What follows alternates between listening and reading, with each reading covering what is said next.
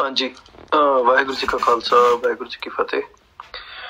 ਪਹਿਲਾਂ ਤੇ ਅੱਜ ਜਿਹੜਾ ਸਿੱਧੂ ਮੂਸੇਵਾਲੇ ਦਾ ਗੀਤ ਆਇਆ ਸੀ, ਸ਼ਾਮੀ 6 ਵਜੇ ਪੰਜਾਬ ਦੇ ਹਿਸਾਬ ਨਾਲ ਉਹਨਾਂ ਨੇ ਉਹਦਾ ਪ੍ਰੀਮੀਅਰ ਕੀਤਾ।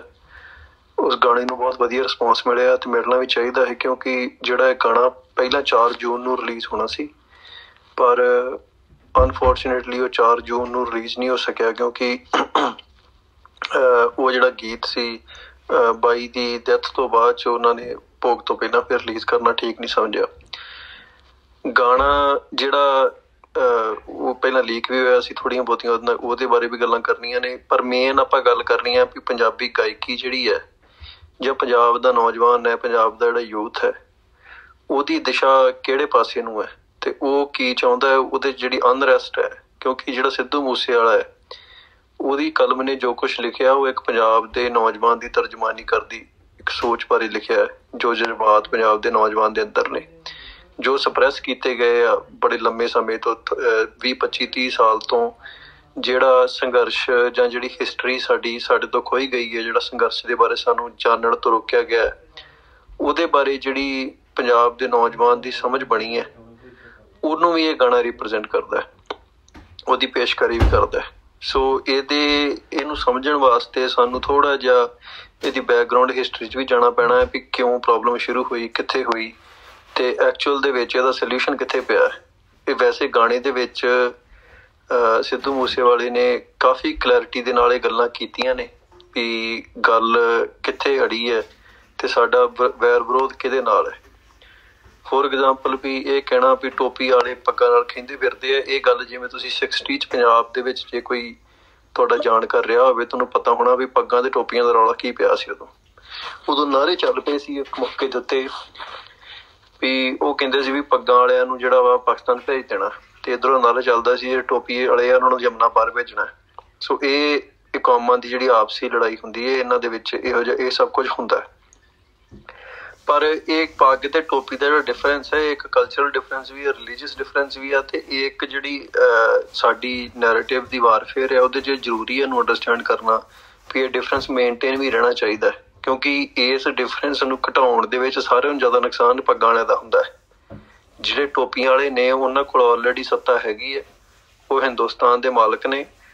ਉਹ ਜਿਵੇਂ ਕਿਸੇ ਨਾਲ ਟਰੀਟ ਕਰਨਾ ਚਾਹੁੰਦੇ ਨੇ, ਉਹ ਕਰ ਰਹੇ ਨੇ। ਸੋ ਇਸ ਕਰਕੇ ਜਿਹੜੀ ਲਕੀਰ ਹੈ ਸਾਡੇ ਤੋਂ ਉਹਨਾਂ ਦੇ ਵਿਚਕਾਰ ਹੈਗੀ ਆ, ਉਹਨੂੰ ਮਟਾਉਣ ਦਾ ਨੁਕਸਾਨ ਕੇਵਲ ਗੁਲਾਮ ਧਿਰ ਦਾ ਹੈ, ਜਿਹੜੀ ਧਿਰ ਕੋਲ ਆਲਰੇਡੀ ਰਾਜ ਸੱਤਾ ਹੈ, ਉਹ ਲਕੀਰ ਮਟਾਉਂਦੀ ਵੀ ਫਿਰੇ, ਉਹਦਾ ਕੋਈ ਫਾਇਦਾ ਨਹੀਂ ਹੈਗਾ।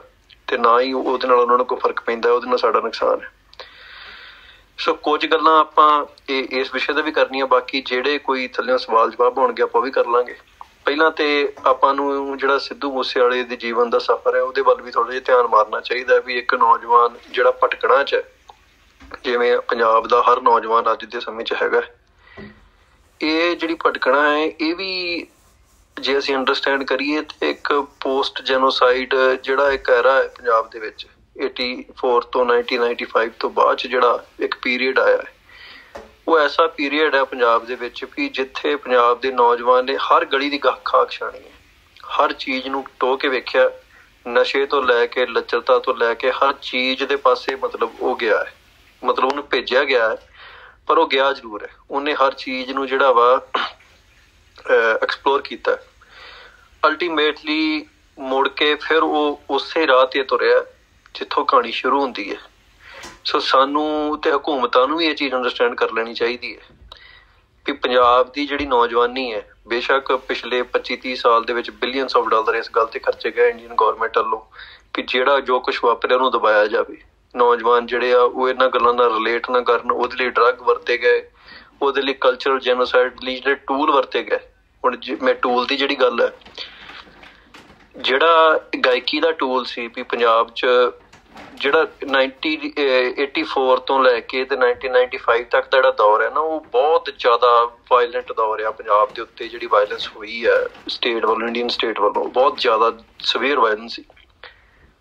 ਹੁਣ ਦੁਨੀਆ 'ਚ ਹਰ ਥਾਂ ਤੇ ਵਾਪਰਦਾ ਵੀ ਜਦੋਂ ਕਿਸੇ ਕੌਮ ਦੇ ਉੱਤੇ ਬਹੁਤ ਜ਼ਿਆਦਾ ਵਾਇਲੈਂਸ ਹੋ ਜੇ ਉਹਦਾ ਧਿਆਨ ਇਧਰ ਉਧਰ ਲਾਉਣ ਵਾਸਤੇ ਨਾ ਉੱਥੇ ਬੜੇ ਐਕਸਪੈਰੀਮੈਂਟ ਕੀਤੇ ਜਾਂਦੇ ਆ। ਪੰਜਾਬ ਦੀ ਧਰਤੀ ਤੇ ਐਕਸਪੈਰੀਮੈਂਟ ਕੀਤਾ ਗਿਆ ਜਿਹੜਾ ਕਲਚਰ ਜੈਨੋਸਾਈਡ ਦੇ ਰੂਪ ਜਿਹੜੇ ਅਖਾੜੇ ਲਵਾਉਣੇ ਸਿੰਗਰਾਂ ਦੇ, ਕਲਾਕਾਰਾਂ ਦੇ, ਉਹਨਾਂ ਨੂੰ ਸਟੇਟ ਸਪਾਂਸਰਡ ਸਿੰਗਰ ਪੈਦਾ ਕੀਤੇ ਗਏ।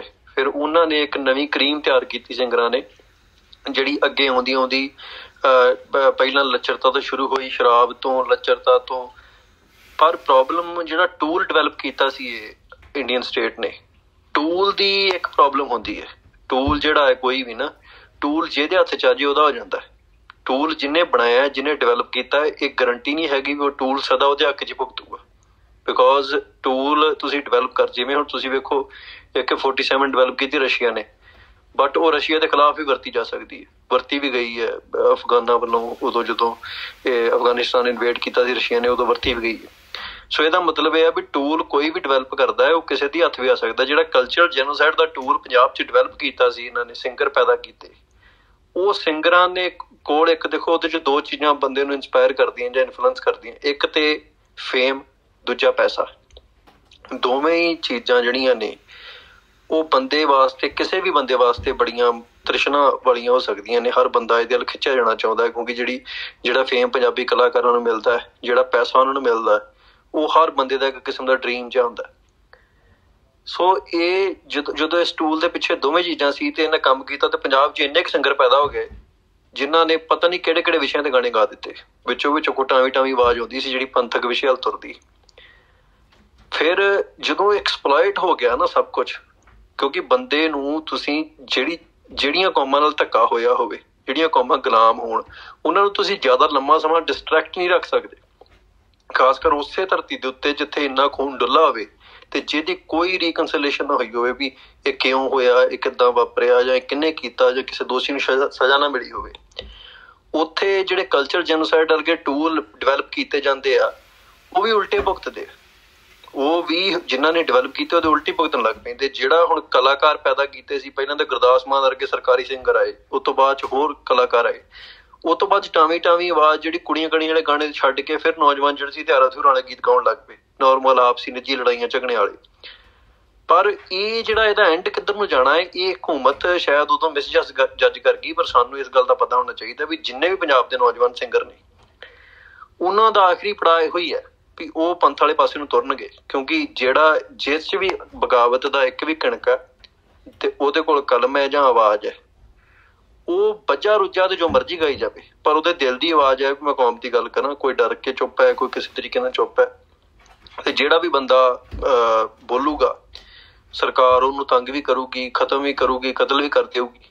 ਪਰ ਇਹ ਜਿਹੜੀ, ਜਿਹੜਾ ਕਲਚਰਲ ਕਿਉਂਕਿ ਜਿਹੜਾ ਇਹ ਕਲਚਰਲ ਜੈਨੋਸਾਈਡ ਜਿਹੜਾ ਸੀ ਇਹਨੂੰ ਡਿਵੈਲਪ ਤਾਂ ਕੀਤਾ ਗਿਆ ਵੀ ਮਾਸਸ ਦੇ ਉੱਤੇ ਦੀ ਬਹੁਤ ਅਪੀਲ ਹੈ। ਬਹੁਤ ਲੋਕ ਇੱਕ ਸਿੰਗਰ ਦੇ ਪਿੱਛੇ ਲੱਗ ਜਾਂਦੇ ਨੇ। ਹੁਣ ਜਿਹੜਾ ਇੱਕ ਸਿੰਗਰ ਹੈ, ਉਹ ਬਹੁਤ ਲੋਕਾਂ ਨੂੰ ਵਿਗਾੜ ਸਕਦਾ ਜਿਵੇਂ ਗੁਰਦਾਸ ਮਾਨ ਨੇ ਗੀਤ ਗਾਤਾ ਆਪਣਾ ਪੰਜਾਬ ਹੋਵੇ, ਘਰ ਦੀ ਸ਼ਰਾਬ ਹੋਵੇ, ਉਹਦੇ ਨਾਲ ਬਹੁਤ ਲੋਕਾਂ ਨੂੰ ਜਸਟੀਫਿਕੇਸ਼ਨ ਮਿਲ ਗਈ ਸ਼ਰਾਬ ਪੀਣ ਦੀ। ਗੁਰਦਾਸ ਮਾਨ ਇਹ ਗੀਤ ਗਾਉਂਦਾ ਹੈ ਜਿਹੜੇ ਮੁਲਕ ਦਾ ਖਾਈ, ਉਹਦਾ ਬੁਰਾ ਨਹੀਂ ਮੰਗੀਦਾ।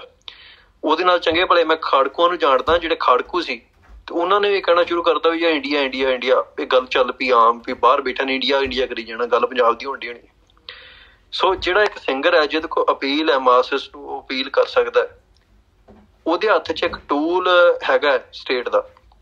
ਹੁਣ ਉਹ ਜਿਹੜਾ ਸਿੰਗਰ ਹੈ, ਉਹਦੇ ਕੋਲ ਅਪੀਲ ਰਹਿੰਦੀ ਹੈ ਹਮੇਸ਼ਾ ਹੀ। ਪਰ ਜੇ ਫਰਜ਼ ਕਰੋ ਪੁੱਠਾ ਚੱਲ ਪਵੇ, ਤੇ ਉਹ ਉਨੇ ਹੀ ਲੋਕਾਂ ਨੂੰ, ਉਨੇ ਛੇਤੀ ਸਟੇਟ ਦੇ ਉਲਟ ਵੀ ਖੜਾ ਕਰ ਸਕਦਾ ਹੈ।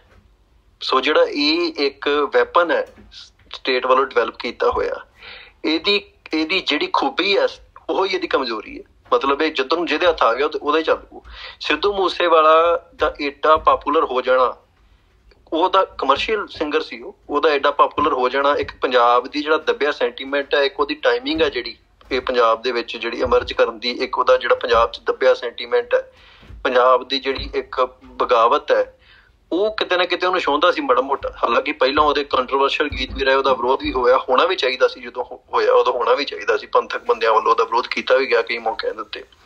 ਪਰ ਫਿਰ ਵੀ ਕੋਈ ਐਡਾ ਵੱਡਾ ਮਸਲਾ ਨਹੀਂ ਸੀ ਬਣਿਆ, ਜਿਹੜਾ ਮਤਲਬ ਉਹ ਉਹ ਤੋਂ ਬਾਅਦ ਚੋ ਪਾਰਟੀਆਂ 'ਚ ਵੀ ਗਿਆ। ਮਤਲਬ ਜਿਵੇਂ ਪੂਰੀ ਭਟਕਣਾ 'ਚ ਬੰਦਾ ਲੰਘਦਾ ਤੇ ਫਿਰ ਅਖੀਰ ਨੂੰ ਆ ਕੇ ਉਹਨੇ ਫੈਸਲਾ ਕੀਤਾ ਵੀ ਨਹੀਂ, ਜਿਹੜਾ ਜੀਵਨ ਦਾ ਜਿਹੜਾ ਇੱਕ ਸਾਰ ਹੈ, ਕਿਉਂਕਿ ਦੋ ਕੁਝ ਬੰਦਿਆਂ ਦਾ ਜਿਹੜਾ ਇੱਕ ਸੁਭਾਅ ਹੁੰਦਾ ਹੈ। ਇਹ ਆਪਾਂ ਨੂੰ ਇਹ ਵੀ ਸਮਝਣਾ ਪੈਣਾ ਵੀ ਜਿਹੜਾ ਬੰਦਿਆਂ ਦਾ ਸੁਭਾਅ ਆ ਨਾ, ਉਹਨਾਂ ਨੂੰ ਭਟਕਾਉਂਦਾ ਹੈਗਾ, ਪਰ ਉਹ ਸਿਰੇ ਨਹੀਂ ਲਾ ਸਕਦਾ। ਸਿੱਧੂ ਮੂਸੇ ਵਾਲਾ ਕੈਨੇਡਾ ਤੋਂ ਮੁੜਿਆ। ਬਹੁਤੇ ਲੋਕਾਂ ਦਾ ਡ੍ਰੀਮ ਹੁੰਦਾ ਵੀ ਅਸੀਂ ਕੈਨੇਡਾ ਜਾਈਏ। ਉੱਥੋਂ ਮੁੜ ਆਇਆ ਪਿੰਡ ਬਹਿ ਗਿਆ, ਜਾ ਪਿੰਡ ਉਹਨੇ ਪੈਲੀ ਬਹੁਤ ਖਰੀਦ ਲਈ। ਆਲੇ ਦੁਆਲੇ ਨੂੰ ਖੇਤੀਬਾੜੀ ਕਰਨ ਦਾ ਸ਼ੌਂਕ ਸੀ। ਉਹ ਵੀ ਕਰ ਲਿਆ, ਪੈਸਾ ਵੀ ਕਮਾ ਲਿਆ, ਸਭ ਕੁਝ ਹੋ ਗਿਆ, ਘਰ ਪਾ ਲਿਆ, ਕੋਠੀ ਪਾ ਲਈ, ਪਰ ਜਿਹੜੀ ਜਿਹੜੀ ਮਨ 'ਚ ਬੇਚੈਨੀ ਆ, ਉਹ ਖਤਮ ਨਹੀਂ ਹੁੰਦੀ।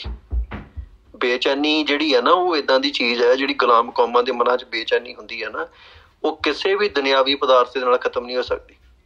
ਉਹ ਤੁਸੀਂ ਮਤਲਬ ਤੁਸੀਂ ਦੁਨੀਆ ਭਰ ਦੇ ਜਿਹੜੇ ਖਜ਼ਾਨੇ ਨੇ, ਉਹ ਤੁਹਾਡੇ ਅੱਗੇ ਆ ਕੇ ਖੜੇ ਹੋ ਜਾਣ। ਤੁਹਾਡੇ ਅੱਗੇ ਪੇਸ਼ ਕੀਤੇ ਜਾਣ, ਤੁਸੀਂ ਤਾਂ ਵੀ ਮਹਿਸੂਸ ਕਰੋਗੇ ਵੀ ਨਹੀਂ, ਇਹ ਇਨਫ ਨਹੀਂ ਹੈਗਾ। ਕੁਝ ਸਮਾਂ ਉਹ ਤੁਹਾਨੂੰ ਲਵਾ ਸਕਦੇ ਆ, ਪਰ ਉਸ ਤੋਂ ਬਾਅਦ ਫਿਰ ਤੁਹਾਨੂੰ ਉਹਨਾਂ ਤੋਂ ਬੋਰੀਅਤ ਤੇ ਉਹਨਾਂ ਤੋਂ ਘਰਣਾ ਵੀ ਹੋਣ ਲੱਗ ਪਊਗੀ। ਫਿਰ ਤੁਸੀਂ ਉਸੇ ਰਾਹ ਨੂੰ ਤੁਰੋਗੇ। ਜਿਹੜੀਆਂ ਕੌਮਾਂ ਦੇ ਜ਼ੁਲਮ ਹੁੰਦਾ ਵਾ, ਉਹਨਾਂ ਦੇ ਲਈ ਉੱਠਣ ਦਾ ਇੱਕੋ ਤਰੀਕਾ ਹੈ। ਉਹ ਤਰੀਕਾ ਵੀ ਜਸਟਿਸ ਇਨਸਾਫ ਕੀਤਾ ਜਾਵੇ, ਬਦਲਾ ਲਿਆ ਜਾਵੇ। ਕਈ ਆਪਣੇ ਸਿੱਖ ਬੜੇ ਬਦਲੇ ਸ਼ਬਦ ਤੋਂ ਭਾਈ ਦੇ ਵੀ ਸਿੱਖ ਬਦਲਾ ਨਹੀਂ ਲੈਂਦੇ, ਸਿੱਖ ਬਦਲਾ ਲੈਂਦੇ ਆ। ਸਿੱਖਾਂ ਨੇ ਬਦਲੇ ਲਏ ਇਤਿਹਾਸ ਦੇ ਵਿੱਚ ਬਦਲੇ ਲੈਂਦੇ ਰਹੇ, ਸਿੱਖ ਹੋਰ ਕੀਤਾ ਕੀ ਸਿੱਖਾਂ ਨੇ? ਮਤਲਬ ਜਿਹੜੀ ਕੌਮ ਬਦਲਾ ਨਹੀਂ ਲੈ ਸਕਦੀ, ਉਸ ਕੌਮ ਦਾ ਸਰਵਾਈਵ ਕਰਨਾ ਇੰਟਰਨਲੀ ਬੜਾ ਔਖਾ ਹੋ ਜਾਂਦਾ ਹੈ। ਉਸ ਕੌਮ ਦੇ ਵਿੱਚ ਆਲਮੋਸਟ ਮੈਸਕੂਲਿਨਿਟੀ ਖਤਮ ਹੋ ਜਾਂਦੀ ਹੈ। ਜਿਹੜੀ ਉਸ ਕੌਮ ਦੇ ਵਿੱਚ ਅਣਖ, ਗੈਰਤ ਸਾਰਾ ਕੁਝ ਖਤਮ ਹੋ ਜਾਂਦਾ, ਜਿਹੜੀ ਕੌਮ ਬਦਲਾ ਲੈਂਦੀ ਨਹੀਂ ਜਾਂ ਲੈਣਾ ਸੋਚਦੀ ਨਹੀਂ, ਹਨਾ? ਸੋ ਇਹ ਜਿਹੜਾ ਸਿੱਧੂ ਮੂਸੇਵਾਲੇ ਦੇ ਇਹ ਕਈ ਗੀਤ ਹੈ ਜਾਂ ਕੁਝ ਹੋਰ ਗੀਤ ਸ਼ਾਇਦ ਭਵਿੱਖ ਜੇ ਗੁਰੂ ਸਾਹਿਬ ਦੀ ਕਿਰਪਾ ਰਹੀ ਤੇ ਜਿਹੜੇ ਆਉਣਗੇ, ਉਹ ਉਹਦੇ ਜਿਹੜੇ ਜੀਵਨ ਦੇ ਪੜਾਅ ਨੂੰ ਇੱਕ ਡਿਫਾਈਨ ਕਰਦੇ ਆ ਵੀ ਇੱਕ ਪੰਜਾਬ ਦੇ ਨੌਜਵਾਨ ਨੂੰ ਵੀ ਵੀ ਕਿਵੇਂ ਉਹ ਪਹਿਲਾਂ ਆਪ ਤੋਂ ਬਾਗੀ ਹੁੰਦਾ ਹੈ, ਫਿਰ ਮਤਲਬ ਆਪਣੇ ਆਪ ਤੋਂ ਫਿਰ ਕਿਸੇ ਮੌਕੇ ਤੇ ਆ ਕੇ ਥੋੜਾ ਬਹੁਤਾ ਧਰਮ ਤੋਂ ਵੀ ਬਗਾਵਤ ਦਿਖਾਉਂਦਾ ਹੈ, ਕਿਉਂਕਿ ਉਹਨੂੰ ਲੱਗਦਾ ਵੀ ਇਹ ਸਾਰਾ ਕੁਝ ਐਕਸਪਲੋਇਟ ਹੋ ਰਿਹਾ। ਉਹਨੇ ਕੁਝ ਗੀਤਾਂ 'ਚ ਇਹ ਵੀ ਗੱਲ ਦਾ ਜ਼ਿਕਰ ਕੀਤਾ। ਉਹਨੂੰ ਉਹਨੂੰ ਐ ਲੱਗਦਾ ਵੀ ਜਿਹੜਾ ਸਟਰਕਚਰ ਤੇ ਕਾਬਜ ਲੋਕ ਨੇ ਮੌਜੂਦਾ ਸਮੇਂ ਦੇ ਵਿੱਚ, ਉਹ ਸਾਡੇ ਵੀ ਆਪਣੇ ਬੰਦੇ ਮਾੜੇ ਨੇ। ਅਲਟੀਮੇਟਲੀ ਜਿਹੜਾ ਉਹਦਾ ਕਨਕਲੂਜਨ ਹੈ ਗੀਤ ਜਿਹੜਾ ਐਸਵਾਈਐਲ ਹੈ, ਉਹਦੇ ਜੋ ਸਿੱਧੀ ਗੱਲ ਹੈ ਵੀ ਉਹਨੇ ਇੱਕ ਤਰੀਕਾ ਦੱਸਿਆ। ਤਰੀਕਾ ਇਹ ਹੈ ਵੀ ਤੁਹਾਡੇ ਅੱਗੇ ਪ੍ਰੋਬਲਮ ਹੈ। ਪ੍ਰੋਬਲਮ ਹੈ ਵੀ ਤੁਹਾਡਾ ਪਾਣੀ ਲੁੱਟ ਰਿਹਾ ਜਾ ਰਿਹਾ ਤੇ ਪਾਣੀ ਲੁੱਟਣ ਜਾਣੇ ਤੋਂ ਰੋਕਣ ਦਾ ਇੱਕੋ ਤਰੀਕਾ ਜਿਹੜਾ ਭਾਈ ਜਟਾਣੇ ਨੇ ਵਰਤਿਆ ਸੀ। ਹੁਣ ਇਸ ਚੀਜ਼ ਨੂੰ ਗਲੋਰੀਫਾਈ ਕਰਨਾ ਤੇ ਇਸ ਚੀਜ਼ ਨੂੰ ਬਬਾਕੀ ਨਾਲ ਬੋਲ ਦੇਣਾ ਆਪਣੇ ਗੀਤਾਂ ਦੇ ਵਿੱਚ। ਖਾਸ ਕਰ ਉਹ ਇਸ ਸਿੰਗਰ ਵੱਲੋਂ ਜਿਹੜਾ ਕਮਰਸ਼ੀਅਲੀ ਐਡਾ ਸਕਸੈਸਫੁਲ ਹੋਵੇ। ਮਤਲਬ ਅੱਜ ਤੇ ਸਿੱਧੂ ਮੂਸੇਵਾਲਾ ਹੈ ਨਹੀਂ। ਜੇ ਹੁੰਦਾ ਤੇ ਇਹ ਗੀਤ ਨੇ ਉਹਦੀ ਲਾਈਫ ਨੂੰ ਅਪ ਡਾਊਨ ਕਰ ਦੇਣਾ ਸੀ, ਇੱਕਦਮ ਅਪਸਾਈਡ ਡਾਊਨ ਛੁੱਟ ਦੇਣਾ ਸੀ। ਕਿਉਂਕਿ ਸਟੇਟ ਨੇ ਕਦੇ ਵੀ ਇਹ ਗੀਤ ਜਿਹੜਾ ਸੀ, ਨਾ ਤੇ ਉਸ ਤੋਂ ਬਾਅਦ ਉਹਦੀ ਕਮਰਸ਼ੀਅਲ ਸਕਸੈਸ ਕੋਈ ਇੱਕ ਗਰੰਟਿਡ ਰਹਿਣੀ ਸੀ। ਨਾ ਉਸ ਤੋਂ ਬਾਅਦ ਜਿਹੜਾ ਉਹਦੇ ਕੋਲ ਸੰਸਾਧਨ ਨੇ ਜਿਹੜੇ ਪਏ, ਉਹ ਗਰੰਟਿਡ ਰਹਿਣੇ, ਪਰ ਉਹਨੇ ਇਹ ਰਿਸਕ ਲਿਆ। ਇਹਦਾ ਮਤਲਬ ਹੈ ਵੀ ਉਹ ਉਹ ਐਡਾ ਕੋਈ ਨਿਰਾ ਜਜ਼ਬਾਤੀ ਬੰਦਾ ਨਹੀਂ ਸੀ ਵੀ ਜਿਹੜਾ ਇਹੋ ਜਿਹਾ ਫੈਸਲਾ, ਏਡੇ ਵੱਡੇ ਪੱਧਰ ਦਾ ਇਦਾਂ ਦਾ ਗੀਤ ਗਾਉਣ ਦਾ ਫੈਸਲਾ ਲੈ ਲਵੇ ਤੇ ਲੈ ਕੇ ਤੇ ਗਾ ਦੇਵੇ, ਬਸ ਰਿਕਾਰਡ ਕਰਕੇ ਤੇ ਡਨ ਕਰਦੇ ਇਦਾਂ ਨਹੀਂ ਹੁੰਦਾ।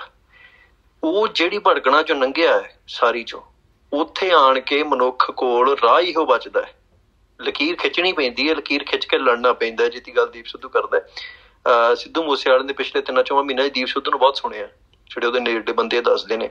ਪਿਛਲੇ ਤਿੰਨ ਚੌਂ ਮਹੀਨਿਆਂ ਦੇ ਵਿੱਚ ਉਹਨੇ ਦੀਪ ਸਿੱਧੂ ਨੂੰ ਸੁਣਿਆ ਸੁਣ ਕੇ ਉਹਨੇ ਬਾਈ ਦੀਪ ਸਿੱਧੂ ਨੂੰ ਤੇ ਇਹ ਅਹਿਸਾਸ ਵੀ ਕੀਤਾ ਕਿ ਜਿਹੜਾ ਵੀ ਪੰਜਾਬ ਦੀ ਪ੍ਰੋਬਲਮ ਕੀ ਹੈ ਤੇ ਪੰਜਾਬ, ਅਸੀਂ ਅੱਜ ਐਜ਼ ਅ ਸਿੱਖ ਨੌਜਵਾਨ, ਅਸੀਂ ਕਿੱਥੇ ਖੜੇ ਆ ਸਾਡੀ ਕੀ ਜ਼ਿੰਮੇਵਾਰੀ ਹੈ?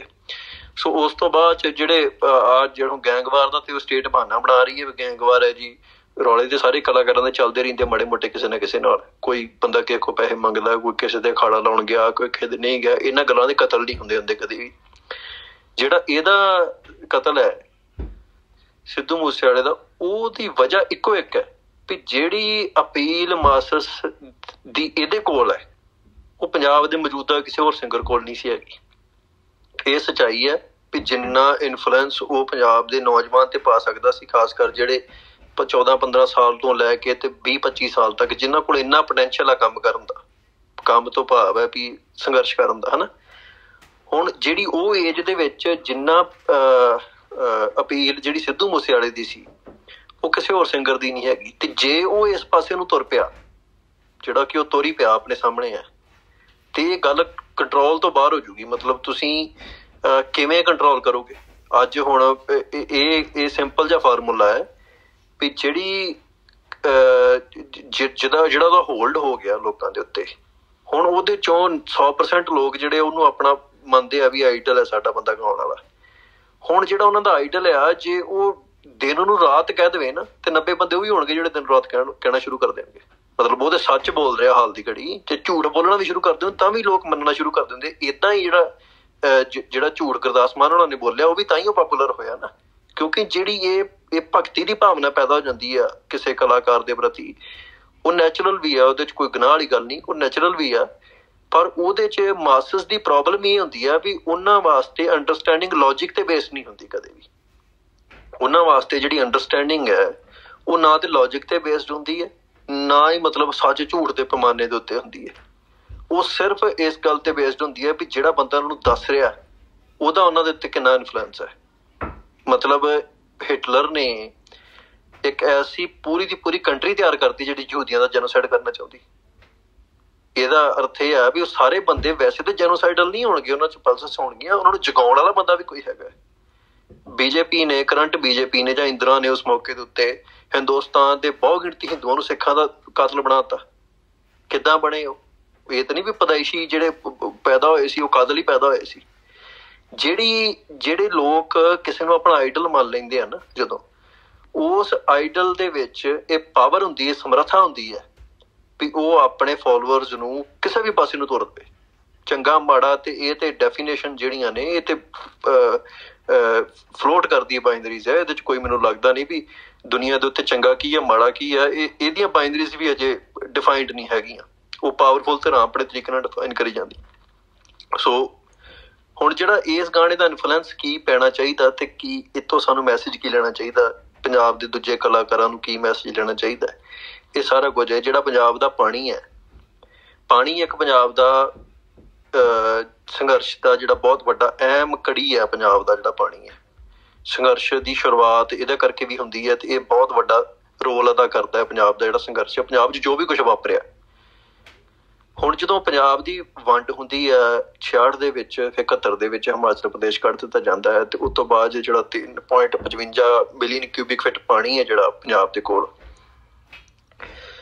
ਉਹ ਉਹ ਸਾਰਾ ਪਾਣੀ ਹੈ ਜਿਹੜਾ ਪੰਜਾਬ ਦੇ ਕੋਲ। ਉਹਦੇ ਵਿੱਚੋਂ 75% ਪਾਣੀ ਜਿਹੜਾ ਆਲਰੇਡੀ ਹਰਿਆਣੇ ਤੇ ਰਾਜਸਥਾਨ ਤੇ ਦਿੱਲੀ ਨੂੰ ਜਾ ਰਿਹਾ ਹੈ।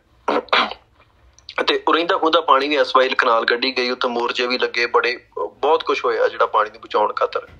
ਪਰ ਜਦੋਂ ਕਿਤੇ ਨਹੀਂ ਗੱਲ ਬਾਹ ਪੇਸ਼ ਚੱਲੀ, ਤੇ ਫਿਰ ਭਾਈ ਜਟਾਣੀ ਹੋਣਾ ਨੇ ਆਪਣਾ ਤਰੀਕਾ ਪੜਾਇਆ ਜਿਹੜਾ ਸਕਸੈਸਫੁਲ ਹੋਇਆ। ਜਿਹੜੀ ਇੱਕੋ ਇੱਕ ਕਨਾਲ, ਜਿਹੜੀ ਪਣੀ ਬਣਾਈ, ਜਿਹੜੀ 2-250 ਕਿਲੋਮੀਟਰ ਕਨਾਲ ਹੈ, ਉਹਦਾ ਕੰਮ ਰੁਕਿਆ। ਕਿਉਂ ਰੁਕਿਆ? ਕਿਉਂਕਿ ਇਦਾਂ ਹੀ ਹੁੰਦਾ ਤੁਸੀਂ ਕਿਸੇ ਦੇ ਇਲਾਕੇ 'ਚ ਜਾ ਕੇ ਹੁਣ ਇੰਡੀਆ ਚਾਵੇ ਪੰਜਾਬ ਨੂੰ ਜੇ ਤੁਸੀਂ ਸੋਵਰਨ ਸਟੇਟ ਮੰਨ ਲਓ ਕੰਟਰੀ ਮੰਨ ਲਓ, ਫਿਰ ਤੁਹਾਨੂੰ ਹਰ ਚੀਜ਼ ਜਸਟੀਫਾਈ ਲੱਗਣ ਲੱਗ ਪਊਗੀ। ਫਿਰ ਤੁਹਾਨੂੰ ਨਹੀਂ ਲੱਗੂਗਾ ਭਾਈ ਜਟਾਣੇ ਨੇ ਕਾਨੂੰਨ ਤੋੜਿਆ। ਪੰਜਾਬ ਨੂੰ ਤੁਸੀਂ ਇੱਕ ਕੰਟਰੀ ਮੰਨੋ, ਵੱਖਰੀ ਹੈ। ਹਿੰਦੁਸਤਾਨ ਦੇ ਦੀ, ਦੇ ਇੰਜੀਨੀਅਰ ਤੇ ਹਿੰਦੁਸਤਾਨ ਦੀ ਫੌਜ ਪੰਜਾਬ ਚ ਆਣ ਕੇ ਕੰਸਟਰਕਸ਼ਨ ਕਰਨਾ ਚਾਹ ਰਹੇ ਨੇ, ਬਿਨਾਂ ਪੰਜਾਬ ਦੇ ਹਕੂਮਤ ਦੀ ਮਰਜ਼ੀ ਤੋਂ। ਉੱਥੇ ਫੌਜ ਰਿਐਕਸ਼ਨਰੀ ਕਾਰਵਾਈ ਕਰੂਗੀ। ਤੇ ਇੰਜੀਨੀਅਰ ਵੀ ਮਾਰੇ ਜਾ ਸਕਦੇ ਕੁਝ ਵੀ ਹੋ ਸਕਦਾ। ਹੁਣ ਹਿੰਦੁਸਤਾਨ ਵਾਲੇ ਜਾ ਕੇ ਚੀਨ ਦੇ ਵਿੱਚ ਕੋਈ ਕਨਾਲ ਬਣਾ ਕੇ ਦਿਖਾ ਦੇਣ। ਜਾਂ ਹਿੰਦੁਸਤਾਨ ਵਾਲੇ ਪਾਕਿਸਤਾਨ 'ਚ ਜਾ ਕੇ ਕਨਾਲ ਬਣਾ ਕੇ ਦਿਖਾ ਦੇਣ। ਨਹੀਂ ਬਣਾ ਸਕਦੇ। ਸੋ ਸਾਡੀ ਕਨਫਿਊਜ਼ਨ ਕਿੱਥੇ ਖੜੀ ਹੁੰਦੀ ਹੈ?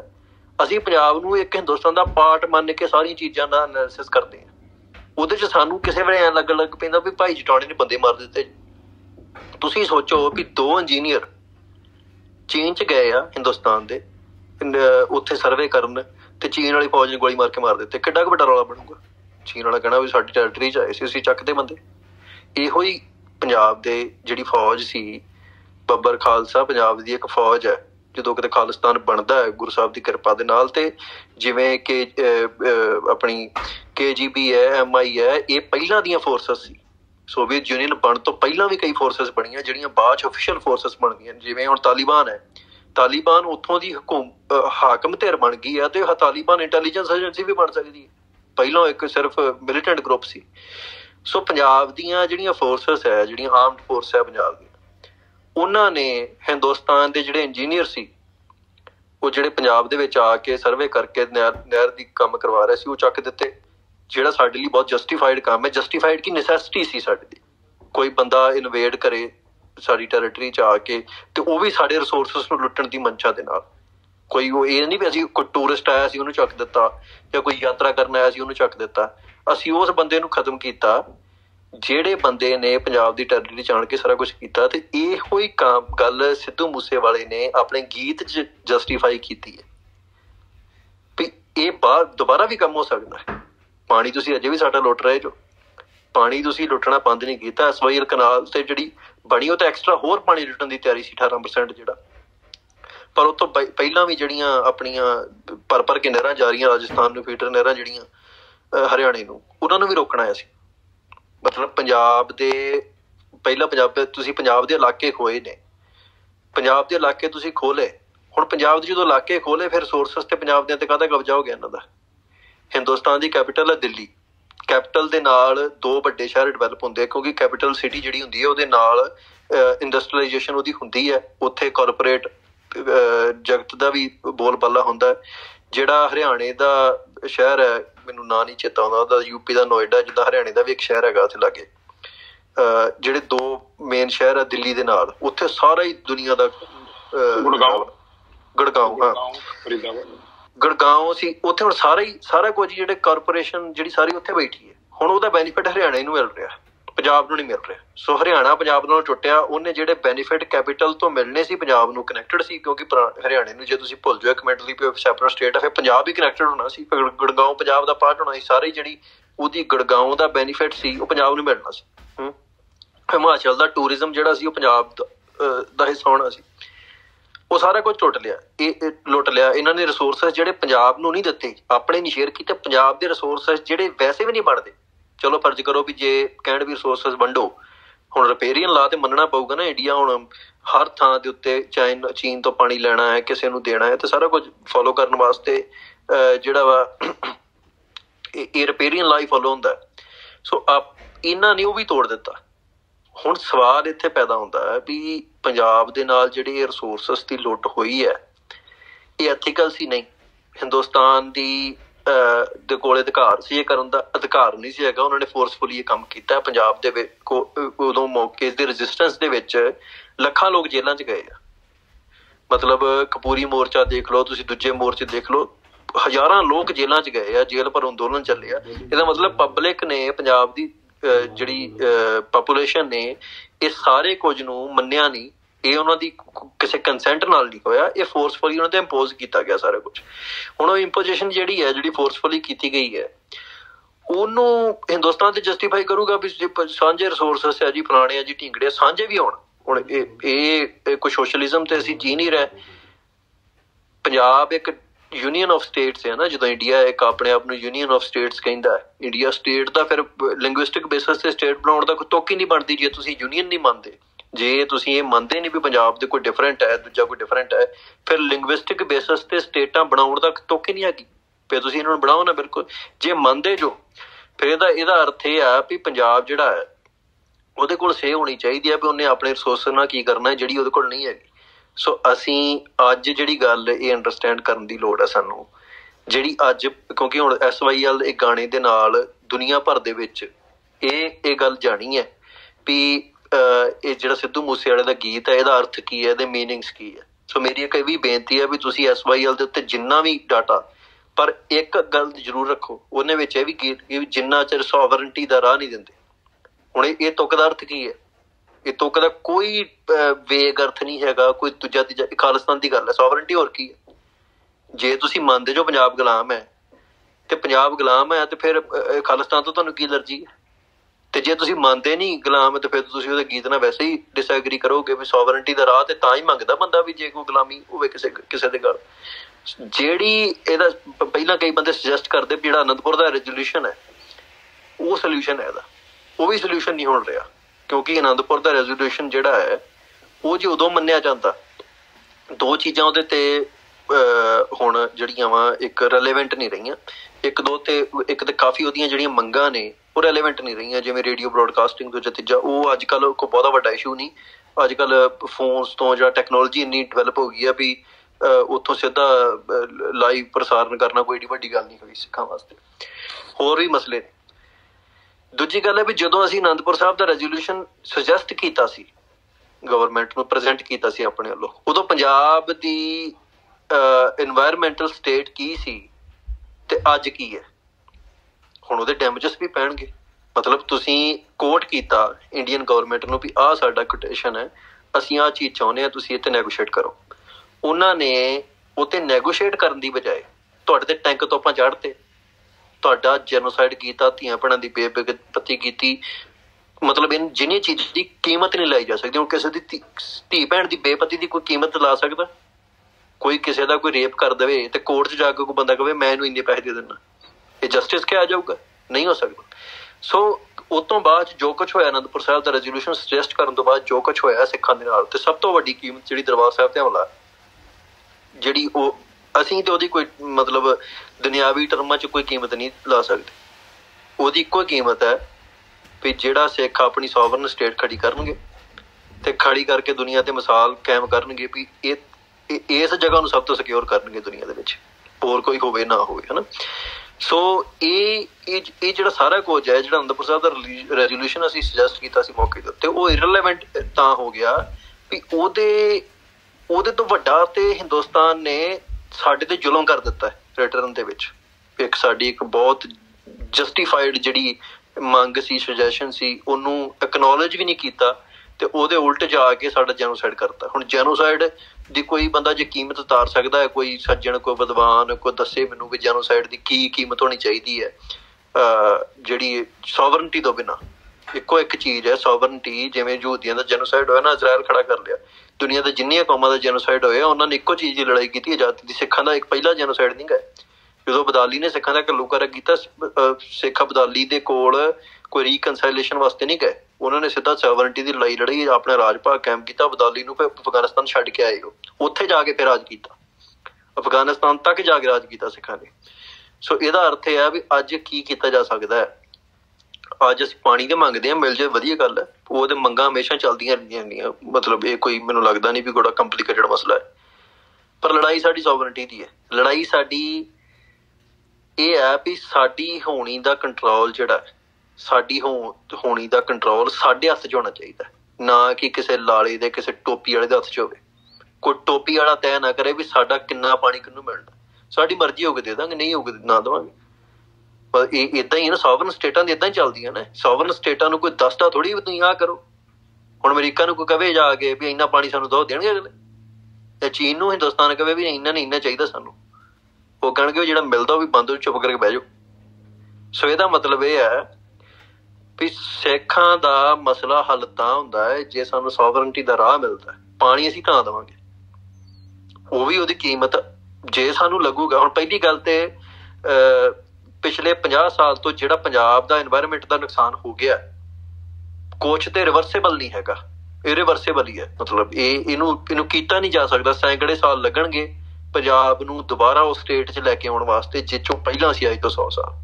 ਜਿੰਨਾ ਨੁਕਸਾਨ ਕੈਮੀਕਲਸ ਨੇ ਤੇ ਗਰਾਊਂਡ ਵਾਟਰ ਕੱਢਣ ਦਾ ਕਰਕੇ ਪੰਜਾਬ ਦਾ ਹੋ ਗਿਆ। ਤੇ ਉਹਦਾ ਦੋਸ਼ੀ ਕੌਣ ਇੰਡੀਅਨ ਸਟੇਟ ਹੈ।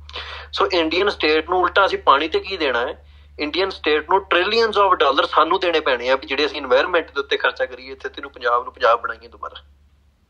ਆਜ਼ਾਦੀ ਦੇ ਨਾਲ ਨਾਲ ਹਿੰਦੁਸਤਾਨ ਸਾਰਾ ਵਿਕ ਵੀ ਜਾਵੇ ਤਾਂ ਤਾਂ ਵੀ ਜਿਹੜਾ ਪੰਜਾਬ ਦੇ ਨਾਲ ਨੁਕਸਾਨ ਕੀਤਾ ਹੈ ਨਾ, ਹਿੰਦੁਸਤਾਨ ਨੇ, ਉਹ ਉਹਦੀ ਭਰਪਾਈ ਨਹੀਂ ਹੁੰਦੀ।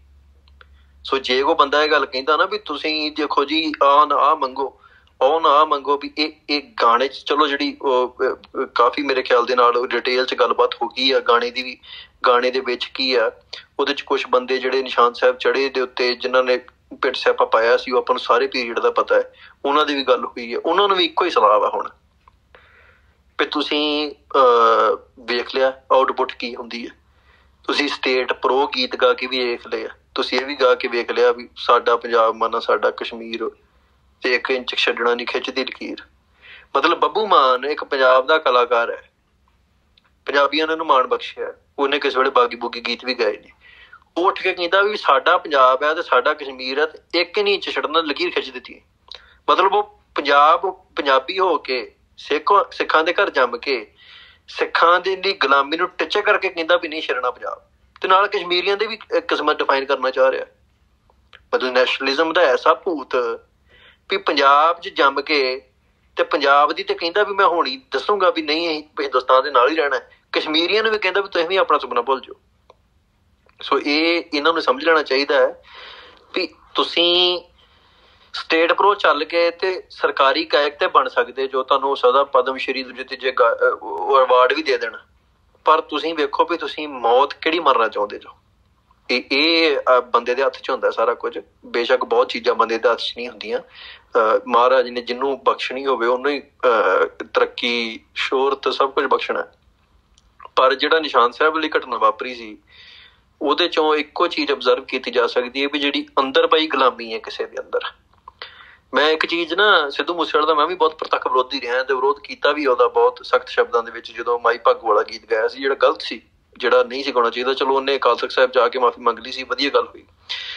ਤੇ ਉਹ ਕੰਟਰੋਵਰਸੀ ਉਹ ਖਤਮ ਹੋ ਗਈ। ਜਿਹੜਾ ਉਹਦਾ ਜ਼ਿਆਦਾ ਮੋੜਾ ਮੈਨੂੰ ਲੱਗਦਾ ਪਿਆ ਹੈ, ਉਹ ਪਿਆ ਪੰਜਾਬ ਗੀਤ ਜਦੋਂ ਉਹਨੇ ਗਾਇਆ ਕਿਸਾਨੀ ਮੋਰਚੇ ਦੇ ਵਿੱਚ, ਜਿਹੜਾ ਮੈਨੂੰ ਬਹੁਤ ਜੀ ਤੌਰ ਤੇ ਪਸੰਦ ਸੀ। ਵੈਸੇ ਮੈਂ ਸੁਣਦਾ ਸੁਣਦਾ ਨਹੀਂ ਹੁੰਦਾ ਗੀਤ। ਉਹ ਇਸ ਕਰਕੇ ਸੀ ਵੀ ਉਹਨੇ ਕਿਹਾ ਸੀ ਵੀ ਕਿ, ਚੰਟ, ਕੇਸਰੀ ਤੋਂ ਹਰੇ ਹਰੇ ਹਰਿਆਂ ਤੋਂ ਰੰਗ ਕੇਸਰੀ ਹੋ ਜਾਣ, ਝੰਡਿਆਂ ਦੇ ਸ਼ਾਇਦ ਇਦਾਂ ਦੇ ਤੁਕ ਸੀ, ਲੈਣ ਸੀ ਉਹਦੇ ਚ। ਹੁਣ ਉਹਦਾ ਅਰਥ ਇਹ ਹੈ ਵੀ ਜਿਹੜੇ ਹਰੇ ਝੰਡੇ ਆ, ਇਹ ਇਹ ਤੇਰੇ ਅੱਗੇ ਭੀਖ ਮੰਗਣ ਵਾਲੇ ਲੋਕ ਆ। ਜਿਹੜੇ ਭਾਵ, ਜਿਹੜੇ ਆ ਕਿਸਾਨੀ ਆਗੂ ਸੀ ਕਿਸਾਨ ਯੂਨੀਅਨ ਸੀ, ਉਹ ਉਹ ਇਹ ਡਿਫਾਈਨ ਕਰ ਰਿਹਾ ਚੀਜ਼ ਨੂੰ ਵੀ ਇਹ ਤੇਰੇ ਅੱਗੇ ਭੀਖ ਮੰਗਣ ਵਾਲੇ ਲੋਕ ਆ। ਤੇ ਜੇ ਕੇਸਰੀ ਬਣ ਗਏ ਇਹ ਵਾਰ ਨਹੀਂਗਾ ਤੈਨੂੰ ਵੀ ਇੱਕ ਤੇ ਕੇਸਰੀ ਨਾ ਬਣ ਜਾਣ ਰਾਂਗੇ। ਹਰਿਆਂ ਤੋਂ ਕੇਸਰੀ ਨਾ ਚੱਕ ਲੈਣ ਲੋਕ। ਸੋ ਇਹਦਾ ਇਹਦਾ ਅਰਥ ਕੀ ਹੈ? ਵੀ ਪੰਜਾਬ ਦੇ ਕੋਲ ਹਮੇਸ਼ਾ ਹੀ ਇੱਕ ਰਾਹ ਹੈਗਾ। ਜਿਹੜਾ ਗੁਰੂ ਸਾਹਿਬ ਨੇ ਕਿਹਾ ਨਾ ਵੀ ਜਦੋਂ ਸਾਰੇ ਵਸੀਲੇ ਖਤਮ ਹੋ ਜਾਣ, ਫਿਰ ਸ਼ਮਸ਼ੀਰ ਨੂੰ ਹੱਥ ਪਾਉਣਾ ਜਾਇਜ਼। ਜਾਇਜ਼ ਨਹੀਂ, ਸੰਗੋ ਜ਼ਰੂਰੀ ਹੈ, ਧਰਮ ਹੈ। ਇਹ ਇੱਕ ਤੇ ਹੁੰਦਾ ਨਾ ਵੀ ਜਾਇਜ਼ਤਾ ਜਾਇਜ਼ਤਾ, ਨਜਾਇਜ਼ਤਾ ਉਦੋਂ ਵੇਖੀ ਜਾਂਦੀ ਹੈ, ਜਦੋਂ ਆਪਾਂ ਇਹਦੇ ਲਈ ਗਿਲਟੀ ਹੋਈਏ ਜਾਂ ਨਾ ਹੋਈਏ ਤਾਂ ਸਵਾਲ ਹੋਵੇ। ਜਦੋਂ ਕਹਿੰਦੇ ਆ ਵੀ ਪਾਪ ਦੀ ਇੰਤਹਾ ਹੋ ਜਾਵੇ ਤੇ ਜ਼ੁਲਮ ਇੰਨਾ ਵੱਧ ਜੇ, ਤੇ ਉਦੋਂ ਜੇ ਕੋਈ ਬੰਦਾ ਹਥਿਆਰ ਨੂੰ ਹੱਥ ਨਹੀਂ ਪਾਉਂਦਾ, ਉਹ ਕਾਇਰ ਹੈ ਤੇ ਉਹ ਨਾ ਮਰਦ ਹੈ ਤੇ ਉਹ ਬੰਦਾ ਧਰਮੀ ਵੀ ਨਹੀਂ ਹੋ ਸਕਦਾ। ਇਹਦੀ ਪ੍ਰਾਈਮ ਐਗਜ਼ਾਮਪਲ ਜਦੋਂ ਬਾਬਾ ਬੰਦਾ ਸਿੰਘ ਬਹਾਦਰ ਦੇ ਕੋਲ ਸ਼ਿਕਾਰ ਕਰਦੇ ਆ ਹਿਰਨੀ ਦੇ ਬੱਚੇ ਮਾਰੇ ਗਏ ਨਾ, ਤੇ ਉਹ ਉਹਨਾਂ ਦੇ ਦਿਲ ਨੂੰ ਇਹ ਇਹ ਗੱਲ ਇਦਾਂ ਟੁੰਬੀ ਵੀ ਉਹਨਾਂ ਨੇ ਨਾ ਹਥਿਆਰ ਵੀ ਛੱਡ ਦਿੱਤੇ। ਤੇ ਬਰਾਗੀ ਬਣ ਗਏ, ਬਰਾ ਬਰਾਗੀ ਹੋ ਕੇ ਬਰਾਗੀ ਹੋ ਕੇ ਤੇ ਇਥੋਂ ਤੱਕ ਵੀ ਪੱਤਾ ਵੀ ਟੁੱਟ ਜਾਣਾ ਜੇ ਉਹਨਾਂ ਦੇ ਹੱਥੋਂ। ਕੋਈ ਪੈਰ ਥੱਲੇ ਆਣ ਕੇ ਕੀੜਾ ਮਕੌੜਾ ਮਰ ਜਾਣਾ ਤੁਰੇ ਫਿਰਦੇ ਆ। ਤੇ 7-7 ਦਿਨ 10-10 ਦਿਨ ਅੰਨ ਦਾ ਦਾਣਾ ਨਹੀਂ, ਪਾਣੀ ਨਹੀਂ ਪੀਣਾ। ਮਤਲਬ ਬਰਾਗ ਇਹਨਾਂ ਕਰਨਾ ਇਸ ਚੀਜ਼ ਦਾ। ਇੰਨੀ ਅਹਿੰਸਾ ਜਿਹੜੀ ਆਪਣੇ ਅੰਦਰ ਵਸਾ ਲਈ ਵੀ ਉਹ ਕਹਿੰਦੇ ਸੀ ਵੀ ਕੁਝ ਵੀ ਪੱਤਾ ਵੀ ਤੋੜਨਾ ਏਡੀ ਵੱਡੀ ਹਿੰਸਾ ਵੀ ਇਹ ਮੈਂ ਨਹੀਂ ਕਰ ਸਕਦਾ। ਤੇ ਮਹਾਰਾਜ ਨੂੰ ਤਾਂ ਪਤਾ ਸੀ ਉਦਾਂ ਭਗਤੀ ਤਪ ਬਹੁਤ ਕਰਦਾ ਸੀ ਬਾਬਾ ਬੰਦਾ ਸਿੰਘ ਬਹਾਦਰ। ਮਹਾਰਾਜ ਜਦੋਂ ਉਹਦੇ ਕੋਲ ਗਏ ਤੇ ਉੱਥੇ ਜਾ ਕੇ ਬਾਬਾ ਬੰਦਾ ਸਿੰਘ ਬਹਾਦਰ ਨਹਿਰ ਕੰਢੇ ਤਪ ਕਰਦੇ ਸੀ ਮੌਕੇ ਦੇ ਉੱਤੇ। ਤੇ ਮਹਾਰਾਜ ਨੇ ਜਾ ਕੇ ਤੇ ਬੱਕਰੇ ਝਟਕਾ ਦਿੱਤੇ ਉਹਦੇ ਡੇਰੇ 'ਚ। ਹੁਣ ਜਿਹਦੇ ਡੇਰੇ 'ਚ ਪੱਤਾ ਤੋੜਨਾ ਵੀ ਜਿਹੜਾ ਵਾ, ਉਹਦੇ ਵਾਸਤੇ ਵੀ ਉਹ 10 ਦਿਨ ਅਦਾਸ ਰਹਿੰਦੇ ਆ ਪਾਪ, ਉਹਨਾਂ ਨੂੰ ਲੱਗਦਾ ਪਾਪ ਏਡਾ ਵੱਡਾ ਉਹਦੇ ਡੇਰੇ 'ਚ ਬੱਕਰੇ ਝਟਕਾਏ ਜਾਣ। ਉਹ ਉਹ ਭਜਾਇਆ ਜਦੋਂ ਉਹਨੂੰ ਖਬਰ ਮਿਲੀ। ਉਹ ਆਣ ਕੇ ਕਹਿੰਦਾ ਵੀ ਤੁਸੀਂ ਮੇਰਾ ਡੇਰਾ ਭ੍ਰਿਸ਼ਟ ਕਰਤਾ। ਅਧਰਮੀ ਹੋ ਤੁਸੀਂ। ਗੁਰੂ ਸਾਹਿਬ ਨੂੰ ਕਹਿੰਦਾ, ਤੁਸੀਂ ਮੇਰਾ ਧਰਮ ਭ੍ਰਸਟ ਕਰ ਦਿੱਤਾ ਗੁਰੂ ਸਾਹਿਬ ਕਹਿੰਦੇ ਵੀ ਜਦੋਂ ਪੂਰੀ ਦੁਨੀਆ ਦੇ ਉੱਤੇ ਖੂਨ ਦੀਆਂ ਨਦੀਆਂ ਵਗ ਰਹੀਆਂ ਹੋਣ, ਤੇ ਤੂੰ ਇੱਥੇ ਡੇਰੇ 'ਚ ਬੈਠਾ ਹੋਵੇਂ ਤੇ ਤੈਨੂੰ ਲੱਗੇ ਵੀ ਤੇਰਾ ਡੇਰਾ 'ਚ ਖੂਨ ਨਹੀਂ ਨਜ਼ਰ ਨਹੀਂ ਆ ਰਿਹਾ ਤੇ ਤੇਰਾ ਧਰਮ ਬਚਿਆ। ਗੁਰੂ ਸਾਹਿਬ ਨੇ ਫਿਰ ਬਾਬਾ ਸਿੰਘ ਬਹਾਦਰ ਨੂੰ ਕਿਹਾ ਵੀ ਤੇਰਾ ਧਰਮ ਅੱਜ ਇਹ ਕਹਿੰਦਾ ਵੀ ਤੈਨੂੰ ਤਲਵਾਰ ਚੁੱਕਣੀ ਚਾਹੀਦੀ ਕਿਰਪਾਨ ਚੁੱਕਣੀ ਚਾਹੀਦੀ ਇਹੋ ਹੀ ਤੇਰਾ ਧਰਮ ਹੈ। ਜਿਹੜਾ ਬਾਬਾ ਬੰਦਾ ਸਿੰਘ ਬਹਾਦਰ ਪੱਤੇ ਤੋੜਨ ਨੂੰ ਵੀ ਗਨਾਹ ਮੰਨਦਾ ਸੀ, ਉਹ ਫਿਰ ਜਦੋਂ ਉੱਥੋਂ ਤੁਰਿਆ ਹੈ ਤਦੇੜ ਸਾਹਿਬ ਤੋਂ ਉੱਥੋਂ ਤੁਰਦਾ ਤੁਰਦਾ ਕਿਵੇਂ ਉਹ ਹਕੂਮਤਾਂ ਨੂੰ ਤਬਾਹ ਕਰਦਾ ਹੈ ਮਤਲਬ ਉਹਦਾ ਜਿਹੜਾ ਉਹ ਰੂਪ ਵੇਖਿਆ ਸੰਸਾਰ ਤੇ ਤੇ ਫਿਰ ਜਦੋਂ ਸ਼ਾਂਤੀ ਅਸ਼ਾਂਤੀ ਦਾ ਵੀ ਇਹ ਮਸਲਾ ਨਾ, ਸ਼ਾਂਤੀ ਕੀ ਉਹ ਉਹ ਆਪਣੇ ਆਪ ਨੂੰ ਲੱਗਦਾ ਮੇਰੀ ਪਹਿਲਾਂ ਸ਼ਾਂਤੀ ਗੁਰੂ ਸਾਹਿਬ ਨੇ ਭੰਗ ਕੀਤੀ ਬੱਕਰੇ ਚੜਗਾ ਕੇ। ਪਰ ਫਿਰ ਉਹਨੂੰ ਵਾਕਿਆ ਅਹਿਸਾਸ ਹੋਇਆ ਵੀ ਸ਼ਾਂਤੀ ਜਿਹੜੀ ਹੈ, ਉਹ ਇੱਥੇ ਸ਼ਸਤਰਾਂ ਤੋਂ ਬਿਨਾ ਸ਼ਾਂਤੀ ਕਿਵੇਂ ਆ ਸਕਦੀ ਹੈ? ਇਹ ਇਹ ਇਹ ਵੀ ਅੰਡਰਸਟੈਂਡ ਕਰਨ ਵਾਲਾ ਵਿਸ਼ਾ ਹੈ ਵੀ ਅਸੀਂ ਜਦੋਂ ਚੀਜ਼ਾਂ ਨੂੰ ਸਮਝਦੇ ਆ ਨਾ, ਸਾਡੀ ਇੱਕ ਲਿਮਿਟੇਸ਼ਨ ਹੈ। ਅਸੀਂ ਜਾਂ ਤੇ ਇਹ ਸਾਡੀ ਗਲਤੀ ਨਹੀਂ, ਇਹ ਚ ਕਿਸੇ ਦੀ ਵੀ ਗਲਤੀ ਨਹੀਂ ਹੁੰਦੀ ਕਿਉਂਕਿ ਆਪਾਂ ਜੋ ਵੀ ਕੁਛ ਹੈ ਅੱਜ, ਆਪਾਂ ਆਲੇ ਦੁਆਲੇ ਜੋ ਸਾਡੀ ਨੌਲੇਜ ਹੈ ਐਕਸਟਰਨਲ ਨੌਲੇਜ ਦੇ ਉੱਤੇ ਜ਼ਿਆਦਾ ਕੁਝ ਚੀਜ਼ਾਂ ਬੇਸ ਕਰ ਰਹੇ ਨੇ ਆਪਾਂ ਜੋ ਅਬਜ਼ਰਵ ਕਰਦੇ ਹਾਂ, ਹਨਾ? ਇਨਹੇਲ ਕਰਦੇ ਹਾਂ ਜਿਹੜੀ ਨੌਲੇਜ ਆਪਾਂ ਉਹਦੇ ਤੇ ਸਾਰਾ ਕੁਝ ਬੇਸ ਕਰਦੇ ਆ ਜਿਵੇਂ ਹੁਣ ਆਪਾਂ ਮੈਂ ਅੱਗੇ ਐਗਜ਼ਾਮਪਲ ਦਿੱਤੀ ਸੀ ਕਿ ਭਾਈ ਜਟਾਣੇ ਨੇ ਨੂੰ ਤੁਸੀਂ ਗੁਨੇਗਾਰ ਮੰਨ ਸਕਦੇ ਜੋ? ਜੇ ਤੁਸੀਂ ਸੋਚੋ ਵੀ ਭਾਈ ਜਟਾਣੇ ਨੇ ਹਿੰਦੁਸਤਾਨ ਦੀ ਧਰਤੀ ਤੇ ਕੁਝ ਕੀਤਾ ਫਿਰ ਤੇ ਉਹ ਗਿਲਟੀ ਹੋ ਸਕਦਾ ਹੈ। ਜੇ ਭਾਈ ਜਟਾਣੇ ਨੇ ਪੰਜਾਬ ਦੀ ਧਰਤੀ ਦੇ ਉੱਤੇ ਇਨਵੇਡਰਸ ਜਿਹੜੇ ਆਏ ਸੀ, ਜਿਨ੍ਹਾਂ ਨੇ ਇਸ ਇੰਟੈਂਸ਼ਨ ਆਏ ਵੀ ਪੰਜਾਬ ਦਾ ਪਾਣੀ ਲੁੱਟਣਾ ਉਹਨਾਂ ਨੂੰ ਮਾਰਿਆ ਫਿਰ ਤੇ ਭਾਈ ਜਟਾਣਾ ਸਾਡਾ ਹੀਰੋ ਹੈ। ਉਹ ਹਰ ਪੰਜਾਬੀ ਦਾ ਹੀਰੋ ਹੋਣਾ ਚਾਹੀਦਾ ਪਰ ਸਾਡੇ ਸੋਚਣ ਦਾ ਪਰਸਪੈਕਟਿਵ ਜਿਹੜਾ ਹੈ, ਉਹ ਇਹ ਹੈ ਵੀ ਅਸੀਂ ਜਿਹੜੀ ਹਿੰਦੁਸਤਾਨ ਨੇ ਇੱਕ ਬਾਉਂਡਰੀ ਡਿਫਾਈਨ ਕਰ ਦਿੱਤੀ ਹੈ ਵੀ ਪੰਜਾਬ ਹਿੰਦੁਸਤਾਨ ਦਾ ਹਿੱਸਾ ਹੈ। ਅਸੀਂ ਉਹਨੂੰ ਰੱਖ ਕੇ ਤੇ ਫਿਰ ਐਨਾਲਿਸਿਸ ਕਰਦੇ ਆ ਫਿਰ ਸੋਚਦੇ ਆ ਪ੍ਰੋਬਲਮ ਉੱਥੇ ਖੜੀ ਹੁੰਦੀ ਹੈ।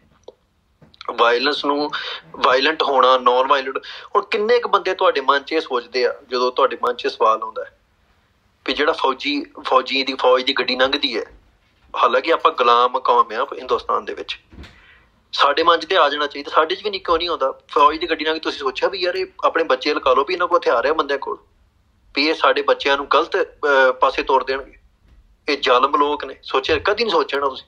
ਆਮ ਨਿੱਕੇ ਦੇ ਸਲੂਟ ਮਾਰਦੇ ਹੁੰਦੇ ਫੌਜੀਆਂ ਨੂੰ। ਬੱਚਿਆਂ ਨੂੰ ਮਾਪੇ ਸਿਖਾਉਂਦੇ ਸਲੂਟ ਮਾਰੋ 26 ਜਨਵਰੀ ਦੀ ਪਰੇਡ ਹੁੰਦੀ ਹੈ, ਉੱਥੇ ਵੱਡੇ ਨਿਊਕਲੀਅਰ ਹਥਿਆਰ ਹੈ ਜਿਹੜੇ ਇੱਕ ਸਕਿੰਟ ਦੇ ਵਿੱਚ ਕਰੋੜਾਂ ਬੰਦੇ ਮਾਰ ਸਕਦੇ ਉਹਦੀ ਪ੍ਰਦਰਸ਼ਨੀ ਵਿਖਾਉਣਾ ਸੀ ਬੱਚਿਆਂ ਨੂੰ ਚਾਹੀਦਾ ਹੈ। ਕੋਈ ਨਵਾਂ ਜਹਾਜ਼ ਖਰੀਦਦਾ ਹੈ ਹਿੰਦੁਸਤਾਨ, ਟੀਵੀ ਤੇ ਚੱਲ ਰਿਹਾ ਹੁੰਦਾ ਵੀ ਹਿੰਦੁਸਤਾਨ ਨੇ ਰਫਾਲ ਜਹਾਜ਼ ਖਰੀਦ ਲਿਆ ਤੇ ਜਿਹੜਾ ਇੰਨੇ ਬੰਬ ਸੁੱਟ ਸਕਦਾ ਇੱਕ ਮਿੰਟ ਦੇ ਵਿੱਚ। ਅਸੀਂ ਬੜੇ ਪ੍ਰਾਊਡਲੀ ਆਪ ਦੇਖਨੇ ਬੱਚਿਆਂ ਨੂੰ ਵਿਖਾਉਨੇ ਆ ਕਿਉਂ? ਕਿਉਂਕਿ ਹਿੰਦੁਸਤਾਨ ਨੇ ਡਿਫਾਈਨ ਕੀਤਾ ਹੈ ਕਿ ਵਾਇਲੈਂਸ ਅਸੀਂ ਕਰੀਏ ਤਾਂ ਠੀਕ ਹੈ, ਤੁਸੀਂ ਨਹੀਂ ਕਰ ਸਕਦੇ। ਅਸੀਂ ਉਹ ਉਸ ਪੈਰਾਮੀਟਰ 'ਚ ਅਸੀਂ ਚੱਲਣਾ ਚਾਹੁੰਦੇ ਕਿਉਂਕਿ ਸਾਡੀ ਕੰਡੀਸ਼ਨਿੰਗ ਪੈਦਾ ਪੈਦਾ ਹੋਣ ਤੋਂ ਲੈ ਕੇ ਮਰਨ ਤੱਕ ਸਾਡੀ ਕੰਡੀਸ਼ਨਿੰਗ ਹੋ ਰਹੀ ਹੈ। ਸਾਨੂੰ ਸਿਖਾਇਆ ਜਾ ਰਿਹਾ ਕਿਵੇਂ ਬੋਲਣਾ, ਕਿਵੇਂ ਉੱਠਣਾ, ਕਿਵੇਂ ਬਹਿਣਾ, ਕਿਵੇਂ ਖਾਣਾ, ਕਿਵੇਂ ਪੀਣਾ, ਇਹ ਸਾਰਾ ਕੁਝ ਸਾਨੂੰ ਦੱਸਿਆ ਜਾਂਦਾ ਹੁਣ ਤੁਸੀਂ ਸੋਚੋ ਵੀ ਸਾਡੇ ਅੰਦਰ ਕੋਈ ਕੋਈ ਬੰਦਾ ਜਿਹੜਾ ਆਜ਼ਾਦ ਬਿਰਤੀ ਦਾ ਆ ਜਾਵੇ, ਮਤਲਬ ਕੋਈ ਐਸਾ ਮਨੁੱਖ ਆ ਜਾਵੇ ਸਾਡੇ ਅੰਦਰ ਜਿਹਨੂੰ ਇਹ ਗੁਲਾਮੀ, ਜਿਹਨੂੰ ਇਹ ਬਾਉਂਡਰੀਜ਼ ਬਾਈਨਰੀਜ਼ ਬਾਰੇ ਨਾ ਪਤਾ ਹੋਵੇ, ਜਾਂ ਜਿਹੜਾ ਬੰਦਾ ਇਹਨਾਂ ਦੀ ਪਰਵਾਹ ਨਾ ਕਰਦਾ, ਉਹਦੀ ਨਜ਼ਰ ਦੇ ਵਿੱਚ ਭਾਈ ਜਟਾਣੇ ਦੇ ਹੱਥ 'ਚ ਜਿਹੜਾ ਹਥਿਆਰ ਹੈ, ਤੇ ਇੱਕ ਫੌਜੀ ਦੇ ਹੱਥ 'ਚ ਤੇਰਾ ਉਹ ਫ਼ਰਕ ਕੀ, ਉਹ ਸੋ ਕਹੂਗਾ ਭਾਈ ਜਟਾਣੇ ਦੇ ਹੱਥ 'ਚ ਹਥਿਆਰ ਦੀ ਵੀ ਇਹ ਗਾਰੰਟੀ ਹੈ ਕਿ ਕਿਸੇ ਇਨੋਸੈਂਟ ਨੂੰ ਨਹੀਂ ਮਾਰੂਗਾ। ਫੌਜੀ, ਤੁਸੀਂ ਦੱਸੋ ਵੀ ਕਿਸੇ ਵੀ ਮਿਲੀਟੈਂਟ ਗਰੁੱਪ ਨੇ ਜਾਂ ਸੋ ਕਾਲਡ ਟੈਰਰਿਸਟ ਗਰੁੱਪ ਨੇ, ਅੱਜ ਤੱਕ ਹਿੰਦੁਸਤਾਨ 'ਚ ਉਹਨੇ ਬੰਦੇ ਮਾਰੇ ਜਿੰਨੇ ਫੌਜ ਨੇ ਮਾਰੇ? ਫੌਜ ਨੇ ਹਜ਼ਾਰਾਂ ਬੰਦੇ ਮਾਰ ਦਿੱਤੇ। ਹਜ਼ਾਰਾਂ ਇਨੋਸੈਂਟ ਸਿਵਿਲੀਅਨਸ ਮਾਰ ਦਿੱਤੇ। ਅੱਜ ਵੀ ਆਪਾਂ ਇਹ ਕਿਉਂ ਨਹੀਂ ਕਹਿੰਦੇ ਵੀ ਫੌਜ ਆਈ ਤਾਂ ਆਪਣੇ ਬੱਚੇ ਲਗਾ ਲੈਂਦੇ, ਆਪਾਂ ਨਹੀਂ ਲਗਾਉਂਦੇ? ਕਿਉਂਕਿ ਜਿਹੜੀ ਸਲੇਵਰੀ ਹੈ ਸਾਡੇ ਮਨਾਂ ਦੇ ਵਿੱਚ, ਜਿਹੜੀ ਗੁਲਾਮੀ ਹੈ, ਉਹ ਕਿਤੇ ਨਾ ਕਿਤੇ ਇਸ ਚੀਜ਼ ਨੂੰ ਜਸਟੀਫਾਈ ਕਰ ਚੁੱਕੀ ਹੈ ਵੀ ਜਿਹੜਾ ਰਾਈਟ ਟੂ ਵਾਇਲੈਂਸ ਹੈ, ਉਹ ਸਟੇਟ ਕੋਲ ਹੈਗਾ। ਤੇ ਸਾਡੇ ਕੋਲ ਰਾਈਟ ਟੂ ਰੈਜ਼ਿਸਟ ਵੀ ਨਹੀਂ ਹੈਗਾ। ਹੁਣ ਕੋਈ ਬੰਦਾ ਪੁੱਛੇ ਵੀ ਭਾਈ ਜਟਾਣੀ ਨੇ ਇਹ ਸਭ ਕੁਝ ਕੀਤਾ, ਉਹਦੇ ਘਰ ਨੂੰ ਥੋੜੀ ਨਹਿਰ ਜਾਂਦੀ ਸੀ। ਜਾਂ ਉਹਦੇ ਖੇਤਾਂ ਨੂੰ ਪਾਣੀ ਜਾਂਦਾ ਸੀ ਇਹ। ਉਹਦਾ ਤੇ ਪਰਿਵਾਰ ਸਾਰੇ ਦਾ ਸਾਰਾ ਅੱਗ ਲਾ ਕੇ ਸਾੜ ਦਿੱਤਾ। ਸਾਰੇ ਜੀ ਪਰਿਵਾਰ ਦੇ ਛੋਟੇ ਬੱਚੇ ਤੋਂ ਲੈ ਕੇ ਬਜ਼ੁਰਗਾਂ ਤੱਕ, ਭੈਣਾ, ਭਰਾ, ਜਿਹੜੇ ਦਾਦੀ, ਮਾਂ, ਬੱਚੀ ਛੋਟੀ ਜੀ, ਸਾਰੇ ਨੂੰ ਅੱਗ ਲਾ ਕੇ ਫੂਕ ਦਿੱਤਾ। ਸਮੇਤ ਸੈਣੀ ਨੇ ਤੇ ਪੂਲੇ ਨੇ। ਚਲੋ ਪੂਲੇ ਦਾ ਤੇ ਉਹੀ ਅੰਤ ਹੋਇਆ ਬਾਅਦ ਪਰ ਸਵਾਲ ਇਹ ਹੈ ਕਿ ਭਾਈ ਜਟਾਣੇ ਨੂੰ ਕੌਮ ਨੇ ਕਦੋਂ ਤਨਖਾਹ ਦਿੱਤੀ? ਫੌਜੀ ਤੁਹਾਡੇ ਟੈਕਸ ਚੋਂ ਤਨਖਾਹ ਲੈ ਕੇ ਸਾਰਾ ਕੁਝ ਕਰ ਰਹੇ ਆ। ਭਾਈ ਜਟਾਣਾ ਘਰ ਫੂਕ ਕੇ ਤਮਾਸ਼ਾ ਵੇਖਿਆ ਉਹਨੇ। ਤੇ ਸਾਨੂੰ ਅਜੇ ਵੀ ਇਹ ਮਤਲਬ ਸਵਾਲ ਸਾਡੇ ਮਨ ਚ ਆ ਜਾਂਦਾ ਵੀ ਇਹ ਸਹੀ ਹੈ ਕਿ ਨਹੀਂ ਸਹੀ? ਇਹ ਰਾਹ ਸਹੀ ਹੈਗਾ ਕਿ ਨਹੀਂ ਹੈਗਾ? ਮਤਲਬ ਵਾਇਲੈਂਸ ਨਾਨ ਵਾਇਲੈਂਸ ਜਿਹੜੀ ਹੈ, ਇਹਦੀ ਡੈਫੀਨੇਸ਼ਨ ਅਸੀਂ ਕੋ ਦਸੀਏ ਵੀ ਮਤਲਬ ਸਾਡੇ ਲਈ ਤੇ ਸਗੋਂ ਕਾਨੂੰਨ ਦੇ ਮਾਇਨੇ ਹੀ ਹੋਣੇ ਚਾਹੀਦੇ ਵੀ ਅਸੀਂ ਸਰਵਾਈਵਲ ਦੀ ਲੜਾਈ ਲੜ ਰਹੇ ਹਾਂ। ਸਰਵਾਈਵਲ ਦੀ ਲੜਾਈ ਦੇ ਵਿੱਚ ਕਿਹੜਾ ਕਾਨੂੰਨ ਹੁੰਦਾ ਜਿਹੜਾ ਕੋਈ ਬੰਦਾ ਸਰਵਾਈਵਲ ਦੀ ਲੜਾਈ ਲੜਦਾ ਹੋਵੇ, ਜਿਹੜਾ ਬੰਦਾ ਕੋਈ ਸਰਵਾਈਵ ਕਰਨ ਦੀ ਜੰਗ 'ਚ ਹੋਵੇ, ਉਹਨੂੰ ਤੁਸੀਂ ਇਹ ਕਹਿਣ ਦੀ ਜ਼ਰੂਰਤ ਨਹੀਂ ਕਰ ਸਕਦੇ ਵੀ ਤੈਨੂੰ ਆ ਕਾਨੂੰਨ ਮੰਨਣੇ ਚਾਹੀਦੇ। ਉਹ ਕਿਉਂ ਕਹੂਗਾ ਵੀ ਤੇਰਾ ਦਿਮਾਗ 'ਚ ਨੁਕਸ ਹੈ। ਵੀ ਮੈਂ ਲਿਟਰਲੀ ਸਾਲ ਹੀ ਲੜ ਰਿਹਾ ਜਾਂ ਸਰਵਾਈਵ ਕਰਨ ਲਈ ਲੜ ਰਿਹਾ, ਤੂੰ ਮੇਰੇ ਅੱਗੇ ਕਾਨੂੰਨ ਦੀਆਂ ਕਿਤਾਬਾਂ ਰੱਖ ਰਿਹਾ। ਸੋ ਇਹ ਇਹ ਚੀਜ਼ਾਂ ਅਸੀਂ ਅੰਡਰਸਟੈਂਡ ਕਰੀਏ ਤਾਂ ਬੈਟਰ ਹੈ ਸਿੱਧੂ ਮੂਸੇਵਾਲੇ ਨੇ ਅੰਡਰਸਟੈਂਡ ਕੀਤੀਆਂ, ਉਹਦੀ ਕਿੰਨੀ ਕਲੈਰਿਟੀ ਸੀ, ਉਹ ਇਹ ਗੀਤ ਚੋਂ ਸਾਨੂੰ ਨਜ਼ਰ ਆਈ। ਬੰਦੇ ਦੀਆਂ 100 ਮਜਬੂਰੀਆਂ ਹੁੰਦੀਆਂ ਜੀਵਨ ਦੇ ਵਿੱਚ, ਖਾਸ ਕਰ ਜਿਹੜਾ ਕਮਰਸ਼ੀਅਲੀ ਇੰਨਾ ਸਕਸੈਸਫੁਲ ਹੋਵੇ ਬੰਦਾ ਮੇਰਾ ਵੀ ਕਈ ਨਜ਼ਰੀਏ ਬਦਲੇ ਨੇ ਚੀਜ਼ਾਂ ਦੇ ਵੇਖਣ ਦੇ, ਹਨ। ਬਹੁਤ ਚੀਜ਼ਾਂ ਨੂੰ ਅਸੀਂ ਹੁਣ ਹੋਰ ਤਰੀਕੇ ਨਾਲ, ਹੋਰ ਅੰਡਰਸਟੈਂਡਿੰਗ ਨਾਲ ਦੇਖੀਦਾ ਸਾਨੂੰ ਉਹਨਾਂ ਕਲਾਕਾਰਾਂ ਨੂੰ ਇਨਕਰੇਜ ਕਰਨਾ ਚਾਹੀਦਾ ਜਿਵੇਂ ਸਿੱਧੂ ਮੂਸੇਵਾਲਾ, ਕਿਉਂਕਿ ਪ੍ਰੋਬਲਮ ਇਹ ਹੈ ਵੀ ਜਿਹੜੇ ਕਲਾਕਾਰ ਤੁਸੀਂ ਵੇਖੋ, ਦੋ ਤਰੀਕੇ ਦਾ ਕੰਮ ਚੱਲਦਾ ਹੈ ਪੰਜਾਬ 'ਚ। ਇੱਕ ਜਿਹੜੇ ਸਿੰਗਰ ਆ, ਉਹ ਬੜੇ ਬਲੰਟਲੀ ਇਨੀਸ਼ ਸਟਾਰਟਿੰਗ ਜੀ ਆਪਣਾ ਸ਼ੁਰੂ ਕਰ ਦਿੰਦੇ ਆ, ਪੰਥ ਦੀ ਗੱਲ ਕਰਨੀ। ਉਹ ਕਮਰਸ਼ੀਅਲੀ ਸਕਸੈਸਫੁਲ ਹੁੰਦੇ ਹੀ ਨਹੀਂ। ਜਦੋਂ ਉਹ ਕਮਰਸ਼ੀਅਲੀ ਸਕਸੈਸਫੁਲ ਹੁੰਦੇ ਹੀ ਨਹੀਂਗੇ, ਤੇ ਉਹਨਾਂ ਦੀ ਆਡੀਅנס ਜਿਹੜੀ ਆ, ਉਹ ਬੜੀ ਲਿਮਿਟਿਡ ਹੁੰਦੀ ਹੈ। ਉਹਨਾਂ ਦੀ ਆਡੀਅנס ਉਹ ਹੈ, ਜਿਹੜੀ ਆਡੀਅנס ਆਲਰੇਡੀ ਜਿਹੜੀ ਕੀਨਾ ਲਈਦਾ ਵਾ ਉਸ ਪੱਖ ਨੂੰ ਅਵੇਅਰ ਜਿਵੇਂ ਰਾਜ ਕਾਕੜਾ ਸੀ। ਰਾਜ ਕਾਕੜੇ ਨੇ ਗਾਣੇ ਗਾਏ, ਵਧੀਆ, ਬਹੁਤ ਵਧੀਆ ਗਾਣੇ ਗਾਏ। ਫਿਲਮਾਂ ਵੀ ਕੀਤੀਆਂ, ਸਭ ਕੁਝ, ਫਿਲਮਾਂ ਨਾਲ ਚਲੋ ਮੈਂ ਐਗਰੀ ਨਹੀਂ ਕਰਦਾ। ਪਰ ਉਹ ਵਾਈਡ ਆਡੀਅנס ਨੂੰ ਟਾਰਗੇਟ ਨਹੀਂ ਕਰ ਪਾਇਆ। ਕਿਉਂਕਿ ਉਹਨੇ ਕਮਰਸ਼ੀਅਲ ਸਕਸੈਸ ਨਹੀਂ ਵੇਖੀ। ਉਹਨੇ ਸਿੱਧਾ ਜਾ ਕੇ ਉਸ ਪਾਸੇ ਤੁਰ ਪਿਆ। ਹੁਣ ਇਹ ਇੰਟੈਂਸ਼ਨਲੀ ਕਰਨਾ ਬਹੁਤ ਔਖਾ ਹੈ ਵੀ ਇੱਕ ਸਿੰਗਰ ਪਹਿਲਾਂ ਪਲਾਨ ਕਰੇ ਅਗਲੇ 20 ਸਾਲ ਦੀ ਜਰਨੀ 10 ਸਾਲ ਦੀ 5 ਸਾਲ ਦੀ। ਉਹ ਪਹਿਲਾਂ ਕਮਰਸ਼ੀਅਲੀ ਸਕਸੈਸਫੁਲ ਹੋਵੇ। ਉਹ ਤੋਂ ਬਾਅਦ ਜੋ ਪੰਥਕ ਗਾਣੇ ਗਾਉਣੇ ਸ਼ੁਰੂ ਕਰਦੇ। ਇਹ ਬਹੁਤ ਹਾਰਡਲੀ ਕੋਈ ਬੰਦਾ ਪਲਾਨ ਕਰ ਸਕਦਾ ਹੈ। ਜਾਂ ਤੇ ਸਕਸੈਸ ਉਹਨੂੰ ਖਤਮ ਕਰ ਦੂਗੀ, ਜਾਂ ਫਿਰ ਫੇਮ ਉਹਨੂੰ ਮਤਲਬ ਇੱਕ ਐਡਿਕਸ਼ਨ ਦੀ ਤਰ੍ਹਾਂ ਲੱਗ ਜਾਊਗਾ। ਡਿਪੈਂਡੈਂਸੀ ਬਣ ਜੂਗੀ ਉਹਦੀ, ਪੈਸਾ ਰਿਸੋਰਸਸ ਉਹਦੀ ਕੋਈ ਨਾ ਕੋਈ ਡਿਪੈਂਡੈਂਸੀ ਬਣ ਜੂਗੀ, ਜਿਹੜੀ ਉਹਨੂੰ ਬਾਅਦ ਚ ਉਸ ਪਾਸੇ ਤੋਂ ਮੋੜ ਕੇ ਨਹੀਂ ਲਿਆ ਸਕਦੀ। ਸੋ ਇਹਦਾ ਅਰਥ ਹੈ ਵੀ ਇਹ ਕੋਇਨਸੀਡੈਂਸ ਵਾਪਰਦੇ ਆ ਕਦੇ ਕਦੇ ਸਿੱਧੂ ਮੂਸੇ ਵਾਲੇ ਵਰਗੇ। ਜਦੋਂ ਉਹ ਸ਼ੁਰੂ ਹੋਇਆ ਸੀ, ਉਹਨੇ ਇਹ ਨਹੀਂ ਸੋਚਿਆ ਹੋਣਾ ਵੀ ਮੈਂ ਐਸਵਾਈਆਰ ਵਰਗਾ ਗੀਤ ਗਾਉਂਗਾ ਉਹਨੇ ਸ਼ਾਇਦ ਇਹੋ ਸੋਚਿਆ ਹੋਵੇ ਕਿ ਮੈਂ ਪੰਜਾਬ ਦਾ ਸਭ ਤੋਂ ਵੱਡਾ ਸਿੰਗਰ ਬਣੂੰਗਾ। ਮੈਂ ਉਹਨੇ ਸੋਚਿਆ ਮੈਂ ਬਿਲਬੋਰਡ ਤੇ ਆਉਂਗਾ ਜਾਂ ਉਹ ਹੋ ਸਕਦਾ ਉਹਨੇ ਬਾਅਦ ਸੋਚਿਆ ਹੋਵੇ ਜਾ ਕੇ। ਪਰ ਅਲਟੀਮੇਟਲੀ ਕੁਝ ਬੰਦਿਆਂ ਦੇ ਸੁਭਾਅ ਇਦਾਂ ਦਾ ਹੁੰਦਾ ਹੈ ਵੀ ਉਹਨਾਂ ਨੂੰ ਸਕਸੈਸ ਜਿਹੜੀ ਆ ਕਰਪਟ ਨਹੀਂ ਕਰਦੀ। ਉਹਨਾਂ ਵਾਸਤੇ ਜੀਵਨ ਦੇ ਮਾਇਨੇ ਉਹਨਾਂ ਨੂੰ ਲੱਗਦਾ ਬਦਲ ਜਾਣਗੇ। ਮੈਨੂੰ ਜਿੱਥੇ ਤੱਕ ਲੱਗਦਾ ਵੀ ਸਿੱਧੂ ਮੂਸੇਵਾਲੇ ਦਾ ਕਾਂਗਰਸ 'ਚ ਜਾਣਾ ਜਿਹੜਾ ਹੈ ਉਹ ਕਾਂਗਰਸ ਜਾਂ ਕਿਸੇ ਵੀ ਪਾਰਟੀ ਜਾਂ ਪੋਲਿਟਿਕ ਪੋਲਿਟਿਕਸ 'ਚ ਆਉਣਾ ਹੀ ਜਿਹੜਾ ਉਹ ਭਟਕਣਾ ਦਾ ਹਿੱਸਾ ਹੈ ਇੱਕ, ਬਹੁਤ ਵੱਡੀ ਦਾ ਜਿਹੜਾ ਉੱਥੇ ਜਾ ਕੇ ਵੀ ਉਹ ਉਹਦੇ ਅੱਗੇ ਦੋ ਸਵਾਲ ਹੈ। ਵੀ ਇੱਕ ਪਾਸੇ ਉਹ ਕਾਂਗਰਸ ਦੇ ਵਿੱਚ ਹੈ, ਦੂਜੇ ਪਾਸੇ ਉਸ ਤੇ ਪ੍ਰੈਸ਼ਰ ਹੈ ਵੀ ਤੂੰ ਸੰਤਾਂ ਦੀ ਫੋਟੋ ਲਾ ਰਿਹਾ ਟਰਾਲੀ ਦੇ ਉੱਤੇ ਜਾਂ ਟਰੈਕਟਰ ਤੇ ਲੱਗੀ ਹੈ ਤੇਰੇ ਤੇ। ਤੇਰੇ ਬਾਹਾਂ ਤੇ ਟੈਟੂ ਬਣਿਆ ਜਾਂ ਫਲਾਂਟਿੰਗ ਜੇ ਉਹ ਸਾਰਾ ਕੁਝ ਹੈ ਨਾ। ਉਹ ਜਿੱਦਾਂ ਕੁਝ ਗੱਲਾਂ ਆਪਸ ਵਿੱਚ ਮੈਚ ਨਹੀਂ ਕਰਦੀਆਂ ਕੁਝ ਹੋਰ ਵੀ ਪੋਲੀਟੀਸ਼ੀਅਨਸ ਹੈਗੇ ਜਿਹੜੇ ਇਸ ਦੁਬਦਾ ਚ ਜੀ ਰਹੇ ਜਿਨ੍ਹਾਂ ਵਾਸਤੇ ਜਿਨ੍ਹਾਂ ਵਾਸਤੇ ਆਪਣੀ ਆਇਡੈਂਟੀਟੀ ਦਾ ਇਹ ਕ੍ਰਾਈਸਿਸ ਆਇਆ ਪਿਆ ਕਿ ਉਹ ਜਿਹੜੀ ਪਾਰਟੀ 'ਚ ਹੈਗੇ ਆ, ਉਹਦੇ ਖਿਲਾਫ ਉਹਨਾਂ ਦੀ ਐਗਜ਼ਿਸਟੈਂਸ ਖੜੀ ਹੁੰਦੀ ਹੈ। ਖੈਰਾ ਕਿਸੇ ਵੇਲੇ ਬਹੁਤ ਪ੍ਰਾਈਮ ਐਗਜ਼ਾਮਪਲ ਹੈ ਇਸ ਗੱਲ ਦੀ। ਕਾਂਗਰਸ ਆ, ਪਰ ਉਹਦੇ ਸਾਰੇ ਕੰਮ ਹੀ ਪੁੱਠੇ ਕਾਂਗਰਸ ਨਾਲੋਂ। ਪੁੱਠੇ ਤੋਂ ਭਾਵ ਵੀ ਪੰਜਾਬ ਪੱਖੀ ਹੈ। ਸੋਵਰਨਟੀ ਦੇ ਮਸਲੇ ਤੇ ਵੀ ਕਲੈਰਿਟੀ ਹੈਗੀ ਹੈ ਥੋੜੀ ਬਹੁਤ ਨੂੰ ਇਦਾਂ ਹੀ ਇਹਦਾ ਸਿੱਧੂ ਮੂਸੇਵਾਲੇ ਦਾ ਪੋਲਿਟਿਕਸ 'ਚ ਜਾਣਾ, ਜੋ ਵੀ ਇਹ ਸਾਰਾ ਸਿਨੈਰੀਓ ਵਾਪਰਿਆ, ਇਹ ਭਟਕਣਾ ਦਾ ਹਿੱਸਾ ਹੈ। ਉਹਨੂੰ ਉੱਥੇ ਵੀ ਸੈਟੀਸਫੈਕਸ਼ਨ ਨਹੀਂ ਮਿਲੀ। ਜਿੱਤ ਹਾਰ ਦੇ ਮੈਨੂੰ ਲੱਗਦਾ ਨਹੀਂ ਕੋਈ ਬਹੁਤ ਵੱਡੇ ਮਾਇਨੇ ਦੋਰੇ ਜਿੱਤ ਵੀ ਸਕਦਾ ਸੀ ਉਹ। ਇੱਥੋਂ ਤੱਕ ਵੀ ਇਹ ਨਿਊਜ਼ ਵੀ ਮਿਲੀ ਵੀ ਜਿਹੜੀ ਆਮ ਆਦਮੀ ਪਾਰਟੀ ਦੇ, ਦੀ ਸੀਟ ਖਾਲੀ ਹੋਈ ਹੈ, ਜਿੱਥੇ ਸਿੱਧੂ ਹਾਰਿਆ ਸੀ, ਉਹਨਾਂ ਨੇ ਇਹਨੂੰ ਹੀ ਆਫਰ ਕੀਤਾ, ਆਮ ਆਦਮੀ ਪਾਰਟੀ ਨੇ, ਵੀ ਤੂੰ ਇਹ ਸੀਟ ਲੜ ਲੈ। ਇਹਦੇ ਜਵਾਬ 'ਚ ਉਹਨੇ ਉਹਨਾਂ ਦਾ ਫੋਨ ਕੱਟ ਕੇ ਗੱਲ ਕਹੀ ਸੀ, ਜਿਹੜੇ ਕੁਝ ਨੇੜਲੇ ਬੰਦਿਆਂ ਨੇ ਦੱਸੀ ਸੀ ਵੀ ਵੀ ਜੇ ਲਾਲਾ ਟੋਪੀ ਵਾਲਾ ਮਤਲਬ ਕੇਜਰੀਵਾਲ, ਇਹਨੂੰ ਲਾ ਸਕਦਾ ਤੇ ਆਪਾਂ ਨੂੰ ਵੀ ਲਾ ਹੀ ਸਕਦਾ। ਇਹ ਖੇਡ ਨਹੀਂ ਖੇਡਣੀ, ਜੇ ਕੋਈ ਕਿਸੇ ਦੇ ਹੱਥ 'ਚ ਪਾਵਰ ਹੋਵੇ ਸਾਨੂੰ ਬਣਾਉਣ ਦੀ ਤੇ ਲਾਉਣ ਦੀ। ਸੋ ਅਰਥ ਇਹ ਹੈ ਵੀ ਬੰਦੇ ਨੂੰ ਭਾਵੇਂ ਧੱਕੇ ਖਾ ਕੇ, ਪੱਥਰ ਚੱਟ ਕੇ ਮੁੜ, ਮੈਂ ਕਹਿੰਦਾ ਸਭ ਤੋਂ ਵੱਡੀ ਤੇ ਪ੍ਰਾਪਤੀ ਇਹ ਹੈ ਬੰਦੇ ਦੇ ਜੀਵਨ ਦੇ ਵਿੱਚ ਮੋੜ ਆਉਣਾ। ਮੋੜਾ ਪੈ ਜਾਣ ਤੋਂ ਵੱਡੀ ਕੋਈ ਪ੍ਰਾਪਤੀ ਨਹੀਂ ਹੈਗੀ ਜੀਵਨ 'ਚ। ਅਸੀਂ ਬੰਦੇ ਵੇਖਿਆ ਜਿਹੜੇ ਇੱਕ ਵਾਰੀ ਨਹੀਂ, ਦੋ ਵਾਰੀ 10 ਵਾਰੀ ਪੱਥਰ ਚੱਟ ਕੇ ਉੱਥੇ ਘੁੰਮੀ ਜਾਂਦੇ। ਮੁੜਨਾ ਨਹੀਂ ਚਾਹੁੰਦੇ, ਜਾਂ ਮੁੜ ਸਕਦੇ ਨਹੀਂਗੇ। ਮੁੜ ਮੋੜ ਪੈਣਾ ਕਿਸੇ ਗੱਲ ਦੇ ਉੱਤੋਂ, ਕਿਸੇ ਗੱਲ ਦੇ ਉੱਤੋਂ ਇਹ ਖਤਾ ਖਾ ਕੇ ਪਿੱਛੇ ਹੋ ਜਾਣਾ ਤੇ ਇੱਕ ਗੱਲ ਐਕਨੋਲਜ ਕਰ ਲੈਣਾ ਵੀ ਇਹ ਗੱਲ ਜਿਹੜੀ ਹੈ ਠੀਕ ਨਹੀਂ ਹੈਗੀ। ਇਹ ਬਹੁਤ ਵੱਡੇ ਮਰਦਾਂ ਦਾ ਕੰਮ ਹੈ। ਇਹ ਕੋਈ ਮੇਰੇ ਖਿਆਲ ਨਾਲ ਕੋਈ ਆਮ ਬੰਦਾ ਜਿਹੜਾ ਵਾ, ਉਹ ਤੇ ਐਡਮਿਟ ਕਰਨ ਤੋਂ ਹੀ ਬਹੁਤ ਭੱਜਦਾ ਤੇ ਇਹ ਇਕੱਲਾ ਮੁੜਨਾ ਨਹੀਂ, ਮੁੜ ਕੇ ਸਗੋਂ ਉਹ ਕੰਮ ਕਰਨਾ ਜਿਹੜਾ ਨੈਸੈਸਿਟੀ ਹੈ। ਜਿਸ ਤੋਂ ਬਿਨਾ ਅਸੀਂ ਆਪਣੀ ਕੌਮ ਦਾ ਦਰਦ ਗਾਉਣਾ ਆਪਾਂ ਨੂੰ ਜੇ ਕਈ ਵਾਰ ਟੂਪਾਕ ਦੀ ਐਗਜ਼ਾਮਪਲ ਆਉਂਦੀ ਹੈ ਜਾਂ ਹੋਰ ਕਲਾਕਾਰਾਂ ਦੀ ਐਗਜ਼ਾਮਪਲ ਆਉਂਦੀ ਹੈ।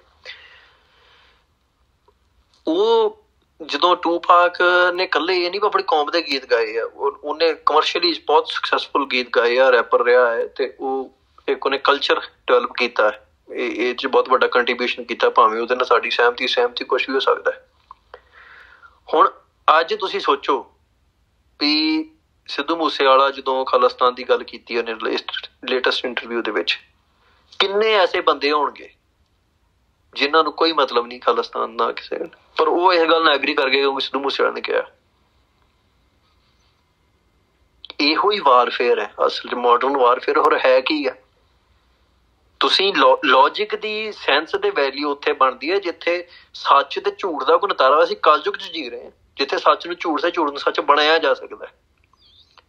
ਇੱਥੇ ਵਾਰਫੇਅਰ ਵੀ ਬਦਲ, ਬਦਲੀ ਜਾਂਦੀ ਹੈ। ਬੇਸ਼ੱਕ ਜਿਹੜਾ ਸੱਚ ਹੈ ਗੁਰੂ ਸਾਹਿਬ ਦੇ ਬਚਨ ਹੈ ਕੂੜ ਖੋਟੇ ਨਾਨਕਾ ਓੜਕ ਸੱਚ ਰਹੀ।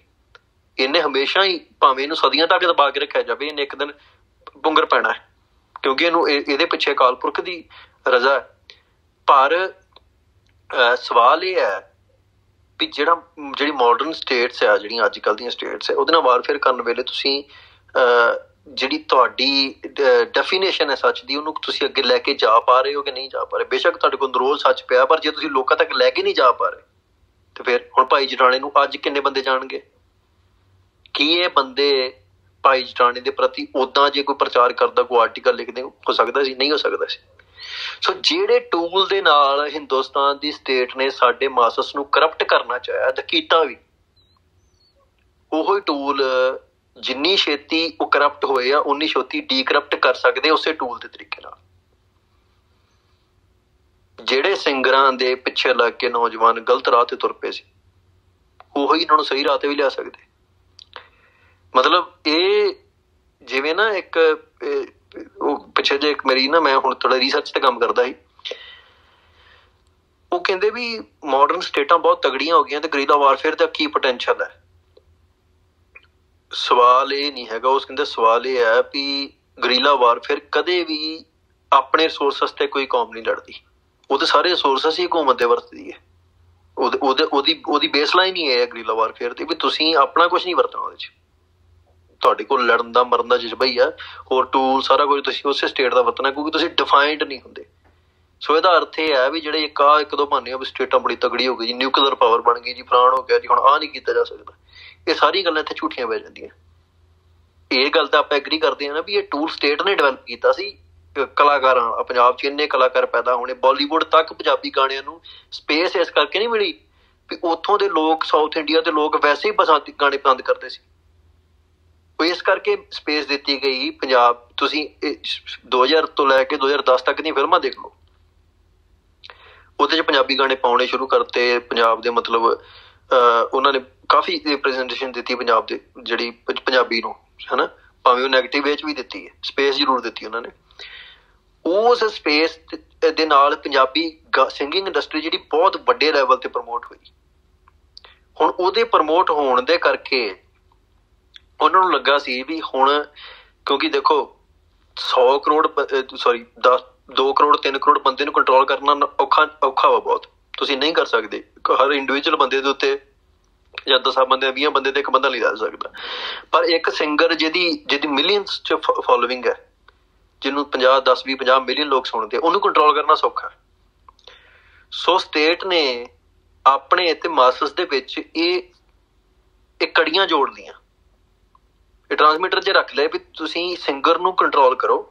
ਇਹ ਅੱਗੇ ਸਾਰਾ ਕੁਝ ਕੰਟਰੋਲ ਹੋਊਗਾ। ਕੱਲੇ ਸਿੰਗਰ ਨਹੀਂ ਐਕਟਰ ਇਨਫਲੂਐਂਸਰਸ ਜਿਹੜੇ ਸਾਰੇ ਆ, ਉਹਨਾਂ ਨੇ ਉਹਨਾਂ ਨੂੰ ਕੰਟਰੋਲ ਕਰਨਾ ਸ਼ੁਰੂ ਕਰਤਾ। ਪਰ ਉਹਦੀ ਇੱਕ ਸਭ ਤੋਂ ਵੱਡਾ ਫਲॉज ਉਸ ਟੈਕਨੀਕ ਦੇ ਵਿੱਚ ਇਹ ਹੈ ਵੀ ਜਿਹੜਾ ਫਲੋ ਇਧਰ ਨੂੰ ਭੇਜ ਰਹੇ ਆ ਕਰਪਟ ਕਰਨ ਵਾਸਤੇ, ਉਹ ਡੀਕਰਪਟ ਵੀ ਉਸੇ ਵੇਲੇ ਹੋ ਸਕਦਾ ਜੇ ਉਹ ਪਿਛਲਾ ਕੜੀ ਟੁੱਟ ਜੇ ਉਹਨਾਂ ਦੀ ਜਾਂ ਉਲਟੀ ਚੱਲ ਪਏ।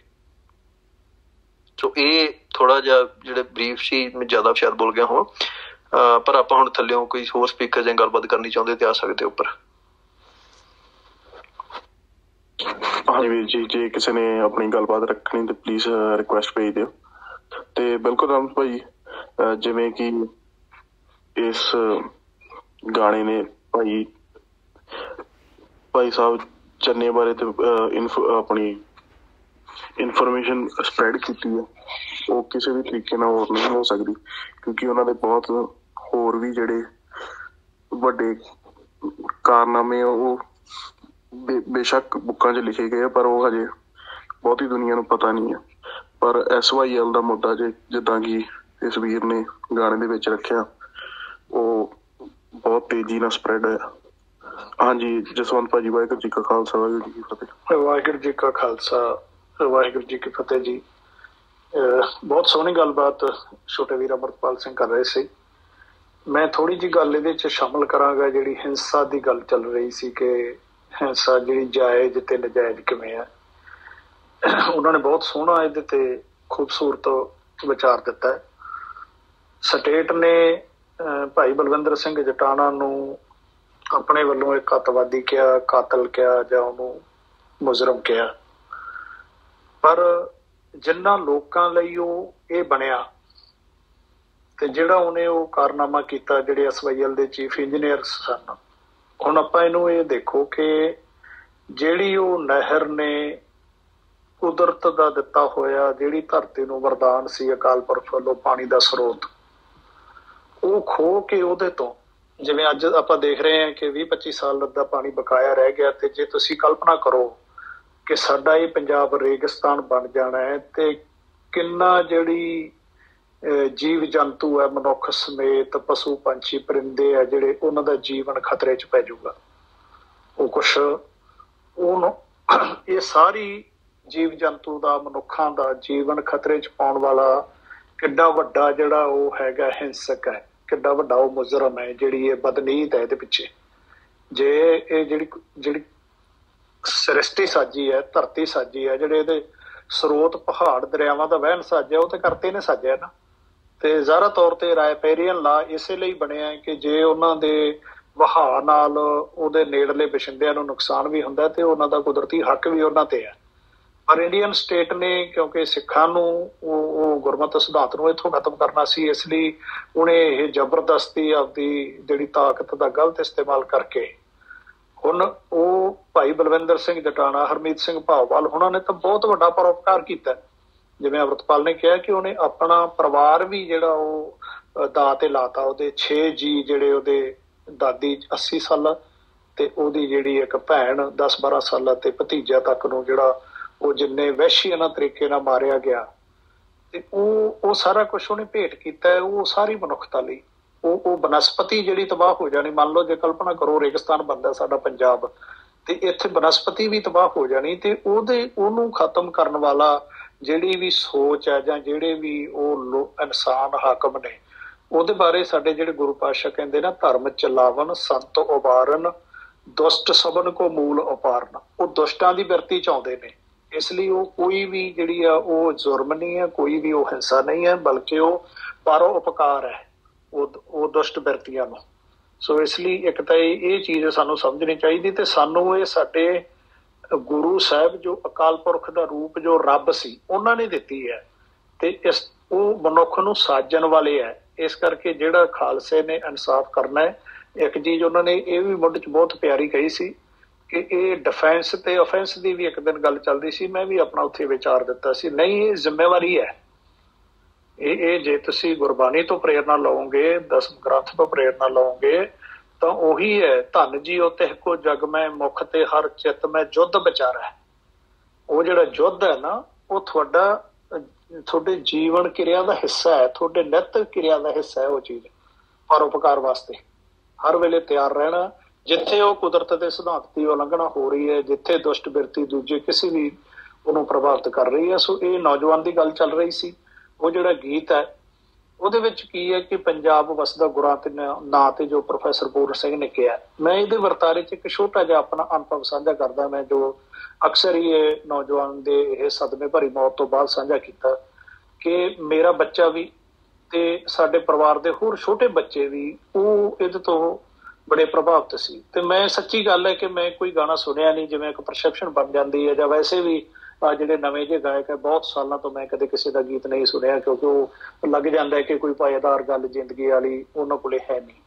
ਤਾਂ ਉਹ ਮੈਂ ਸੁਭਾਵਿਕ ਰੂਪ ਚ, ਬਲਕਿ ਮੈਂ ਇੱਕ ਵਾਰ ਆਬਜੈਕਟ ਵੀ ਕੀਤਾ ਸਾਡੇ 14 14 ਸਾਲ ਦੇ ਬੱਚੇ ਛੋਟੇ ਦੇ, ਵੀ ਇਹ ਗਲਤ ਹੋ ਰਿਹਾ ਪਰ ਜਿਵੇਂ ਹੀ ਉਹਦਾ ਸਦਮਾ ਵਾਪਰਿਆ, ਇਹ ਨੌਜਵਾਨ ਬੱਚੇ ਦਾ, ਖਾਸ ਕਰਕੇ ਉਹਦਾ ਪਤਾ ਲੱਗ ਗਿਆ ਸੀ ਉਹਦੀਆਂ ਇੰਟਰਵਿਊਜ਼ ਵਗੈਰਾ ਸੀ ਤਾਂ ਇੱਕਦਮ ਹੀ ਇਹ ਚੀਜ਼ ਨੂੰ ਸਾਡੇ ਹਿਰਦੇ 'ਚ ਸੱਟ ਵੱਜੀ ਤੇ ਸੁਰਤ ਨੇ ਕਿਹਾ ਕਿ ਸਟੇਟ ਨੇ ਕਤਲ ਕੀਤਾ। ਉਦੋਂ ਮਿੱਠਿਆਂ ਸਾਰ ਜਦੋਂ ਇਹ ਖਬਰ ਸੁਣੀ, ਇਹ ਇਤਫਾਕ ਨਾਲ ਮੈਂ ਅਮਰਤਪਾਲ ਕੋਲ ਹੀ ਬੈਠਾ ਸੀਗਾ। ਇਹ ਅਟੈਕ ਦੀ ਖਬਰ ਆਈ ਤੇ ਝੱਬਦੇ ਹੀ ਮੌਤ ਦੀ ਖਬਰ ਆ ਗਈ ਤੇ ਇੱਕਦਮ ਸੁਰਤ ਨੇ ਬਿਨਾਂ ਕੋਈ ਸੋਚੇ ਵਿਚਾਰੇ ਕਿਹਾ ਕਿ ਇਹ ਕਤਲ ਸਟੇਟ ਨੇ ਕੀਤਾ, ਬਲਕਿ ਉਹਦੀ ਮੱਕੜ ਨਾਲ ਜਿਹੜੀ ਇੰਟਰਵਿਊ ਉਹ ਵੀ ਅਸੀਂ ਬਾਅਦ ਚ ਸੁਣਦੇ ਆ ਉਹ ਸਾਹਮਣੇ ਬਾਅਦ ਚ ਆਉਂਦੀ ਹੈ, ਮੈਂ ਨਹੀਂ ਸੀ ਸੁਣੀ। ਪਰ ਉਹ ਉਹ ਲੱਗ ਗਿਆ ਸੀ ਉਹਦੀਆਂ ਕੁਝ ਚੀਜ਼ਾਂ ਤੋਂ ਨਾ, ਜਿਹੜੀਆਂ ਕੁਝ ਗੱਲਾਂ ਤੋਂ। ਉਹਦਾ ਹੁਣ ਵਰਤਾਰਾ ਕੀ ਹੋਇਆ? ਦੀਪ ਸਿੱਧੂ ਨੇ ਜਿਹੜੇ ਵਰਤਾਰਿਆਂ ਦੀ ਗੱਲ ਕੀਤੀ ਸੀ, ਕਿਉਂਕਿ ਕਾਫੀ ਸਾਰਾ ਸਰੋਤਾ ਜਦ ਜੁੜੇ ਆ, ਉਹ ਆਹੀ ਵਰਤਾਰੇ ਹੁੰਦੇ ਆ। ਦੇਖੋ, ਹਰੇ ਸੇਬ ਨੇ ਵੀ ਲਾਲ ਨਹੀਂ ਬਣਨਾ। ਜੇ ਅਸੀਂ ਕਵਾਂਗੇ ਇਹ ਜਿੱਦ ਕਰਾਂਗੇ ਨਾ ਕਿ ਕਰਾਮਾਤ ਇਹ ਕਰਕੇ ਵਿਖਾਵੇ ਰੱਬ ਕੇ ਹਰਾ ਸੇਬ, ਲਾਲ ਸੇਬ ਬਣ ਜੇ। ਨਹੀਂ, ਇਹ ਉਹਦੀ ਰਜਾ ਚ ਹੈ, ਇਹ ਉਹਦੇ ਹੁਕਮ ਚ ਹੈ। ਇਹ ਤਾਂ ਉਹਦੇ ਮਰਜ਼ਾਦਾ ਦੀ ਉਲੰਘਣਾ ਹੈ, ਜੇ ਅਸੀਂ ਇਸ ਤਰ੍ਹਾਂ ਦੀ ਜਿੱਦ ਕਰਾਂਗੇ। ਵਰਤਾਰੇ ਹੁੰਦੇ ਆ ਕਿ ਇੱਕ ਐਸੀ ਵਿਉਂਤ ਦੇ ਵਿੱਚ ਐਸੀ ਕਰਾਮਾਤ ਵਾਪਰਦੀ ਹੈ ਜਿਹੜੀ ਸਾਡੇ ਚਿੱਤ ਚਿੱਤੇ ਉਮੀਦ ਚ ਹੀ ਨਹੀਂ ਹੁੰਦੀ। ਮੈਂ ਉਹ ਸਾਡੇ ਟੋਕਿਆ ਵੀ ਸਾਡੇ ਬੱਚਿਆਂ ਨੂੰ ਇੱਕ ਵਾਰੀ ਕਿ ਯਾਰ ਤੁਸੀਂ ਇਹਨੂੰ ਨਾ ਸੁਣਿਆ ਕਰੋ, ਪਰ ਜਦੋਂ ਹੀ ਮੇਰਾ ਉਹਨਾਂ ਨਾਲ ਡਾਇਲਾਗ ਹੋਇਆ ਤੇ ਮੈਂ ਸਿਰਫ ਸੰਕੇਤ ਦਿੱਤਾ ਮੇਰੇ ਛੋਟੇ ਭਰਾ ਦੇ ਬੱਚਿਆਂ ਨੂੰ 14 ਸਾਲ ਦੇ ਲਗਭਗ ਉਮਰ ਨੇ, ਬਈ ਉਹ ਜਿਹੜਾ ਨੌਜਵਾਨ ਹੈ ਸ਼ੁਭਦੀਪ ਸਿੱਧੂ, ਉਹ ਸਟੇਟ ਦੇ ਨਾਲ ਕੰਸਰਨਡ ਹੋ ਗਿਆ ਸੌਰੀ ਸਾਡੀ ਨੇਸ਼ਨ ਨਾਲ।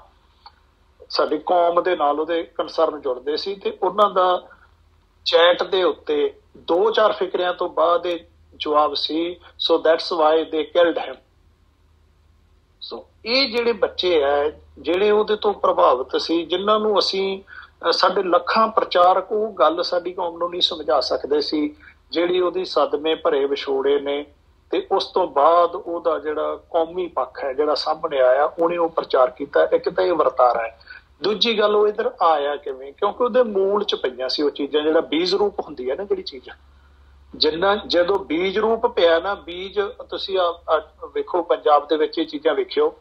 ਪਿਛਲੇ ਦਿਨ ਮੇਰੀ ਇੱਕ ਨੌਜਵਾਨ ਨਾਲ ਗੱਲ ਹੋ ਰਹੀ ਸੀ, ਕਿੰਨੇ ਸਾਲਾਂ ਦਾ ਝੋਨਾ ਲੱਗਦਾ ਤੇ ਐਤਕੀ ਉਹਨਾਂ ਨੇ ਨਰਮਾ ਬੀਜਿਆ ਤੇ ਐਟਸੈਟ ਨਾਲ ਦੀ ਨਾਲ ਉੱਗਿਆ ਜਿਹੜਾ ਕੁਦਰਤ ਦੇ ਨਿਯਮ ਦੇ ਵਿੱਚ ਜਿਹੜੇ ਬਹੁਤ ਸਾਰੇ ਨਦੀਨ ਨੇ, ਬਹੁਤ ਸਾਰੀਆਂ ਫਸਲਾਂ ਦੇ ਬੀ ਹੈ, ਉਹ ਧਰਤੀ ਦੇ ਵਿੱਚ ਸਲਾਮਤ ਰਹਿੰਦੇ ਆ। ਬਲਕਿ ਜੇ ਅਸੀਂ ਜਿਹੜੇ ਅਨਾਜ ਅਸੀਂ ਪੈਦਾ ਕਰਦੇ ਆ, ਉਹਦਾ ਜੇ ਬੀ ਅਸੀਂ ਕੁਰਤਾ ਬੀਜ ਕੇ ਉਹ ਖਰਾਬ ਹੋ ਜਾਂਦਾ, ਗਲ ਜਾਂਦਾ।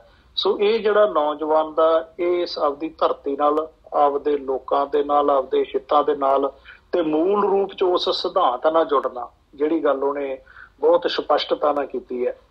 ਜੋ ਮਹਾਪੁਰਸ਼ ਕਰਦੇ ਸੀ ਸੰਤ ਬਾਬਾ ਜਰਨੈਲ ਸਿੰਘ ਜੀ ਖਾਲਸਾ, ਉਹਦੀ ਚੇਤਨਾ ਦੇ ਅੰਦਰ ਉਹਦੇ ਇੱਕ ਅਵਚੇਤਨ ਜੋ ਚੀਜ਼ ਸਮਾਈ ਹੋਈ ਸੀ ਤੇ ਖਾਸ ਕਰਕੇ ਉਹਦੇ ਖਾਨਦਾਨ ਚ ਵੀ ਇਹ ਚੀਜ਼ ਇਹ ਵੀ ਤੁਹਾਨੂੰ ਚੀਜ਼ਾਂ ਵੱਲ ਧਿਆਨ ਦੇਣਾ ਪਏਗਾ ਕਿ ਉਹਦੇ ਮੈਂ ਇੱਕ ਦਿਨ ਇੱਕ ਐਪੀਸੋਡ ਸੁਣ ਰਿਹਾ ਸੀ। ਉਹਦੇ ਦਾਦਾ ਜੀ ਵੀ ਹੈ ਜਿਹੜੇ, ਉਹ ਵੀ ਰਵਾਇਲਰੀ ਬੰਦੇ ਸੀਗੇ, ਬੜੇ ਜੋਰਤ ਵਾਲੇ ਬੰਦੇ ਸੀ। ਸੋ ਇਸ ਲਈ ਇਹੀ ਉਹ ਕਰਾਮਾਤਾਂ ਨੇ, ਇਹੀ ਉਹ ਪ੍ਰੋਫੈਸਰ ਪੂਰਨ ਸਿੰਘ ਦੇ ਬਚਨ ਹੈ ਕਿ ਪੰਜਾਬ ਗੁਰਾਂ ਤੇ ਨਾਂ ਤੇ ਵਸਦਾ ਤੇ ਇਹ ਜਿਹੜੇ ਸਾਹਮਣੇ ਵਾਲਾ ਪੇਪਰ ਹੈ, ਇਹ ਜੋ ਮਰਜ਼ੀ, ਇਹ ਸੱਤਾ ਦੇ ਜਿਹੜੀਆਂ ਨਾ ਤਾਕਤਾਂ ਨਾਲ ਜੋ ਮਰਜ਼ੀ ਕਰੀ ਤੁਰਿਆ ਜਾਵੇ, ਸਾਨੂੰ ਦ੍ਰਿੜ ਨਿਸ਼ਚੈ ਬਣਾ ਕੇ ਚੱਲਣਾ ਚਾਹੀਦਾ ਕਿ ਸਾਡਾ ਗੁਰੂ ਸਾਡੇ ਵੱਲ ਹੈ।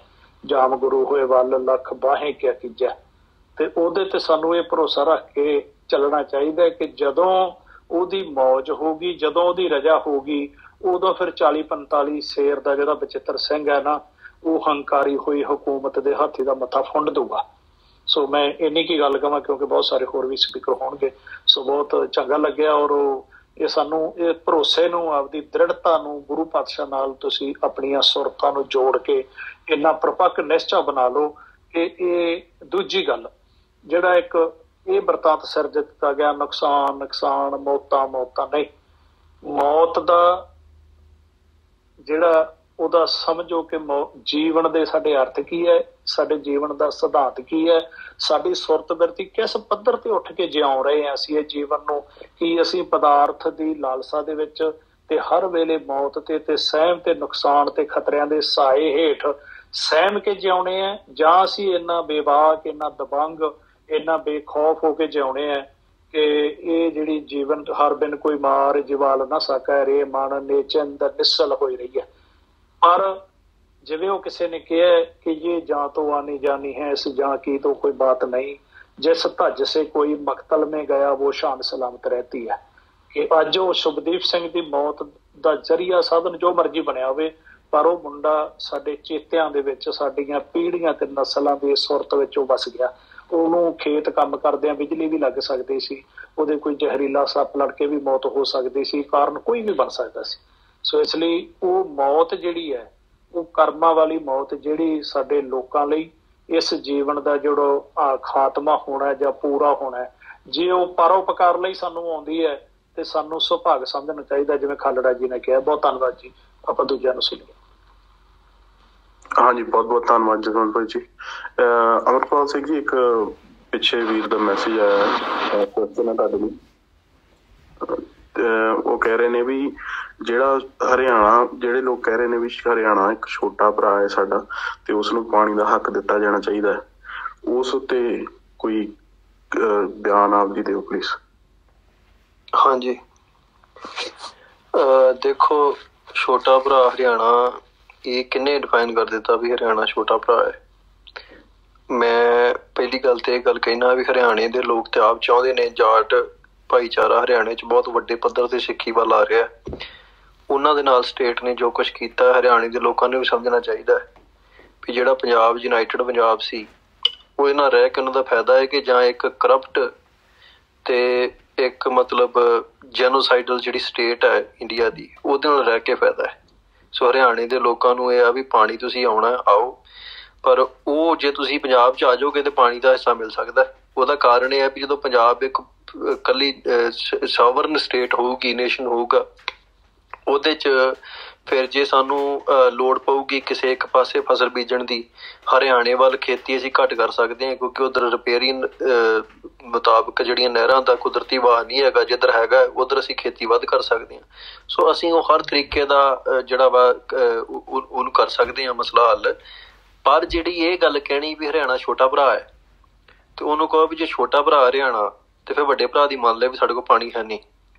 ਵੱਡੇ ਭਰਾ ਦੀ ਮੰਨਣੀ ਚਾਹੀਦੀ ਹੈ ਕਿ ਨਹੀਂ ਮੰਨਣੀ ਚਾਹੀਦੀ ਹੈ? ਤੁਸੀਂ ਦੱਸੋ ਵੀ ਇੱਕ ਛੋਟੇ ਭਰਾ ਹੋਣ ਦੇ ਨਾਤੇ ਇਹ ਫਰਜ਼ ਹੈ ਕਿ ਜੇ ਵੱਡਾ ਭਰਾ ਕਹਿ ਰਿਹਾ ਕੋਈ ਗੱਲ ਤੇ ਉਹ ਤਾਂ ਹੀ ਕਹਿ ਰਿਹਾ ਨਹੀਂ ਤੇ ਵੱਡੇ ਭਰਾ ਤੇ ਛੋਟੇ ਭਰਾਵਾਂ ਤੇ ਜਾਣ ਦੇਣ ਨੂੰ ਜਾਂਦੇ ਆ, ਪਰ ਜੇ ਹੁਣ ਕਹਿ ਰਹੇ ਆ ਵੀ ਸਾਡੇ ਕੋਲ ਪਾਣੀ ਹੈ ਨਹੀਂ, ਹੁਣ ਰਾਜਸਥਾਨ ਤੇ ਭਰਾ ਨਹੀਂ ਨਾ ਹੈਗਾ, ਉਹਨੂੰ ਵੀ ਪਾਣੀ ਜਾ ਰਿਹਾ। ਦਿੱਲੀ ਸਾਡੀ ਛੋਟੀ ਭੈਣ ਨਹੀਂ ਹੈਗੀ, ਉਹਨੂੰ ਕਾਹ ਤੋਂ ਪਾਣੀ ਜਾ ਰਿਹਾ? ਸੋ ਗੱਲ ਇਹ ਹੈ ਵੀ ਹਿਮਾਚਲ ਨੂੰ ਮੰਨਣਾ ਚਾਹੀਦਾ ਵੀ ਸਾਡਾ ਪੰਜਾਬ ਵੱਡਾ ਭਰਾ ਹੈ। ਤੇ ਹਿਮਾਚਲ ਤੇ ਜਿੱਥੇ ਖੇਤੀ ਬੜੀ ਘੱਟ ਹੁੰਦੀ ਹੈ ਤੇ ਹਿਮਾਚਲ ਆਪਣਾ ਬਿਲਕੁਲ ਪਾਣੀ ਨਾ ਰੱਖੇ ਤੇ ਸਾਨੂੰ ਸਾਰਾ ਹੀ ਦੇ ਦੇਵੇ। ਮਤਲਬ ਇਹ ਪੰਜਾਬ ਜਦੋਂ ਲੈਣਾ ਹੋਵੇ ਪੰਜਾਬ ਕੋਲੋਂ ਕੁਝ ਤੇ ਫਿਰ ਪੰਜਾਬ ਵੱਡਾ ਭਰਾ ਹੈ ਤੇ ਜਦੋਂ ਟੈਂਕ ਚੜ ਕੇ ਆਏ ਸੀ ਵੱਡੇ ਭਰਾ ਦੇ ਉੱਤੇ ਹਰਿਆਣੇ ਥਾਣੀ ਨਾਲ ਕੇ ਆਏ ਸੀ ਨਾ, ਉਦੋਂ ਵੱਡੇ ਭਰਾ ਦੇ ਰਾਹ ਜਿਹੜੇ ਆ ਰਹੇ ਟੈਂਕਾਂ ਨੂੰ ਰੋਕਣਾ ਕਿਨੇ ਸੀ? ਕੋਈ ਵੱਡੇ ਭਰਾ ਵਾਲਾ ਹਮਲਾ ਕਰਨ ਜਾ ਰਿਹਾ ਹੋਵੇ ਤੇ ਰਾਹ 'ਚੋਂ ਤੁਹਾਨੂੰ ਦੱਸ ਕੇ ਲੰਘੇ ਤੁਸੀਂ ਉਹਦਾ ਸਵਾਗਤ ਕਰੋ, ਜਾਣ ਲੱਗਿਆ ਵੀ, ਆਉਣ ਲੱਗਿਆ ਵੀ। ਇਹ ਕਿਹੋ ਜੀ ਦਰੀ ਨਿਭਾ ਰਹੇ ਆਪਾਂ? ਸੋ ਵੱਡੇ ਛੋਟੇ ਭਰਾ ਹੋਣ ਦਾ ਤੇ ਮਸਲਾ ਹੀ ਨਹੀਂਗਾ ਮਸਲਾ ਤੇ ਇੰਨਾ ਹੈ ਵੀ ਅਸੀਂ ਕਿਸੇ ਦੇ ਵਿਰੋਧੀ ਨਹੀਂ, ਖਾਸ ਕਰ ਇਹ ਜਾਟਾਂ ਨੂੰ ਤੇ ਸਮਝ ਆ ਗਈ ਹੈ, ਹਰਿਆਣੇ ਦੇਆਂ ਨੂੰ।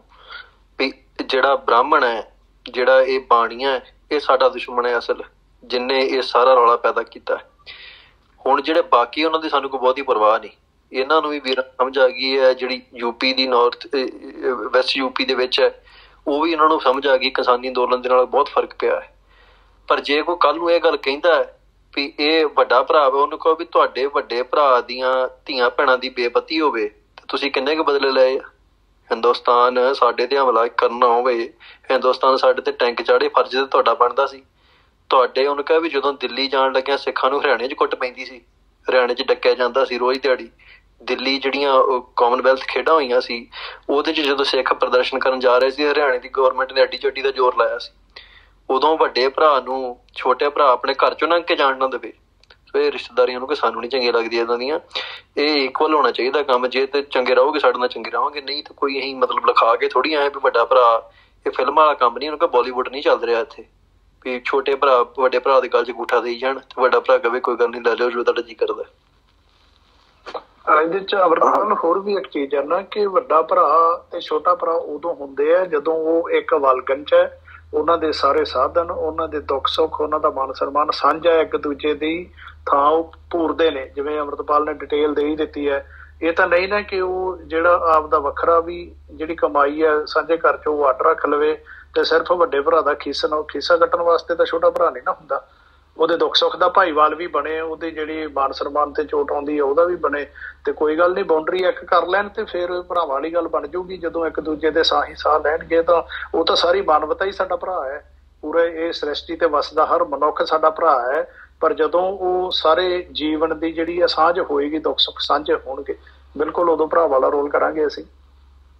ਹਾਂਜੀ ਆਪਣਾ ਨਾ ਹਰਪ੍ਰੀਤ ਸਿੰਘ ਆ ਗਏ ਵੀਰੇ ਤੇ ਉਹ ਇਹਨਾਂ ਨੇ ਮਤਲਬ ਸਵਾਲ ਥੋੜਾ ਉਸ ਤਰ੍ਹਾਂ ਸੀਗਾ। ਤੇ ਹਰਪ੍ਰੀਤ ਵੀਰੇ ਕਰ ਲਓ ਸਵਾਲ ਇਹਨਾਂ ਦਾ ਹੀ ਆਇਆ ਸੀ ਬੈਕ ਚੈਨਲ ਤੇ। ਹਾਂਜੀ ਵੀਰੇ ਫਿਰ ਪਰਮ ਹਾਂਜੀ ਹਾਂਜੀ ਸਭ ਤੋਂ ਪਹਿਲਾਂ ਵਾਹਿਗੁਰੂ ਜੀ ਕਾ ਖਾਲਸਾ ਵਾਹਿਗੁਰੂ ਜੀ ਕੀ ਫਤਿਹ।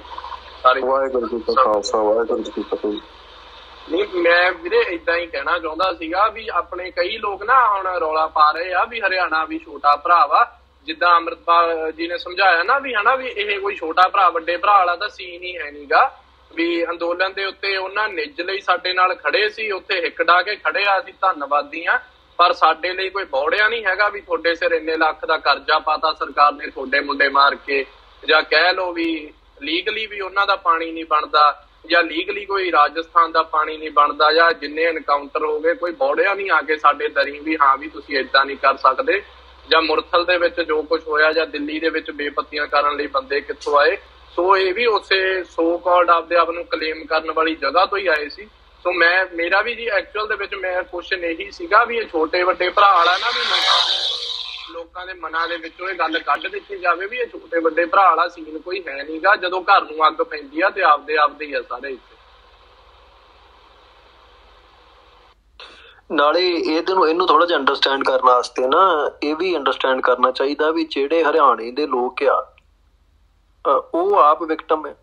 ਉਹਨਾਂ ਕੋਲ ਕੋਈ ਆਪਣੀ ਬੋਲੀ ਨਹੀਂ ਰਹੀ। ਉਹਨਾਂ ਕੋਲ ਕੋਈ ਆਪਣਾ ਸੱਭਿਆਚਾਰ ਨਹੀਂ ਰਿਹਾ।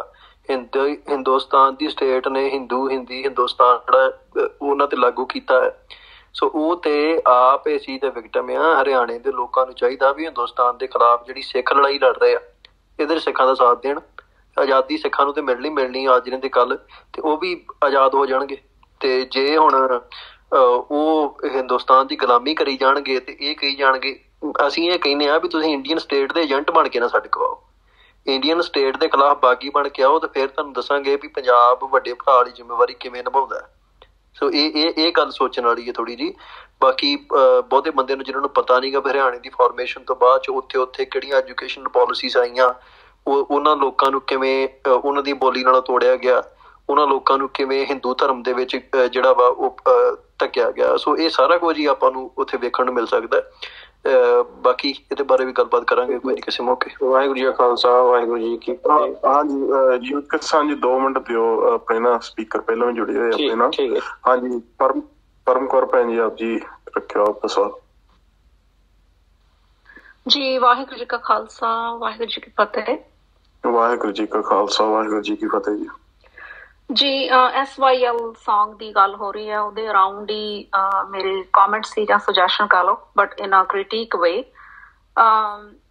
ਜਦੋਂ ਇਸ ਤਰ੍ਹਾਂ ਦਾ ਕੋਈ Song ਆਉਂਦਾ, ਆਪਣੇ ਪੰਥ ਵਾਸਤੇ ਕੋਈ ਵੀ ਗੱਲ ਕਰਦਾ ਹੈ ਜਾਂ ਇਨ ਜਨਰਲ ਕਰਦਾ ਹੈ ਜਾਂ ਕੋਈ ਸਿੰਗਰ ਗਾਣੇ ਦੇ ਵਿੱਚ ਕਰਦਾ, ਤੇ ਆਪਾਂ ਹਮੇਸ਼ਾ ਖੁਸ਼ ਹੁੰਨੇ ਆ ਤੇ ਖੁਸ਼ ਹੋਣਾ ਵੀ ਚਾਹੀਦਾ ਕਿਉਂਕਿ ਇੱਕ ਚੜ੍ਹਦੀ ਕਲਾ ਵਾਲੀ ਕੌਮ ਹੈ। ਤੇ ਜਿਹੜੀ ਮਤਲਬ ਕਿ ਵੀ ਸੱਚ ਨੂੰ ਸੱਚ ਕਹਿਣ ਦਾ ਹੱਕ ਵੀ ਰੱਖਦੀ ਹੈ ਤੇ ਬੋਲਦੀ ਵੀ so that is fine celebrate ਕਰਨਾ ਚਾਹੀਦਾ ਐਦਾਂ ਦਾ ਕੁਝ ਵੀ ਹੋਵੇ।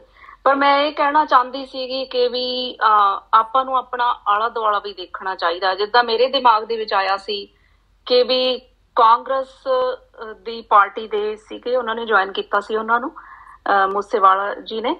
ਤੇ ਵੀ ਆਪਾਂ ਨੂੰ ਆਪਰੇਸ਼ਨ ਦੇ ਵਿੱਚ ਜ਼ਰੂਰ ਇਸ ਤਰ੍ਹਾਂ ਦੀ ਵੀ ਆਵਾਜ਼ ਉਠਾਣੀ ਚਾਹੀਦੀ ਹੈ ਕਿ ਵੀ ਦੇਖੋ, ਤੁਹਾਡੀ ਪਾਰਟੀ ਦਾ ਬੰਦਾ ਸੀ, ਹੁਣ ਕਰੋ ਗਾਣਾ ਮੈਂਡੇਟ ਹੁਣ ਆਪਾਂ ਨੂੰ ਮੇਰੇ ਮੇਰੇ ਕਹਿਣ ਮੁਤਾਬਕ ਨਾ ਇਹਨੂੰ ਨੈਕਸਟ ਲੈਵਲ ਤੇ ਲੈ ਕੇ ਜਾਣਾ ਚਾਹੀਦਾ ਕਿ ਵੀ ਜਦੋਂ ਕੋਈ ਇਹੋ ਜੀ ਆਵਾਜ਼ ਉੱਠਦੀ ਆ, ਹੁਣ ਆਪਾਂ, ਇਹ ਤਾਂ ਪਤਾ ਹੀ ਆ ਵੀ ਉਹਨਾਂ ਦਾ ਹਨਾ ਕਤਲ ਹੋ ਗਿਆ ਵੀ ਹੁਣ ਉਦਾਂ ਦੀਆਂ ਆਵਾਜ਼ਾਂ ਹੋਰ ਕਦ ਆਉਣੀਆਂ, ਹਨਾ। ਜਦੋਂ ਕੋਈ ਐਡੀ ਪਾਵਰਫੁਲ ਆਵਾਜ਼ ਪੰਥ ਵਾਸਤੇ ਉੱਠਦੀ ਆ ਤੇ ਉਹਨੂੰ ਆਪਾਂ ਨੂੰ ਨਾ ਨੈਕਸਟ ਲੈਵਲ ਤੱਕ ਲੈ ਕੇ ਜਾਈਏ ਕਿ ਵੀ ਮਤਲਬ ਕਿ ਵੀ ਤੁਸੀਂ ਵੈਸੇ ਤਾਂ ਬਹੁਤ ਕਰਦੇ ਸੀਗੇ ਤੇ ਹੁਣ ਇਹਨੂੰ ਗਾਣੇ ਨੂੰ ਵੀ ਮੈਂਡੇਟ ਕਰੋ। It's about Panth what happened in our history ਜਿਹੜੀਆਂ ਕੁਝ ਗੱਲਾਂ ਮੈਨੂੰ ਲੱਗਦਾ ਇਹ ਜਨਰੇਸ਼ਨ ਦਾ ਭੁੱਲ ਵੀ ਗਈ ਸੀਗੀ। ਜਟਾਣਾ ਸਾਹਿਬ ਬਾਰੇ ਜਾਂ ਹੋਰਾਂ ਬਾਰੇ, ਮਤਲਬ ਕਿ ਜਿਹੜੀ ਸਾਡੀ ਜਨਰੇਸ਼ਨ ਹੈ ਤੇ ਉਹ ਗੱਲਾਂ ਦੁਬਾਰਾ ਉਹਨੇ ਮੁੜ ਮਤਲਬ ਕਿ ਵੀ ਲਾਈਵ ਕੀਤੀਆਂ ਨੇ which is a which is a huge thing ਤੇ ਦੂਸਰੀ ਗੱਲ ਮੈਂ ਕਹਿਣੀ ਸੀਗੀ ਕਿ ਵੀ ਦੇਖੋ ਆਪਾਂ ਨੂੰ ਜਿੱਦਾਂ ਹੁਣ ਯੂਥ ਅੱਗੇ ਆ ਰਿਹਾ ਅਹ, ਉਹਦੇ ਵਾਸਤੇ ਆਪਾਂ ਨੂੰ ਨਾ ਜਿਹੜੀਆਂ ਵੀ ਆਰਗੇਨਾਈਜੇਸ਼ਨਸ ਅੱਗੇ ਹੋ ਕੇ ਕੰਮ ਕਰਦੀਆਂ the one who has a say about it ਉਹਨਾਂ ਨੂੰ ਚਾਹੀਦਾ ਕਿ ਵੀ ਬਹੁਤ ਦਿਲ ਵੱਡਾ ਰੱਖੋ ਕਿਉਂਕਿ ਤੁਸੀਂ ਦੇਖੋ ਵੀ 28 ਸਾਲ ਦੇ ਮੁੰਡੇ ਦੇ ਅੰਦਰ ਕਿੰਨੀ ਸਿੱਖੀ ਸੀ। ਜਿਹਦੇ ਚਾਰ ਲਫ਼ਜ਼ਾਂ ਦੇ ਵਰਡ ਨੇ, ਜਿਹੜੇ ਪੰਜਾਬ, ਹਰਿਆਣਾ, ਚੰਡੀਗੜ੍ਹ, ਲਿਖਣਾ ਸੌਖਾ ਨਹੀਂ ਹੁੰਦਾ। ਜਿਸ ਹਿਸਾਬ ਨਾਲ ਉਹਨੇ ਲਿਖ ਕੇ ਮਤਲਬ ਕਿ ਐਡੀ, ਮਤਲਬ ਮੈਂ ਮੈਂ ਗਾਣੇ ਨੂੰ ਦੁਬਾਰਾ ਸੁਣ, ਇੰਨਾ ਰੋਈ ਅੱਜ ਫਿਰ। ਮਤਲਬ ਕਿ ਵੀ ਲਿਖਣਾ ਬਹੁਤ ਔਖਾ ਹੁੰਦਾ। ਤੇ ਉਹ ਲਿਖ ਕੇ if someone is so popular ਐਨੀ ਆਵਾਜ਼ ਤੱਕ ਪਹੁੰਚਾਉਣਾ, ਮਤਲਬ ਕਿ ਛੋਟੀ ਮੋਟੀ ਗੱਲ ਨਹੀਂ ਹੈਗੀ, ਫਿਰ ਸਾਰੇ ਹੀ ਜਿਹੜੇ ਹੈਗੇ ਆ ਨਾ ਉਹ ਨਾਲ ਜੁੜਦੇ ਆ। ਸੋ ਮੇਰਾ ਕਹਿਣ ਦਾ ਮਤਲਬ ਸੀਗਾ ਕਿ ਵੀ ਅਹ, ਸਿੱਖੀ ਹੈ ਨਾ ਜਿਹੜੀ ਉਹ ਜਿਹੜੇ ਆਪਾਂ ਸਿੱਖ ਘਰਾਂ ਦੇ ਵਿੱਚ ਪੈਦਾ ਹੋਇਆ ਉਹਨਾਂ ਦੇ ਅੰਦਰ ਹੀ ਹੈ ਤੇ ਉਹਨਾਂ ਨੂੰ ਸਪੋਰਟ ਕਰਨਾ ਚਾਹੀਦਾ ਉਹਨਾਂ ਨੂੰ ਪ੍ਰਮੋਟ ਕਰਨਾ ਚਾਹੀਦਾ they can be at any level so ਮੈਨੂੰ ਇਹ ਦੋ ਜਿੱਦਾਂ ਮੈਨੂੰ ਲੱਗਿਆ ਵੀ ਬੜੀ ਸੇਧ ਮਿਲੀ ਅੱਜ ਕਿ ਵੀ ਦੋ ਗੱਲਾਂ ਜਿਹੜੀਆਂ ਆਪਾਂ ਨੂੰ ਇਹਨਾਂ critic we we have to put it to a next level thank you I hope if you like it thank you ਹਾਂਜੀ ਬਹੁਤ ਬਹੁਤ ਧੰਨਵਾਦ ਭੈਣ ਜੀ। ਆਪਣੇ ਨਾਲ ਸੁਖਰਾਜ ਸੁਖਰਾਜ ਵੀਰ ਜੀ ਜੁੜੇ ਆ ਸੁਖਰਾਜ ਵੀਰ ਜੀ ਆਪ ਜੀ ਰੱਖੋ ਆਪਣਾ ਕੁਐਸਚਨ ਹਾਂਜੀ ਸਭ ਤੋਂ ਪਹਿਲਾਂ ਹੀ ਵਾਹਿਗੁਰੂ ਜੀ ਕਾ ਖਾਲਸਾ ਜੀ ਵਾਹਿਗੁਰੂ ਕੀ ਫਤਿਹ। ਵਾਹਿਗੁਰੂ ਜੀ ਕਾ ਖਾਲਸਾ ਵਾਹਿਗੁਰੂ ਜੀ ਕੀ ਫਤਿਹ ਜੀ। ਤੇ ਮੈਂ ਤਾਂ ਐਸਵਾਈਐਲ ਜਿਹੜਾ ਗਾਣਾ ਭਾਈ ਜਟਾਣੇ ਦੇ ਬਾਰੇ ਥੋੜੀ ਮੋਟੀ ਗੱਲਾਂ ਨਾ ਵੀ ਹੁਣ ਬਹੁਤ ਵਧੀਆ ਕੰਮ ਹੋਇਆ ਜੋ ਮਤਲਬ ਜਨਰੇਸ਼ਨ ਨੂੰ ਇਹਦੇ ਬਾਰੇ ਪਤਾ ਲੱਗਿਆ ਤੇ ਗਾਂ ਵੀ ਜਿਹੜੇ ਜਿਹੜੇ ਹੋਰ ਮਤਲਬ ਇਹਨਾਂ ਭਾਈ ਜਟਾਣੇ ਦੇ ਨਾਲ ਲਿੰਕ ਜੁੜਦੇ ਨੇ ਉਹ ਵੀ ਮੈਂ ਗੱਲ ਕਰਨੀ ਸੀ ਆ ਹਰਿਆਣੇ ਦੀ ਜਿਹੜਾ ਬਾਈ ਜੀ ਗੱਲ ਕਰਦੇ ਸੀ ਵੀ ਹਰਿਆਣਾ ਸਾਡਾ ਛੋਟਾ ਭਰਾ, ਉਹਦੇ 'ਚ ਥੋੜੀ ਜਿਹੀ ਐਡ ਗੱਲਾਂ ਕਰਨੀਆਂ ਸੀ ਵੀ ਚਲੋ ਠੀਕ ਆ ਛੋਟਾ ਭਰਾ ਵੀ ਫਿਰ ਜੇ ਵੱਡੇ ਵੱਡੇ ਭਰਾ ਨੂੰ ਹੋਰ ਸਟੇਟਾਂ ਦਾ ਕੁਝ ਦਿੰਦੀਆਂ ਨਹੀਂ, ਰਾਜਸਥਾਨ ਹੋ ਗਿਆ ਉਹਨਾਂ ਨੇ ਕਦੇ ਮਾਰਬਲ ਫ੍ਰੀ ਨਹੀਂ ਦਿੱਤਾ। ਚੱਲ ਜੇ ਛੋਟੇ ਭਰਾ ਨੂੰ ਪਾਣੀ ਚਾਹੀਦਾ ਵੀ ਫਿਰ ਛੋਟੇ ਭਰਾ ਨੂੰ ਪਾਣੀ ਦਾ ਮੁੱਲ ਦੇ ਦੇਣ। ਪਾਣੀ ਦਾ ਮੁੱਲ ਦੇ ਦੇਣ, ਉਦੋਂ ਦਾ ਉਹ ਹੱਕ, ਇਹਦਾ ਹੱਕ ਮਾਰਨਾ ਹੋ ਗਿਆ ਨਾ। ਫਿਰ ਤੁਸੀਂ ਹੱਕ ਪੂਰਾ ਦੋ ਜੇ ਆਪਾਂ ਬਿਹਾਰ 'ਚ ਜਾਂਦੇ ਉਹਨਾਂ ਨੇ ਨਹੀਂ ਕਦੇ ਕੋਲਾ ਫ੍ਰੀ ਦਿੱਤਾ। ਜਾਂ ਆਪਾਂ ਕਿਤੇ ਹੋਰ ਸਟੇਟ 'ਚ ਜਾਂਦੇ ਉਹਨਾਂ ਨੇ ਨਹੀਂ ਕਦੇ ਕੋਈ, ਕੁਝ, ਕੋਈ ਕੋਈ ਚੀਜ਼ਾਂ ਫ੍ਰੀ ਦਿੰਦਾ ਫਿਰ ਪੰਜਾਬ ਦੀ ਵਾਰੀ ਕਿਉਂ ਆਉਂਦੀ ਆ ਸਾਰੀਆਂ ਚੀਜ਼ਾਂ ਫ੍ਰੀ ਲੈਣ 'ਚ? ਫਿਰ ਪੰਜਾਬ, ਜਦੋਂ ਪੰਜਾਬ ਤੋਂ ਲੈਣਾ, ਉਦੋਂ ਫ੍ਰੀ ਜਦੋਂ ਪੰਜਾਬ ਨੂੰ ਦੇਣਾ, ਉਹ, ਉਦੋਂ ਪੈਸੇ ਲੈ ਲਓ। ਇਹ ਤਾਂ ਕੋਈ ਗੱਲ ਨਾ ਹੋਈ ਨਾ। ਤੇ ਬਾਕੀ ਗੱਲ ਇਹ ਆ ਵੀਰੇ ਵੀ ਆਪਾਂ ਬਾਈ ਜੀ ਅਮਰਤ ਬਾਈ ਵੀਰੇ ਆਪਣਾ ਬਹੁਤ ਵਧੀਆ ਕੰਮ ਕਰ ਰਹੇ ਨੇ। ਮਹਾਰਾਜ ਸੁੱਖ ਰੱਖਣ ਜਦੇ ਕਿਤੇ ਇੰਡੀਆ ਪੰਜਾਬ ਦੇ ਵਿੱਚ ਪੈਰ ਪਾਉਣ, ਤਾਂ ਇੱਕ ਵੱਡੇ ਪੱਕੇ ਪੈਰੀ ਪੈਰ ਪਾਉਣ, ਹਨਾ? ਤੇ ਬਾਕੀ ਵੀਰ ਨੂੰ ਇੰਨਾ ਹੀ ਕਹਿਣਾ ਸੀ ਵੀ ਬਾਈ ਜੀ, ਅਸੀਂ ਬਹੁਤ ਤੁਹਾਡੇ ਨਾਲ ਨਾ ਅਪਰੋਚ ਕਰਦੇ ਰਹੇ ਆ ਵੀ ਬਾਈ ਜੀ, ਸਾਨੂੰ ਇੱਥੇ ਮੈਂ ਕੈਨੇਡਾ ਰਹਿਣਾ, ਬਰੈਂਪਟਨ, ਮੈਂ ਪਹਿਲੀ ਵਾਰੀ, ਪਹਿਲਾਂ ਵੀ ਗੱਲ ਹੋਈ ਸੀ ਨਾ। ਵੀ ਆਪਾਂ ਨੂੰ ਇੱਥੇ ਜੁਆਇਨ ਕਰਾਓ ਵੀਰੇ, ਆਪਣੇ ਨਾਲ ਮੁੰਡੇ ਹੋਰ ਵੀ ਬਥੇਰੇ ਹੈਗੇ ਨੇ, ਹਨਾ? ਮੈਂ ਭੇਜੇ ਵੀ ਸੀ ਮੈਸੇਜ ਵੀ ਭੇਜੇ, WhatsApp 'ਚ ਵੀ ਭੇਜਿਆ ਸੀ ਬਈ, ਸਾਰੇ ਲਿੰਕ ਭੇਜਿਆ ਵੀ ਆਪਾਂ ਨੂੰ ਕੋਈ ਫੀਡਬੈਕ ਆਇਆ ਨਹੀਂ ਵੀਰੇ ਯਾਰ। ਤਾਂ ਬਸ ਇੰਨੀ ਕੀ ਗੱਲ ਦੱਸਣੀ ਸੀ ਵੀਰੇ। ਹਾਂਜੀ। ਦੇਖੋ, ਜਿਹੜਾ ਫੀਡਬੈਕ ਵਾਲਾ ਮਸਲਾ ਨਾ, ਉਹਦੇ ਚ ਥੋੜਾ ਜਿਹਾ ਕੰਮ, ਕਾ ਥੋੜਾ ਨਹੀਂ, ਕਾਫੀ ਡਿਲੇ ਹੋਇਆ। ਉਹਦੀ ਇੱਕ ਦੋ ਵਜ੍ਹਾ ਇਹ ਆ ਵੀ ਇੱਕ ਤੇ ਘਟਨਾਵਾਂ ਕੁਛ ਇਧਰ ਦੀਆਂ ਵਾਪਰਦੀਆਂ ਗਈਆਂ ਵੀ ਸਾਨੂੰ ਉਧਰ ਥੋੜਾ ਰਜੀਮਾ ਜ਼ਿਆਦਾ ਦਿਖਾਉਣਾ ਪਿਆ। ਤੇ ਗੱਲ ਹੈ ਵੀ ਡਾਟਾ ਦਾ ਕੰਮ ਸੈਂਸਿਟਿਵ ਜਿਹਾ ਬਹੁਤ ਹੁੰਦਾ, ਤੇ ਸੋ ਇਸ ਕਰਕੇ ਜਿਹੜਾ ਵੀ ਡਾਟਾ ਆਇਆ ਸੀ ਉਹ ਬਹੁਤ ਹੀ ਜ਼ਿਆਦਾ ਬੰਦੇ ਦੇ ਹੱਥ 'ਚ ਨਹੀਂ ਦਿੱਤਾ। ਸੋ ਜਿੱਥੇ ਜਿੱਥੇ ਸਾਨੂੰ ਲੱਗਾ ਵੀ ਇਹ ਬੰਦਿਆਂ 'ਚ ਪੋਟੈਂਸ਼ੀਅਲ ਹੈਗਾ ਜਿਨ੍ਹਾਂ ਦੇ ਬੰਦਿਆਂ ਦੀ ਲੋੜ ਪਈ ਮੌਕੇ ਦੇ ਉੱਤੇ, ਜਿੱਥੇ ਬੰਦਾ ਢਾਂਚੇ ਨੇ ਕੰਮ ਕਰਨ ਲਈ, ਉਹਨਾਂ ਨੂੰ ਅਪਰੋਚ ਕੀਤਾ ਗਿਆ, ਹਨਾ? ਕੋਈ ਨਹੀਂ ਮਤਲਬ ਮੈਂ ਉਦਾਂ ਵੈਸੇ ਕੋਸ਼ਿਸ਼ ਕਰੂੰਗਾ ਵੀ ਜਿੱਥੇ ਤੁਹਾਡਾ ਏਰੀਆ ਬ੍ਰੈਂਪਟਨ ਤੁਸੀਂ ਕਿਹਾ ਨਾ ਤੁਸੀਂ, ਉਹ, ਉੱਥੋਂ ਉੱਥੋਂ ਦੇ ਬੰਦਿਆਂ ਦਾ ਨੰਬਰ ਤੁਸੀਂ ਮੈਨੂੰ ਡੀਐਮ ਕਰਿਓ, ਮੈਂ ਭੇਜ ਦੂੰਗਾ ਲੋਕਲ ਫਿਰ ਉਹਨਾਂ ਨਾਲ ਜੁੜ ਕੇ ਤੁਸੀਂ ਕਰ ਸਕਦੇ ਕਿਉਂਕਿ ਮੇਰੇ ਵਾਸਤੇ ਪੋਸੀਬਲ ਨਹੀਂ ਵੀ ਮੈਂ ਸਾਰੇ ਪਾਸੇ ਜਿਹੜਾ ਵਾ ਉਹ ਦੇ ਸਕਾਂ ਧਿਆਨ, ਉਹ ਥੋੜੀ ਲਿਮਿਟੇਸ਼ਨ ਹੋ ਜਾਂਦੀ ਹਰ ਇੱਕ ਬੰਦੇ ਦੀ। ਹਾਲਾਂਕਿ ਮੈਂ ਹੁਣ 24 ਘੰਟੇ ਉਦਾਂ ਦੇ ਜਥੇਬੰਦਕ ਕੰਮ 'ਚ ਹੀ ਆ ਪਰ ਫਿਰ ਵੀ ਸਾਰੇ ਬੰਦਿਆਂ ਨਾਲ ਪੋਸੀਬਲ ਤੇ ਹੋ ਹੀ ਹੋ ਹੀ ਨਹੀਂ ਸਕਦਾ ਸਾਰੇ ਥਾਵਾਂ ਦੇ ਉੱਤੇ ਕੰਮ ਕਰਨਾ। ਸੋ ਫਿਰ ਵੀ ਕੋਈ ਨਹੀਂ ਆਪਾਂ ਮਿਲ ਜੁਲ ਕੇ ਕੰਮ ਜ਼ਰੂਰ ਕਰਾਂਗੇ। ਹਾਂਜੀ ਹੋਰ ਆਪਣੇ ਕੋਲ ਸਪੀਕਰ ਆਏ ਨੇ ਉਹਨਾਂ ਨਾਲ ਗੱਲਬਾਤ ਕਰ ਲੈਣੇ ਫਿਰ ਬਾਕੀ। ਹਾਂ। ਜਸਕਿਲ ਜੀ ਆਪ ਜੀ ਰੱਖੋ ਆਪ ਦਾ ਪ੍ਰਸ਼ਨ।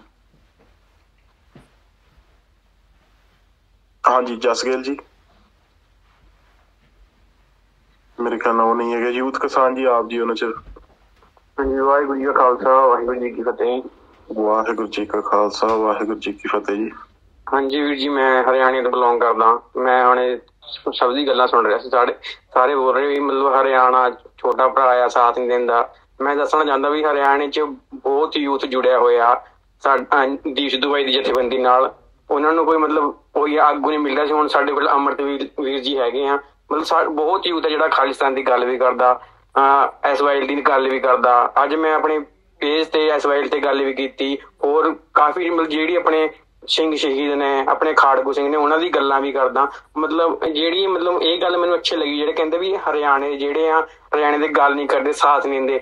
ਹਰਿਆਣੇ ਵਾਲੇ ਬਥੇਰੇ ਮੁੰਡੇ ਆ ਵੀ ਜੀ, ਬਥੇਰੇ ਨੌਜਵਾਨ ਨੇ ਜਿਹੜੇ ਸਾਥ ਦੇਣ ਨੂੰ ਤਿਆਰ ਨੇ। ਉਹਨਾਂ ਬਾਰੇ ਕੀ ਵਿਚਾਰ ਨੇ ਵੀਰ ਜੀ ਦੇ? ਮੈਂ ਪੁੱਛਣਾ ਚਾਹੁੰਦਾ। ਨਹੀਂ, ਦੇਖੋ, ਮੈਂ ਇਹ ਗੱਲ ਪਹਿਲਾਂ ਵੀ ਕਲੀਅਰ ਕੀਤੀ ਆ ਵੀ ਹਰਿਆਣੇ ਦਾ ਬਹੁਤ ਵੱਡਾ ਹਿੱਸਾ ਗੁਰੂ ਮਹਾਰਾਜ ਦੀ ਕਿਰਪਾ ਦੇ ਨਾਲ ਸਿੱਖੀ 'ਚ ਵੀ ਆਊਗਾ। ਤੇ ਖਾਲਿਸਤਾਨ ਦੇ ਸੰਘਰਸ਼ 'ਚ ਵੀ ਜਿਹੜਾ ਵਾ ਬਹੁਤ ਵੱਡਾ ਯੋਗਦਾਨ ਅਦਾ ਕਰੂਗਾ। ਇਹ ਇਸ ਗੱਲ ਲਈ ਮੈਂ ਆਸ ਆ ਮੈਂ ਇਹ ਗੱਲ ਬੜੀ ਬਲੰਟਲੀ ਪਹਿਲਾਂ ਵੀ ਕਹੀ ਸੀ ਕਿ ਪੰਜਾਬ 'ਚ ਇਹ ਨਾ ਇੱਕ ਕੰਪਲੈਕਸ ਇਨਫੀਨਿਟੀ ਕੰਪਲੈਕਸ ਵਾਲੀ ਗੱਲ ਹੋ ਜਾਂਦੀ ਕਈ ਬੰਦਿਆਂ ਨੂੰ। ਪੰਜਾਬ ਦੇ ਵਿੱਚ ਜਿਹੜਾ ਬਹੁਤ ਜਿਹੜੇ ਸੋ ਕਾਲਡ ਐਸਸੀ ਜਾਂ ਦੂਜੀਆਂ ਤਰ੍ਹਾਂ ਨੇ, ਉਹ ਕ੍ਰਿਸਚੀਅਨਿਟੀ 'ਚ ਜਾ ਰਹੇ ਸਿੱਖੀ ਛੱਡ ਕੇ ਕਈ ਬੰਦੇ। ਹਰਿਆਣੇ ਦੇ ਜਾਟ ਜਿਹੜੇ ਉਹ ਸਿੱਖੀ 'ਚ ਆ ਰਹੇ ਆ। ਕਿਉਂਕਿ ਉਹਨਾਂ ਵਾਸਤੇ ਜਿਹੜਾ ਲਕੀਰ ਖਿੱਚਣਾ ਸੌਖਾ ਹੈ ਚੀਜ਼ਾਂ ਦੇ ਪ੍ਰਤੀ, ਉਹਨਾਂ ਕੋਲੇ ਅਣਖ ਗੈਰਤ ਇੱਕ ਹੈਗੀ ਹੈ। ਸੋ ਮੈਂ ਜਿੰਨੇ ਕ ਬੰਦਿਆਂ ਨਾਲ ਗੱਲ ਕੀਤੀ ਹੈ, ਜਿੰਨੇ ਕ ਹਰਿਆਣੇ ਦੇ ਨੌਜਵਾਨ ਜਿਹੜੇ ਕੰਮ ਕਰ ਰਹੇ ਆ, ਮਨੋਜ ਸਿੰਘ ਧਵਾਨ ਹੋਣੀ, ਦੂਜੇ ਤੀਜੇ ਬੰਦੇ ਸਾਰੇ ਜਿਹੜੇ ਆਪਣੇ ਉਥੋਂ ਦੇ ਲੋਕਲ ਕਮਿਊਨਿਟੀਆਂ 'ਚ ਕੰਮ ਕਰ ਰਹੇ ਆ, ਸਿੱਖੀ ਦਾ ਪ੍ਰਚਾਰ ਕਰ ਰਹੇ ਆ। ਇਹ ਬਹੁਤ ਵੱਡੀ ਪੋਸਿਬਿਲਿਟੀ ਆ ਕਿ ਜਿਹੜਾ ਖਾਲਿਸਤਾਨ ਦਾ ਸੰਘਰਸ਼ ਆ, ਉਹਦੇ 'ਚ ਹਰਿਆਣੇ ਦੀ ਜਿਹੜੀ ਪੋਪੂਲੇਸ਼ਨ ਆ ਹਰਿਆਣਾ ਤੇ ਇੱਕ ਜਿੱਦਾਂ ਹੁਣ ਆਪਣਾ ਸ਼ਬਦ ਆ ਗਿਆ ਨਾ, ਇਹਨੂੰ ਐਜ਼ ਅ ਸਟੇਟ ਨਾ ਵੇਖੋ ਤੇ ਪੰਜਾਬ ਦਾ ਹੀ ਪਾਰਟ ਆ। ਉਹਦਾ, ਉਹਦੀ ਜਿਹੜੀ ਪੋਪੂਲੇਸ਼ਨ ਆ ਉਹ ਵੱਡਾ ਰੋਲ ਅਦਾ ਕਰੂਗੀ, ਗੁਰੂ ਮਹਾਰਾਜ ਦੀ ਕਿਰਪਾ ਦੇ ਨਾਲ। ਸੋ ਮੇਰਾ ਤੇ ਬੜਾ ਪੋਜ਼ਿਟਿਵ ਪਾਖਿਆ ਵੀ ਜਿਹੜੀ ਸਾਨੂੰ ਹਰਿਆਣੇ ਦੀ ਜਿਹੜਾ ਖਾਸ ਕਰਕੇ ਜਾਟ ਜਾਟ ਭਾਈਚਾਰਾ, ਹਰਿਆਣੇ ਦਾ, ਉਹਨਾਂ ਦੇ ਨਾਲ ਮਿਲ ਜੁਲ ਕੇ ਵਿਚਾਰ ਕਰਕੇ ਉਹਨਾਂ ਉਹਨਾਂ ਨੂੰ ਮਤਲਬ ਗਾਈਡੈਂਸ ਉਹਨਾਂ ਨੂੰ ਗਾਈਡੈਂਸ ਦੀ ਲੋੜ ਹੈ। ਉਹਨਾਂ ਉਹਨਾਂ ਕੋਲ ਉਹ ਸਿੱਖੀ ਦੇ ਵਿੱਚ ਆਉਣਾ ਚਾਹੁੰਦੇ ਨੇ, ਸਿੱਖੀ ਦੇ ਨਾਲ ਉਹਨਾਂ ਦਾ ਪ੍ਰੇਮ ਵੀ ਹੈ ਤੇ ਇੱਕ ਜਿਹੜਾ ਸਿੱਖੀ ਜਿਸ ਕਿਸਮ ਨਾਲ ਉਹਨੂੰ ਅਕੋਮੋਡੇਟ ਕਰ ਸਕਦੀ, ਹੋਰ ਕੋਈ ਨਹੀਂ ਕਰ ਸਕਦਾ। ਸੋ ਇਸ ਕਰਕੇ ਇਹਦੇ ਬਾਰੇ ਕੋਈ ਨਹੀਂ, ਬਾਅਦ ਚ ਵਿਚਾਰ ਕਰਾਂਗੇ। ਇਹ ਆਮ ਵੈਰੀ ਪੋਜ਼ਿਟਿਵ ਅਬਾਊਟ ਕਿ ਹਰਿਆਣੇ ਦੇ ਜਿਹੜੇ ਨੌਜਵਾਨ ਹੈ, ਖਾਸ ਕਰਕੇ ਦੀਪ ਸਿੱਧੂ ਤੇ ਬਾਅਦ ਚ ਫਿਰ ਸਿੱਧੂ ਮੂਸੇਵਾਲਾ ਤੋਂ ਬਾਅਦ ਫਿਰ ਸੰਤਾਂ ਦੀ ਤਸਵੀਰ ਦੇ ਮਸਲੇ 'ਚ ਬਹੁਤ ਵੱਡਾ ਇੱਕ ਪ੍ਰੋਟੈਸਟ ਸੀ ਤੇ ਹੁਣ ਜਾਟ ਜਿਹੜਾ ਅੰਦੋਲਨ, ਕਿਸਾਨ ਅੰਦੋਲਨ ਦੇ ਵਿੱਚ ਜਾਟਾਂ ਨੇ ਸੰਤਾਂ ਦੀਆਂ ਬਹੁਤ ਤਸਵੀਰਾਂ ਆਪਣੇ ਘਰਾਂ 'ਚ ਵੀ ਲਾਈਆਂ ਜਿਹੜੇ ਭਾਵੇਂ ਬਿਸ਼ੱਕ ਉਹਨਾਂ ਦੇ ਪਿਓ ਦਾਦੇ ਹਿੰਦੂ ਸਨ ਪਰ ਫਿਰ ਵੀ ਉਹਨਾਂ ਨੇ ਇਸ ਪਾਸੇ ਆਉਣ ਦਾ ਜਿਹੜਾ ਤਈਆ ਕੀਤਾ ਸੋ ਉਹਦੇ ਲਈ ਆਪਾਂ ਕੋਈ ਨਹੀਂ ਆਸਮਾਨ ਦੇ ਉਹਦੇ ਬਾਰੇ ਗੱਲਬਾਤ ਕਰਾਂਗੇ। ਹੁਣ ਐਪਲ ਕੌਰ ਆਪਣੇ ਨਾਲ ਦੇ ਉਹਨਾਂ ਦੀ ਗੱਲਬਾਤ ਸੁਣ ਲਈ ਫਿਰ ਅੱਗੇ ਚੱਲਦੇ। ਹਾਂਜੀ ਵਾਹਿਗੁਰੂ ਜੀ ਕਾ ਖਾਲਸਾ ਜੀ ਵਾਹਿਗੁਰੂ ਜੀ ਕੀ ਫਤਿਹ। ਵਾਹਿਗੁਰੂ ਜੀ ਕਾ ਖਾਲਸਾ ਵਾਹਿਗੁਰੂ ਜੀ ਕੀ ਫਤਿਹ। ਮੈਂ ਤੁਹਾਨੂੰ ਦੱਸਣਾ ਚਾਹੁੰਦੀ ਆ ਮੈਂ ਨਾ ਅਸਦੂ ਮੁਸਤਫਾ ਦੇ ਗਾਣਾ ਗਾਣੇ ਜ਼ਿਆਦਾ ਨਹੀਂ ਸੁਨੇ ਲੇਕਿਨ ਜਦੋਂ ਉਹਨਾਂ ਦੀ ਪਾਸਿੰਗ ਹੋਈ um ਮੈਂ ਨਾ 295 ਕਾਫੀ ਸੁਨਿਆ ਤਾਂ ਅੱਜ ਮੈਂ ਪਹਿਲੀ ਵਾਰੀ um just like everybody else ਜਿਹੜਾ ਨਵਾਂ ਗਾਣਾ ਨਿਕਲਿਆ ਮੈਂ ਸੁਨਿਆ and ਮੈਂ ਤੁਹਾਨੂੰ ਦੱਸਣਾ ਚਾਹੁੰਦੀ ਸੀਗੀ ਕੱਲ ਤੋਂ ਪਹਿਲਾਂ ਮੈਨੂੰ ਭਾਈ ਜਠਾਣੇ ਬਾਰੇ ਨਹੀਂ ਪਤਾ ਸੀ and what I think is so powerful about just music um ਖਾਸ ਕਰਕੇ having access to music on YouTube or just sharing it that ਸਾਡੀ ਨਾ consciousness ਬਹੁਤ ਰੇਸ ਹੁੰਦੀ ਹੈ। ਐਂਡ ਮੈਨੂੰ ਲੱਗਦਾ ਹੈ ਜਿੰਨਾ ਜਿੰਨਾ ਮੂਵਮੈਂਟ ਆਜ਼ਾਦੀ ਵਾਸਤੇ 뮤직 ਤੋਂ ਨਿਕਲ ਜਾ ਸਕਦਾ ਹੈ I think it's really good um ਕਈਆਂ ਨੂੰ ਸਿੱਖੀ ਬਾਰੇ ਪਤਾ ਨਹੀਂ ਹੈ, ਕਈਆਂ ਨੂੰ ਪੰਜਾਬ ਦੀ ਸਟਰਗਲ ਬਾਰੇ ਪਤਾ ਨਹੀਂ ਹੈ। ਪਰ ਹਰ ਗਾਣੇ ਵਿੱਚ ਥੋੜਾ ਜਿਹਾ ਜਿਸੀ ਆਰਾਮ ਨਾਲ ਸੁਣੋ, ਸੱਚ ਨਿਕਲਦਾ ਹੈ ਐਂਡ ਦੈਨ ਸਲੋਲੀ ਸਲੋਲੀ ਤੁਹਾਨੂੰ ਨਾ ਪੂਰਾ ਪਤਾ ਲੱਗਦਾ ਲਾਈਕ ਪ੍ਰੋਬਲਮਸ ਪੰਜਾਬ ਵਿੱਚ ਕੀ ਆ। ਸੋ ਮੈਂ ਸਿਰਫ ਇਹ ਗੱਲ ਕਹਿਣਾ ਚਾਹੁੰਦੀ ਸੀ ਜਿੰਨਾ ਮੈਨੂੰ ਪਤਾ, ਜਿੰਨਾ ਮੈਨੂੰ ਨਹੀਂ ਪਤਾ ਸੀਗਾ ਦੋ ਦਿਨ ਪਹਿਲਾਂ, ਉਹਨਾਂ ਮੈਨੂੰ ਜ਼ਿਆਦਾ ਨੌਲੇਜ ਆ ਗਈ। ਹੁਣ ਸਿਰਫ ਇੱਕ ਗਾਣੇ ਸੁਣ ਕੇ। So I think I think there's so much power in music and art, and ਜੋ ਉਹਨਾਂ ਨੇ ਗੱਲ ਕੀਤੀ ਆ, ਬਹੁਤ ਅੱਛੀ ਕੀਤੀ ਆ, and I don't even think ਭਾਈ ਜਠਾਨ ਨੇ ਨੂੰ ਸ਼ਾਇਦ ਪਤਾ ਹੋਗਾ ਮੇਰੀ ਲੈਗੇਸੀ ਅੱਜ ਤੱਕ ਲਾਈਕ ਲੋਕ ਗੱਲਾਂ ਕਰ ਰਹੇ ਹੋਣ। So thank you for hosting this space ਤੇ ਇਹ ਜਿਹੜਾ ਡਿਸਕੋਰਸ ਹੈ ਨਾ ਇਹਦੇ ਬਾਰੇ ਗੱਲ ਲਾਈਕ ਹੋਣੀ ਚਾਹੀਦੀ ਹੈ ਤੇ ਇਹ ਗੱਲ ਖਤਮ ਕਦੀ ਹੋਣੀ ਨਹੀਂ ਚਾਹੀਦੀ। ਹਾਂਜੀ ਬਹੁਤ ਬਹੁਤ ਧੰਨਵਾਦ ਜੀ।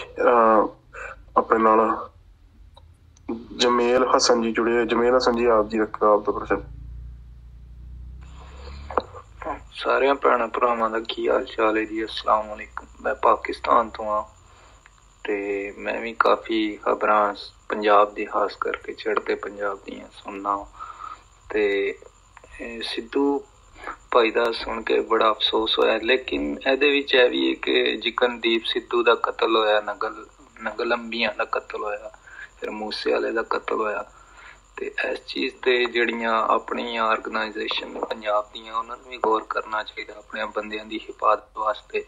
ਵੇਖੋ ਨਾ ਕਿ ਏਜੰਸੀਆਂ ਹੀ ਸਭ ਕੁਝ ਕਰ ਰਹੀਆਂ ਨੇ ਤੇ ਆਪਣੇ ਹੱਕਾਂ ਵਾਸਤੇ ਜਿਹੜਾ ਵੀ ਬੋਲਦਾ ਅੱਜ ਤੱਕ ਪੰਜਾਬ ਦੀ ਤਾਰੀਖ ਹੈ ਕਿ ਉਹਨੂੰ ਮਾਰ ਦਿੱਤਾ ਗਿਆ ਤੇ ਇਸ ਤੋਂ ਜ਼ਿਆਦਾ ਕੰਮ ਹੋਣਾ ਚਾਹੀਦਾ ਸਭ ਤੋਂ ਪਹਿਲੇ ਤੇ ਹਿਫਾਜ਼ਤ ਹੈ ਨਾ, ਜਿਹੜਾ ਉੱਠਦਾ ਉਹਨੂੰ ਮਾਰ ਦਿੱਤਾ ਜਾਂਦਾ ਤੇ ਇਹ ਜਿਹੜਾ ਹੁਣ ਗਾਣਾ ਆਇਆ, ਇਹ ਅੱਖ ਤੇ ਬੋਲਣੇ ਦਾ ਤੇ ਇੱਕ ਕੰਮ ਹੋਣਾ ਚਾਹੀਦਾ, ਜ਼ਿਆਦਾ ਤੋਂ ਜ਼ਿਆਦਾ ਆਪਣੇ ਬੰਦਿਆਂ ਦੀ ਹਿਫਾਜ਼ਤ ਬਹੁਤ ਜ਼ਰੂਰੀ ਹੈ। ਮੈਂ ਹੀ ਗੱਲ ਕਰਨਾ ਚਾਹੁੰਦਾ ਸੀ। ਹਾਂਜੀ, ਬਹੁਤ ਬਹੁਤ ਮਿਹਰਬਾਨੀ ਜੀ। ਦੇਖੋ, ਇੱਕ ਦੋ ਚੀਜ਼ਾਂ ਹੈ ਇੱਕ ਤੇ ਹਿਫਾਜ਼ਤ ਜਿਹੜੀ ਹੈ ਉਹ ਹਰ ਥਾਂ ਤੇ ਪੋਸੀਬਲ ਨਹੀਂ ਕਿਉਂਕਿ ਸਟੇਟ ਕੋਲ ਜਿਹੜੀ ਜਿੰਨੇ ਰਿਸੋਰਸਸ ਨੇ, ਹਾਂ, ਤੁਹਾਡੇ ਕੋਲ ਦੋ ਰਾਹ ਹੁੰਦੇ ਨੇ ਇਸ ਮੌਕੇ ਦੇ ਉੱਤੇ, ਵੀ ਤੁਸੀਂ ਜਾਂ ਤੇ ਚੁੱਪ ਕਰ ਜਾਓ, ਤੇ ਜਾਂ ਫਿਰ ਤੁਸੀਂ ਜਿੰਨਾ ਤੁਹਾਡੇ ਕੋਲ ਟਾਈਮ ਹੈਗਾ, ਉਹਦੇ ਚ ਵੀ ਬਾਕੀ ਨਾਲ ਆਪਣੀ ਗੱਲ ਕਰੋ। ਤੇ ਮੇਰੇ ਖਿਆਲ ਨਾਲ ਦੂਜਾ ਤਰੀਕਾ ਜਿਹੜਾ ਵਾ, ਉਹ ਵਧੀਆ, ਕਿਉਂਕਿ ਖਤਰਾ ਤੇ ਤੁਹਾਨੂੰ ਕਿਤੇ ਵੀ ਹੋ ਸਕਦਾ ਉਹ ਤੇ ਪਾਣੀ ਦੇ ਬਚਨ ਹੈ ਵੀ ਜਿਨਕੀ ਚੀਰੀ ਦਰਗੇ ਪਾਰਟੀ ਤਿੰਨਾ ਮਰਣਾ ਭਾਈ। ਜਿਨ੍ਹਾਂ ਦਾ ਤੋਂ ਹੁਕਮ ਆ ਗਿਆ ਤੇ ਉਹਨਾਂ ਨੇ ਤੇ ਫਿਰ ਉਹਨਾਂ ਨੂੰ ਕੋਈ ਨਹੀਂ ਬਚਾ ਸਕਦਾ, ਜਿਨ੍ਹਾਂ ਦੀ ਵਧੀ ਹੈ। ਅਹ ਸਾਹਿਬ ਡਾਢਾ ਹੋਵੇ ਤੇ ਸਾਨੂੰ ਮਾਰ ਨਾ ਸਕੇ ਕੋਈ। ਸੋ ਗੁਰੂ ਸਾਹਿਬ ਤੇ ਹੁਕਮਾਂ 'ਚ ਹੀ ਸਾਰਾ ਕੁਝ ਹੋਣਾ ਹੈ। ਪਰਮਾਤਮਾ ਦੇ ਹੁਕਮਾਂ 'ਚ ਹੀ ਚੱਲਣਾ ਸਾਰਾ ਕੁਝ। ਸੋ ਕੋਸ਼ਿਸ਼ ਤੇ ਹੋਣੀ ਚਾਹੀਦੀ ਹੈ ਜਿਹੜਾ ਵੀ ਬੰਦਾ ਲੀਡ ਕਰ ਰਿਹਾ ਉਹਨੂੰ ਜੋ ਸੇਫਟੀ ਪ੍ਰੋਵਾਈਡ ਕਰਨ ਦੀ ਇੱਕ ਜਿਹੜੀ ਰਿਕੁਆਇਰਮੈਂਟ ਹੈ, ਜਾਂ ਕੋਸ਼ਿਸ਼ ਉਹ ਕਰਨੀ ਚਾਹੀਦੀ ਹੈ ਸਾਨੂੰ। ਬਟ ਫਿਰ ਵੀ ਬਹੁਤ ਕੁਝ ਨਹੀਂ ਵੀ ਕੀਤਾ ਜਾ ਸਕਦਾ। ਦੂਜੀ ਗੱਲ ਮੈਂ ਇੱਥੇ ਡਿਸਕਸ ਕਰਨੀ ਹੈ ਵੀ ਸਾਨੂੰ ਇੱਕ ਨਾ ਮੈਂ ਇਹਦੇ ਬਾਰੇ ਸੋਚਦਾ ਸੀ ਵੀ ਜਿਹੜੀ ਸਕਸੈਸ ਹੈ ਇਸ ਇੰਡਸਟਰੀ ਦੇ ਵਿੱਚ 뮤직 ਇੰਡਸਟਰੀ ਦੇ ਵਿੱਚ, ਉਹਦੇ ਬਾਰੇ ਸਾਨੂੰ ਇੱਕ ਪੈਰਾਮੀਟਰ ਜਿਹੜਾ ਵਾ ਨਵਾਂ ਵੇਖਣ ਦੀ ਲੋੜ ਹੈ। ਉਹ ਇਹ ਆ ਵੀ ਜਦੋਂ ਆਪਾਂ ਕਿਸੇ ਕਲਾਕਾਰ ਨੂੰ ਜਾਂ ਕਿਸੇ ਸਿੰਗਰ ਨੂੰ, ਕਿਸੇ ਐਕਟਰ ਨੂੰ ਪੰਥਕ ਪਾਸੇ ਅਹ, ਜਾਣ ਵੱਲ ਕਹਿੰਦੇ ਆ ਜਾਂ ਫੋਰਸ ਕਰਦੇ ਆ ਜਾਂ ਕਿਸੇ ਵੀ ਤਰੀਕੇ ਨਾਲ ਸਾਡਾ ਰਾਈਟ ਵੀ ਹੈਗਾ ਉਹਨਾਂ ਨੂੰ ਗੱਲ ਕਰਨ ਦਾ। ਤੇ ਉਹਦੇ ਨਾਲ ਨਾ ਉਹਨਾਂ ਦਾ ਜਿਹੜਾ ਜਿਹੜਾ ਕੈਰੀਅਰ ਹੈ ਉਹ ਦਾਅ ਤੇ ਲੱਗ ਜਾਂਦਾ ਹੈ। ਸੋ ਇਨਸਟੈਡ ਆਫ ਕਿ ਆਪਾਂ ਉਹਨਾਂ ਨੂੰ ਇੱਕ ਐਕਸਪੋਜ਼ ਕਰ ਦਈਏ ਮਤਲਬ ਸਾਰਿਆਂ ਦੇ ਸਾਹਮਣੇ ਵੀ ਇਹ ਬੰਦੇ ਪ੍ਰੋ ਪੰਥਕ ਆ ਸਾਨੂੰ ਉਹਨਾਂ ਨੂੰ ਥੋੜੀ ਜਿਹੀ ਵਾਈਡਰ ਬਾਉਂਡਰੀਜ਼ ਦੇਣੀ ਚਾਹੀਦੀਆਂ ਵੀ ਉਹ ਆਪਣਾ ਕੰਮ ਵੀ ਕਰਦੇ ਰਹਿਣ ਕਮਰਸ਼ੀਅਲ ਚੀਜ਼ਾਂ ਵੀ ਕਰਦੇ ਰਹਿਣ ਕਿਉਂਕਿ ਦੇਖੋ ਪੋਪੂਲੇਸ਼ਨ ਓਵਰਨਾਈਟ ਬਦਲ ਨਹੀਂ ਸਕਦੀ। ਸੋ ਜੇ ਉਹ ਪੋਪੂਲੇਸ਼ਨ ਜਿਹੜੀ ਮੈਂਟੈਲਿਟੀ 'ਚ ਤੁਰੀ ਫਿਰਦੀ ਹੈ, ਉਹਦੇ ਆਪੋਜ਼ਿਟ ਕੰਟੈਂਟ ਦੇਣਾ ਸ਼ੁਰੂ ਕਰ ਦੇਣਗੇ ਤਾਂ ਇਰੈਲੇਵੈਂਟ ਹੋ ਜਾਣਗੇ ਮੌਕੇ ਦੇ ਉੱਤੇ ਉਹਨਾਂ ਨੂੰ ਕੋਈ ਸੁਣੂਗਾ ਨਹੀਂ 10-15 ਦਿਨ ਤੋਂ ਬਾਅਦ। ਸੋ ਅਸੀਂ ਇਹ ਸੋਚੀਏ ਵੀ ਜਿਹੜੇ ਤਰੀਕੇ ਨਾਲ ਸਾਨੂੰ ਕਰਪਟ ਕੀਤਾ ਗਿਆ ਤੇ ਉਤੋਂ ਅਸੀਂ ਜਦੋਂ ਰਿਵਰਸ ਕਰਨਾ ਚੀਜ਼ਾਂ ਨੂੰ, ਉਸੇ ਪੇਸ ਨਾਲ ਆਈਏ। ਉਹਨਾਂ ਨੇ ਇਹ ਨਹੀਂ ਹੋਇਆ ਸੀ ਵੀ ਗੁਰਦਾਸ ਮਾਨ ਨੇ ਸਾਰੇ ਗਾਣੇ ਆਣ ਕੇ ਜਿਹੜੇ ਸੀ ਉਹ ਸ਼ਰਾਬ ਵਾਲੇ ਗਾਤੇ ਇਦਾਂ ਨਹੀਂ ਹੁੰਦਾ ਕਦੇ ਵੀ। ਉਹਨਾਂ ਨੇ ਬਹੁਤ ਸਲੋਲੀ ਇੱਕ ਤੇ ਕੰਮ ਕੀਤਾ। ਸਾਨੂੰ ਵੀ ਜਿਹੜੇ ਮੁੰਡੇ ਨੌਜਵਾਨ ਸਿੰਗਰ ਹੈ ਜਿਹੜੇ ਕਮਰਸ਼ੀਅਲੀ ਬਹੁਤ ਸਕਸੈਸਫੁਲ ਹੈ। ਇਨਸਟੈਡ ਵੀ ਆਪਾਂ ਉਹਨਾਂ ਨੂੰ ਜਿਹੜਾ ਵਾ ਇਹ ਕਹੀਏ ਵੀ ਤੁਸੀਂ ਇਦਾਂ ਹੀ ਕਰੋ। ਆਪਾਂ ਉਹਨਾਂ ਨੂੰ ਇੱਕ ਆਊਟਰ ਬਾਉਂਡਰੀਜ਼ ਡਿਫਾਈਨ ਕਰ ਦਈਏ ਵੀ ਤੁਸੀਂ ਆਹ ਕੰਮ ਨਹੀਂ ਕਰ ਸਕਦੇ। ਮਤਲਬ ਬਾਕੀ ਇਹਦੇ ਅੰਦਰ ਅੰਦਰ ਤੁਸੀਂ ਚਲੋ ਕਰੀ ਜਾਓ। ਇਹ ਬੇਸਿਕ ਮਿਨੀਮਮ ਰਿਕੁਆਇਰਮੈਂਟਸ ਉਹਨਾਂ ਨੂੰ ਡਿਫਾਈਨ ਕਰੀਏ ਸਾਰਿਆਂ ਨੂੰ ਵੀ ਆਹ ਕੰਮ ਤੁਸੀਂ ਨਾ ਕਰੋ ਤੇ ਚੰਗੀ ਗੱਲ ਹੈ। ਉਹਦੇ ਨਾਲ ਫਾਇਦਾ ਆਪਾਂ ਨੂੰ ਕੀ ਹੋਊਗਾ ਵੀ ਅਹ, ਉਹ ਉਹਨਾਂ ਦਾ ਜਿਹੜਾ ਕਮਰਸ਼ੀਅਲ ਕਿਉਂਕਿ ਉਹ ਕਮ- ਦੇਖੋ ਜਦੋਂ ਕਮਰਸ਼ੀਅਲ ਐਸਪੈਕਟ ਮਰੂਗਾ, ਉਹ ਤੇ ਖੁਦ ਨਹੀਂ ਸਰਵਾਈਵ ਕਰ ਸਕਣਗੇ, ਪੰਥ ਦੀ ਗੱਲ ਉਹਨਾਂ ਕਿੱਥੋਂ ਕਰਨੀ ਫਿਰ? ਜੇ ਕਰੂਗੇ ਤੇ ਸੁਣਨ, ਸੁਣੂਗਾ ਨਹੀਂ ਕੋਈ ਵੀ, ਹਨਾ? ਉਹ ਵੀ ਉਹਨਾਂ ਦਾ ਬਚਿਆ ਰਵੇ ਕਮਰਸ਼ੀਅਲ ਜਿਹੜਾ ਐਸਪੈਕਟ ਹੈ ਚੀਜ਼ਾਂ ਦੇ ਪ੍ਰਤੀ। ਤੇ ਦੂਜੀ ਗੱਲ ਆ ਵੀ ਉਹਦੇ ਨਾਲ ਦੀ ਨਾਲ ਉਹਨਾਂ ਦਾ ਇਨਫਲੂਐਂਸ ਵੀ ਤਾਂ ਹੀ ਰਹਿ ਸਕਦਾ ਜਿਹੜੀ ਆਪਾਂ ਉਸ ਪੋਪੂਲੇਸ਼ਨ ਨਾਲ ਡੀਲ ਕਰਦੇ ਹਾਂ, ਜਿਹੜੀ ਇੰਡੀਅਨ ਸਟੇਟ ਨੇ ਬਹੁਤ ਲੰਮਾ ਸਮਾਂ ਚ ਕਰਪਟ ਕੀਤੀ ਹੋਈ ਹੈ ਆਲਰੇਡੀ ਕਰਪਟਡ ਹੈ। ਸੋ ਜਿਹੜੀ ਆਲਰੇਡੀ ਕਰਪਟਡ ਪੋਪੂਲੇਸ਼ਨ ਹੈ ਉਹਨੂੰ ਤੁਸੀਂ ਜਦੋਂ ਪ੍ਰਤੱਖ ਸੱਚ ਲਿਆ ਕੇ ਉਹਨਾਂ ਦੇ ਸਾਹਮਣੇ ਰੱਖੋਗੇ ਤੇ ਉਹ ਸ਼ਾਇਦ ਡਿਨਾਈ ਕਰ ਦੇਣ ਟੋਟਲੀ ਮਤਲਬ ਉਹ, ਉਹਦੇ ਪ੍ਰਤੀ ਉਹ, ਉਹਨੂੰ ਕਹਿਣ ਵੀ ਨਹੀਂ, ਇਹ ਇਹ ਅਸੀਂ ਉਹ ਬੰਦੇ ਨੂੰ ਨੈਗਲੈਕਟ ਕਰ ਦੇਣ ਵੀ ਇਹ ਬੰਦਾ ਨਹੀਂ ਠੀਕ ਹੈਗਾ। ਸੋ ਉਹਨਾਂ ਨੂੰ ਥੋੜਾ ਥੋੜਾ ਹੌਲੀ ਹੌਲੀ ਚੇਂਜ ਕਰਨ ਦਾ ਜਿਹੜਾ ਪ੍ਰੋਸੈਸ ਹੈ, ਉਹ ਉਹਦੇ ਵੱਲ ਵਧਣਾ ਚਾਹੀਦਾ ਜਿਹੜੇ ਕੋਈ ਕਲਾਕਾਰ, ਜਿਹੜੇ ਕੌਮ ਦੀ ਗੱਲ ਕਰਦੇ ਆ ਕਦੇ ਕਦੇ ਐਪਰੀਸ਼ੀਏਟ ਵੀ ਕਰਨਾ ਚਾਹੀਦਾ ਉਹਨਾਂ ਨੂੰ। ਦੂਜੀ ਗੱਲ ਹੈ ਵੀ ਉਹਨਾਂ ਨੂੰ ਇਹ ਨਹੀਂ ਹੈਗਾ ਵੀ ਅੱਜ ਉਹਨਾਂ ਨੇ ਕਿਤੇ 84 ਦੇ ਗੀਤ ਗਾਤਾ ਤੇ ਕੱਲ ਨੂੰ ਕਿਤੇ ਉਹ ਕੋਈ ਵੈਸੇ ਕਮਰਸ਼ੀਅਲੀ ਕੋਈ ਫਨੀ ਕੋਈ ਕਮੇਡੀ ਗੱਲ ਕਰ ਰਹੇ ਆ ਤੇ ਉਹਨਾਂ ਨੂੰ ਉਸ ਗੱਲ ਤੇ ਗ੍ਰਿਲ ਨਹੀਂ ਕਰਨਾ ਚਾਹੀਦਾ। ਮਤਲਬ ਮੈਨੂੰ ਵੀ ਪਹਿਲਾਂ ਹੋ ਸਕਦਾ ਲੱਗਦਾ ਰਿਹਾ ਹੋਵੇ ਵੀ ਇਦਾਂ ਪਰ ਮੈਂ ਇਹ ਸੋਚਦਾ ਵੀ ਜੇ ਉਹਨਾਂ ਨੂੰ ਤੁਸੀਂ ਇਹ ਸਪੇਸ ਨਹੀਂ ਦਿੱਤੀ, ਜਿਹਦੇ ਚੋਂ ਆਪਣਾ ਕਮਰਸ਼ੀਅਲ ਜਾਂ ਈਵਨ ਜਿਹੜੀ ਮਤਲਬ ਇੱਕ ਆਮ ਮਾਸਿਸ ਨੂੰ ਅਪੀਲ ਕਰਦੀ ਚੀਜ਼ ਆ, ਉਹ ਰੱਖ ਸਕਣ ਤੇ ਤੁਹਾਡਾ ਇਹ ਕੰਟੈਂਟ ਵੀ ਇਰਰੈਲੇਵੈਂਟ ਬਣ ਜਾਊਗਾ।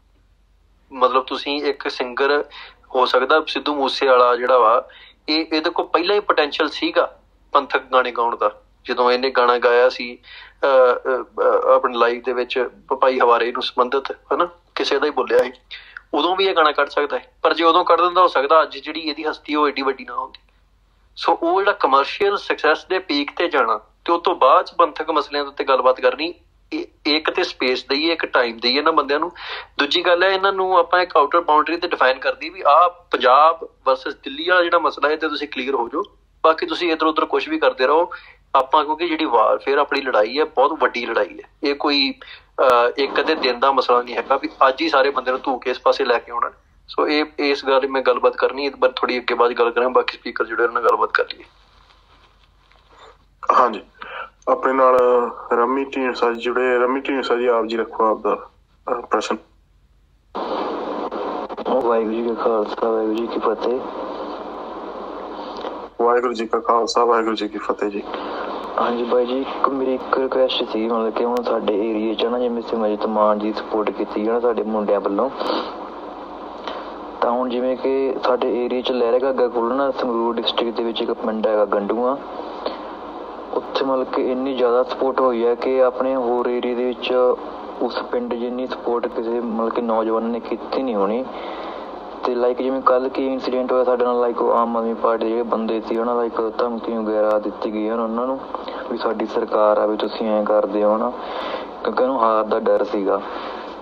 ਤੇ ਉਦੋਂ ਤਾਂ ਚਲੋ ਮੁੰਡਿਆਂ ਨੇ ਗੱਲ ਬੋਚ ਲਈ ਬਟ ਹੁਣ ਉਹ ਮੁੰਡੇ ਇਹ ਕਹਿੰਦੇ ਸੀ ਸਾਰੇ ਇਕੱਠੇ ਹੋ ਕੇ ਵੀ ਜਾਂ ਤਾਂ ਸਾਨੂੰ ਕਿਸੇ ਟੀਮ ਵਿੱਚ ਜੁਆਇਨ ਕੀਤਾ ਜਾਵੇ ਲਾਈਕ ਜਿਵੇਂ ਭਾਰਤ ਪੰਜਾਬ ਦੀ ਜਥੇਬੰਦੀ ਬਣੀ ਹੋਈ ਹੈਗੀ ਜਾਂ ਕੁਝ ਹੋਰ ਮਤਲਬ ਕਿ ਸਿਸਟਮ ਕੀਤਾ ਜਾਵੇ ਲਾਈਕ ਕੱਲ ਤੋਂ ਵੀ ਕਿਉਂਕਿ ਅਸੀਂ ਹੁਣ ਜੁੜੇ ਹੋਏ ਆ ਵੀ ਕੱਲ ਨੂੰ ਇਹ ਨਾ ਹੋਵੇ ਨਾ ਵੀ ਸਾਡੇ ਤੇ ਦਬਾਅ ਪਾ ਕੇ ਸਾਨੂੰ ਕੁਝ ਕੀਤਾ ਜਾਵੇ, ਨਾ ਵੀ ਸਾਡੇ ਕੋਈ ਮਗਰ ਖੜਨ ਵਾਲਾ ਨਾ ਹੋਵੇ।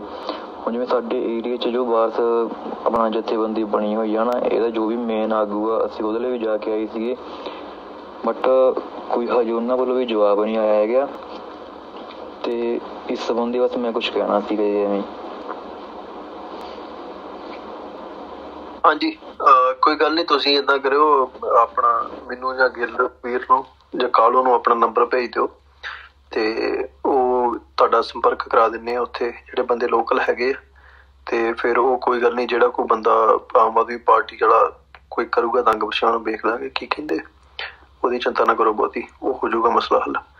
ਤੇ ਠੀਕ ਹੈ ਜੀ ਬਾਈ ਜੀ ਧੰਨਵਾਦ।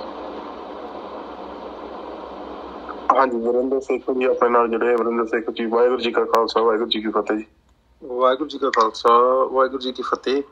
ਬਾਈ ਜੀ ਜਿਹੜੇ ਲਹਿਰੇ ਕਾਗੀ ਵਾਲੇ ਵੀਰ ਨੇ ਕਹੀ ਆ ਗੱਲ। ਬਾਈ ਜੀ ਕੋਈ ਗੱਲ ਨਹੀਂ ਤੁਸੀਂ ਮੇਰਾ ਨੰਬਰ ਵੀ ਰੱਖ ਲਿਓ। ਬਾਈ ਅੰਮ੍ਰਿਤਪਾਲ ਵੀਰ ਉਹਨਾਂ ਨੇ ਵੀ ਤੁਹਾਨੂੰ ਦੱਸ ਦਿੱਤਾ ਹੈ। ਉਧਰ ਵੀ ਵਾਰਸ ਪੰਜਾਬ ਦੇ ਹੈਗੇ ਜਿਹੜਾ ਤੁਹਾਡੇ ਸੰਪਰਕ ਵਿੱਚ ਉਹਨਾਂ ਨਾਲ ਗੱਲ ਕਰ ਦਿਓ। ਤੁਹਾਨੂੰ ਕੋਈ ਵੀ ਆਂਚ ਆਉਂਦੀ ਆ ਕੋਈ ਵੀ ਗੱਲ ਕਰਦਾ ਰਾਤ ਨੂੰ ਐਨੀ ਟਾਈਮ ਕਾਲ ਕਰ ਸਕਦੇ ਹੋ ਮੇਰੇ ਨੰਬਰ ਤੇ 12 ਵਜੇ 2 ਵਜੇ 3 ਵਜੇ। ਤੁਹਾਡੇ ਨਾਲ ਖੜੇ ਆ ਪੂਰੀ ਸਪੋਰਟ ਆ।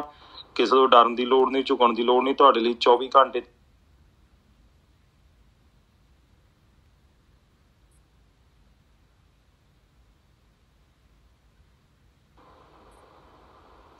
ਹਾਂਜੀ ਵੀਰ ਜੀ ਆਪਦਾ ਮਾਈਕ ਬੰਦ ਕਰੋ ਜੀ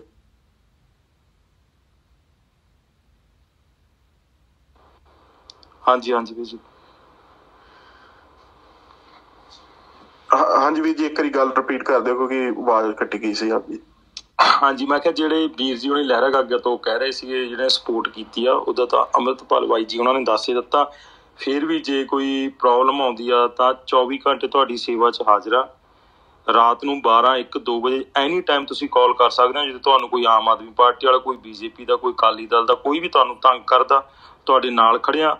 ਤੁਸੀਂ ਕੌਮ ਦੀ ਜਿਹੜੀ ਸੇਵਾ ਦੇ ਵਿੱਚ ਡਟੇ ਹੋਏ ਹੋ, ਅਸੀਂ ਤੁਹਾਡੇ ਨਾਲ ਖੜਿਆ। ਐਨੀ ਟਾਈਮ ਤੁਸੀਂ ਕਾਲ ਕਰ ਸਕਦੇ ਹੋ। ਬਾਅਦ ਦੇ ਵਿੱਚ ਤੁਸੀਂ ਮੇਰਾ ਨੰਬਰ ਵੀ ਮੈਂ ਤੁਹਾਨੂੰ ਦੇ ਦੂੰਗਾ ਪਰਸਨਲੀ ਮੈਂ ਮੈਸੇਜ ਕਰ ਦਿੰਦਾ।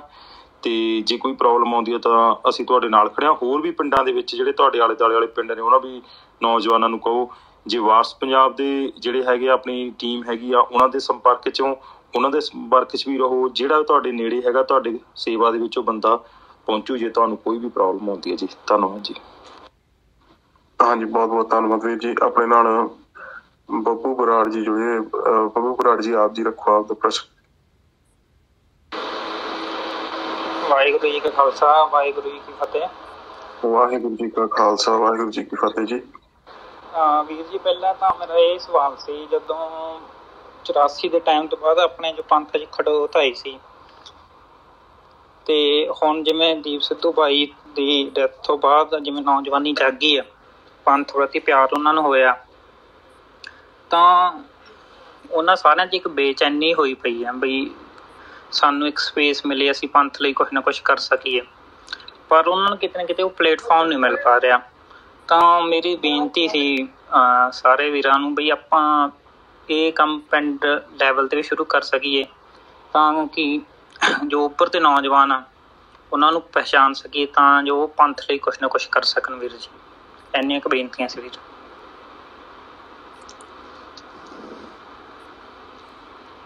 ਹਾਂਜੀ, ਕੋਈ ਨਹੀਂ ਜ਼ਰੂਰ ਇਸ ਮਸਲੇ ਦੇ ਉੱਤੇ ਵੀ ਅੱਜ ਦੀ ਸਪੇਸ ਤੇ ਚਲੋ ਟੌਪਿਕ ਹੋਰ ਹੈ, ਪਰ ਫਿਰ ਵੀ ਜਿਹੜੇ ਨੌਜਵਾਨ ਕੁਝ ਕਰ ਸਕਦੇ ਆ, ਉਹਨਾਂ ਨੂੰ ਅੱਗੇ ਆਉਣਾ ਚਾਹੀਦਾ ਉਹਨਾਂ ਨੂੰ ਜਿਹੜੀ ਕੋਈ ਪਲੇਟਫਾਰਮ ਦੀ ਲੋੜ ਹੋਊਗੀ, ਕੋਸ਼ਿਸ਼ ਕਰਾਂਗੇ ਆਪਾਂ ਪ੍ਰੋਵਾਈਡ ਕਰਨ ਦੀ। ਬਾਕੀ ਸ਼੍ਰੋਮਣੀ ਅਕਾਲੀ ਦਲ ਅੰਮ੍ਰਿਤਸਰ, ਜਿਹੜੇ ਬੰਦੇ ਰਾਜਨੀਤੀ 'ਚ ਜਾਣਾ ਚਾਹੁੰਦੇ ਆ ਥੋੜਾ ਬਹੁਤ ਪੋਟੈਂਸ਼ੀਅਲ ਰੱਖਦੇ ਆ, ਉਹਨਾਂ ਨੂੰ ਜੁੜਨਾ ਚਾਹੀਦਾ ਵੱਧ ਤੋਂ ਵੱਧ, ਕਿਉਂਕਿ ਪੰਜਾਬ ਦੀ ਜਿਹੜੀ ਪੰਥਕ ਪਾਰਟੀ ਹੈ, ਜਿਹੜੇ ਜਿਹੜੀ ਇਲੈਕਟਰਲ ਪੋਲਿਟਿਕਸ ਦੇ ਵਿੱਚ ਕਰ ਰਹੀ ਹੈ ਕੰਮ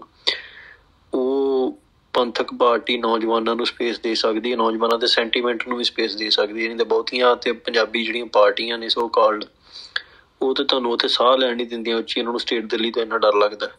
ਸੋ ਇਹ ਹੋਈ ਆ ਵੀ ਸਰਦਾਰ ਸਿਮਰਜੀਤ ਸਿੰਘ ਮਾਨ ਦਾ ਜੀਵਨ ਤੇ ਜਿਹੜੀ ਇਹ ਪਾਰਟੀ ਹੈ, ਜਿਹੜਾ ਇਹਦਾ ਉਭਾਰ ਆਇਆ ਹੈ, ਗੁਰੂ ਮਹਾਰਾਜ ਕਿਰਪਾ ਕਰਨ ਜਿਹੜੀ ਇਹ ਸੀਟ ਇਹਨਾਂ ਨੂੰ ਮਿਲੇ ਤੇ ਉਸ ਤੋਂ ਬਾਅਦ ਚ ਜਿਹੜੀ ਪੰਥਕ ਧਿਰਿਆ ਜਿਹੜੀ ਖੜੀ ਕਰਨ ਲਈ ਪਿੰਡੋਂ ਪਿੰਡ ਸਟਰਕਚਰ ਖੜਾ ਕੀਤਾ ਜਾਵੇ, ਜਿਹੜੇ ਬੰਦੇ ਨੇ ਪੋਲਿਟਿਕਸ ਕਰਨੀ ਹੈ, ਉਹ ਕੋਈ ਗੁਨਾਹ ਵਾਲੀ ਗੱਲ ਨਹੀਂ, ਵਧੀਆ ਗੱਲ ਹੈ, ਕਿਉਂਕਿ ਸਾਡੇ ਜਿੰਨੇ ਆਗੂ ਸਾਡੀ ਨੌਜਵਾਨ ਹੋਣਗੇ, ਮਿੱਟੀ ਨਾਲ ਜੁੜੇ ਹੋਣਗੇ, ਪੰਥਕ ਹੋਣਗੇ, ਉਹ ਜਦੋਂ ਅੱਗੇ ਆਉਣਗੇ ਤੇ ਪੰਜਾਬ ਦਾ ਉਹਨਾਂ ਹੀ ਭਲਾ ਹੋ ਸਕਦਾ ਹੈ।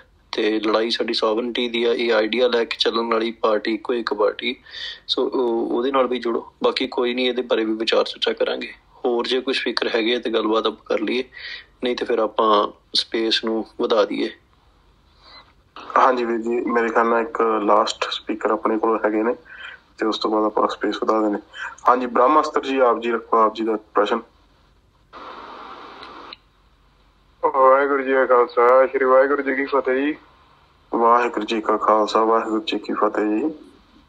ਵੀਰ ਮੈਂ ਗੱਲ ਇਹੀ ਕਰਨੀ ਸੀ ਵੀ ਵੇਖੋ ਸਿੱਧੂ ਅੱਜ ਆਪਣੇ ਵਿੱਚ ਨਹੀਂ ਹੈਗਾ ਹਨਾ ਆਪਾਂ ਇਸ ਚੀਜ਼ ਨੂੰ ਕਹਿ ਰਹੇ ਹਾਂ।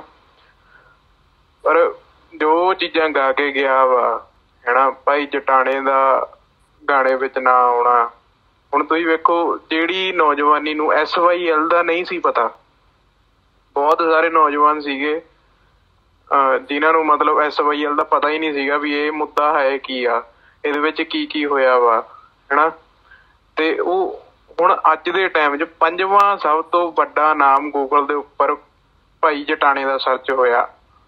ਉਦੋਂ ਨਾਮ ਤੋਂ ਜਿੱਦਣ ਰਿਵੀਲ ਹੋਇਆ ਉਦੋਂ ਤੋਂ ਲੈ ਕੇ ਹੁਣ ਤੱਕ ਇੰਡੀਆ ਦੇ ਵਿੱਚ ਭਾਈ ਜਟਾਣਾ ਜੀ ਦਾ ਨਾਮ ਪੰਜਵੇਂ ਨੰਬਰ ਤੇ ਆਇਆ ਮੈਕਸ ਸਰਚਾਂ ਦੇ ਵਿੱਚ। ਤੇ ਤੁਸੀਂ ਦੇਖੋ ਵੀ ਇੱਕ ਕਿੰਨਾ ਜ਼ਿਆਦਾ ਪ੍ਰਭਾਵ ਪੈਂਦਾ ਇਸ ਚੀਜ਼ ਦਾ, ਜਦੋਂ ਇੱਕ ਇਹੋ ਜੀ ਹਸਤੀ, ਹੁਣ ਸਿੱਧੂ ਜਿਹੜੇ ਮਕਾਮ ਤੇ ਸੀਗਾ, ਉਹਦਾ ਚਲੇ ਜਾਣਾ ਬਹੁਤ ਵੱਡਾ ਘਾਟਾ ਆ। ਜੇ ਅਸੀਂ ਇਸ ਚੀਜ਼ ਨੂੰ ਇੱਕ ਲਾਈਟਲੀ ਮੰਨ ਲਈਏ ਤਾਂ ਇਹ ਬਹੁਤ ਹਨਾ ਵੀ ਇੱਕ ਛੋਟੀ ਗੱਲ ਆ, ਪਰ ਜਿਹੜਾ ਉਹਦਾ ਇਸ ਮੁਕਾਮ ਤੇ ਜਾਣਾ ਨਾ, ਇਹ ਬਹੁਤ ਘਾਟਾ ਸਾਡੇ ਲਈ, ਜੇ ਉਹ ਜਿਉਂਦਾ ਹੁੰਦਾ ਅੱਜ, ਤੇ ਉਹ ਇਹ ਗਾਣਾ ਕੱਢਦਾ।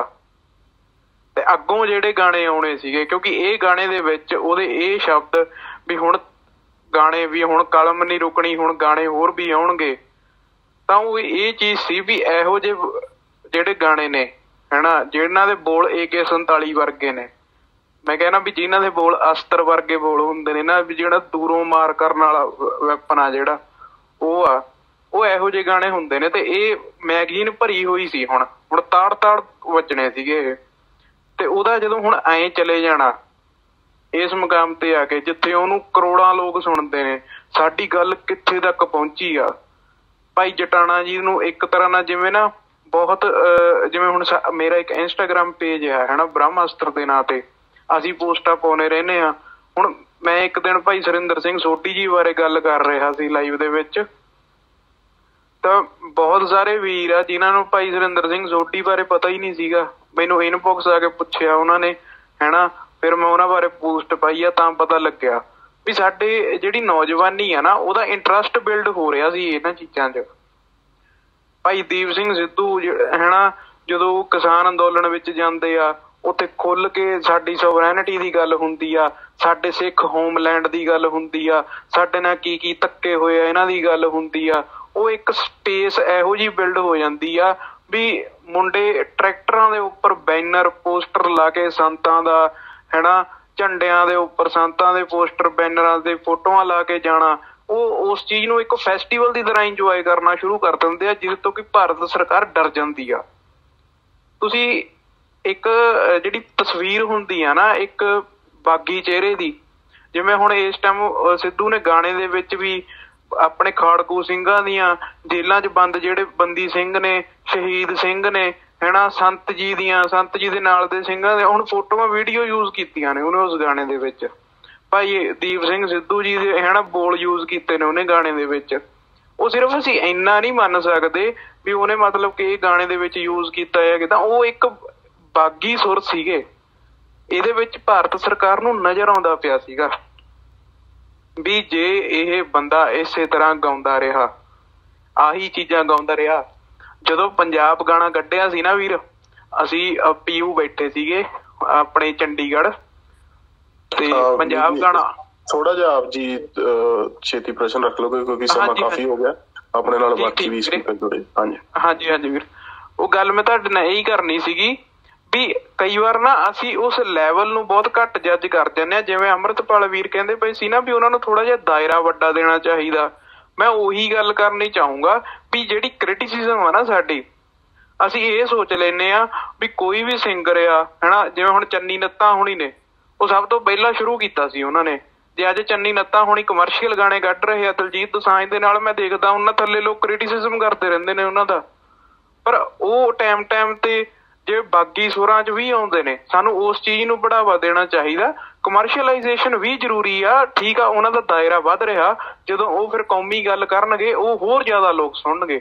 ਜਿਵੇਂ ਅੰਮ੍ਰਿਤਪਾਲ ਵੀਰ ਨੇ ਗੱਲ ਕੀਤੀ ਹੈ ਨਾ ਥੋੜਾ ਦਾਇਰਾ ਵਾਸਟ ਕਰਨ ਦੀ ਲੋੜ ਆ ਸਾਨੂੰ। ਇਹਨਾਂ ਕ੍ਰਿਟਿਸਿਜ਼ਮਸ ਤੋਂ ਉੱਠ ਕੇ ਉਹਨਾਂ ਦਾ ਸਾਥ ਦੇਣ ਦੀ ਲੋੜ ਆ, ਹੈਨਾ? ਉਹਨਾਂ ਦਾ, ਉਹਨਾਂ ਦੇ ਨਾਲ, ਉਹਨਾਂ ਦੀ ਪਿੱਠ ਤੇ ਖੜਨ ਦੀ ਲੋੜ ਆ। ਸਾਨੂੰ ਉਸ ਚੀਜ਼ ਦੀ ਅੱਜ ਬਹੁਤ ਜ਼ਰੂਰਤ ਆ ਵੀ ਜਦੋਂ ਪਰਚੇ ਵੀ ਨਜਾਇਜ਼ ਪੈ ਜਾਂਦੇ ਨੇ ਕਿਸੇ ਇਹੋ ਜਿਹੇ ਸਿੰਗਰ ਤੇ, ਤਾਂ ਸਾਨੂੰ ਉੱਥੇ ਆਉਣਾ ਚਾਹੀਦਾ। ਰਾਦਰ ਦੈਨ ਅਸੀਂ ਉਹਨੂੰ ਕ੍ਰਿਟਿਸਾਈਜ਼ ਕਰੀਏ ਜਾਂ ਉਹਦੇ ਬਾਰੇ ਬੋਲੀਏ। ਬਾਕੀ ਵੀਰ, ਮੇਰੇ ਤੋਂ ਕੋਈ ਗਲਤੀ ਹੋ ਗਈ ਹੋਵੇ, ਹੈਨਾ? ਤੇ ਮੈਂ ਉਸ ਚੀਜ਼ ਲਈ ਖਿਮਾ ਦਾ ਜਾਚਕ ਹਾਂ ਹੈਨਾ? ਸੰਗਤ ਦੇ ਪੈਰਾਂ 'ਚ ਬੇਨਤੀ ਕਰਦਾ ਚਰਨਾਂ ਵਿੱਚ ਵੀ ਖਿਮਾ ਕਰਿਓ, ਹੈਨਾ? ਵਾਹਿਗੁਰੂ ਜੀ ਕਾ ਖਾਲਸਾ ਜੀ ਵਾਹਿਗੁਰੂ ਜੀ ਕੀ ਫਤਿਹ ਵਾਹਿਗੁਰੂ ਜੀ ਕੀ ਫਤਿਹ ਜੀ।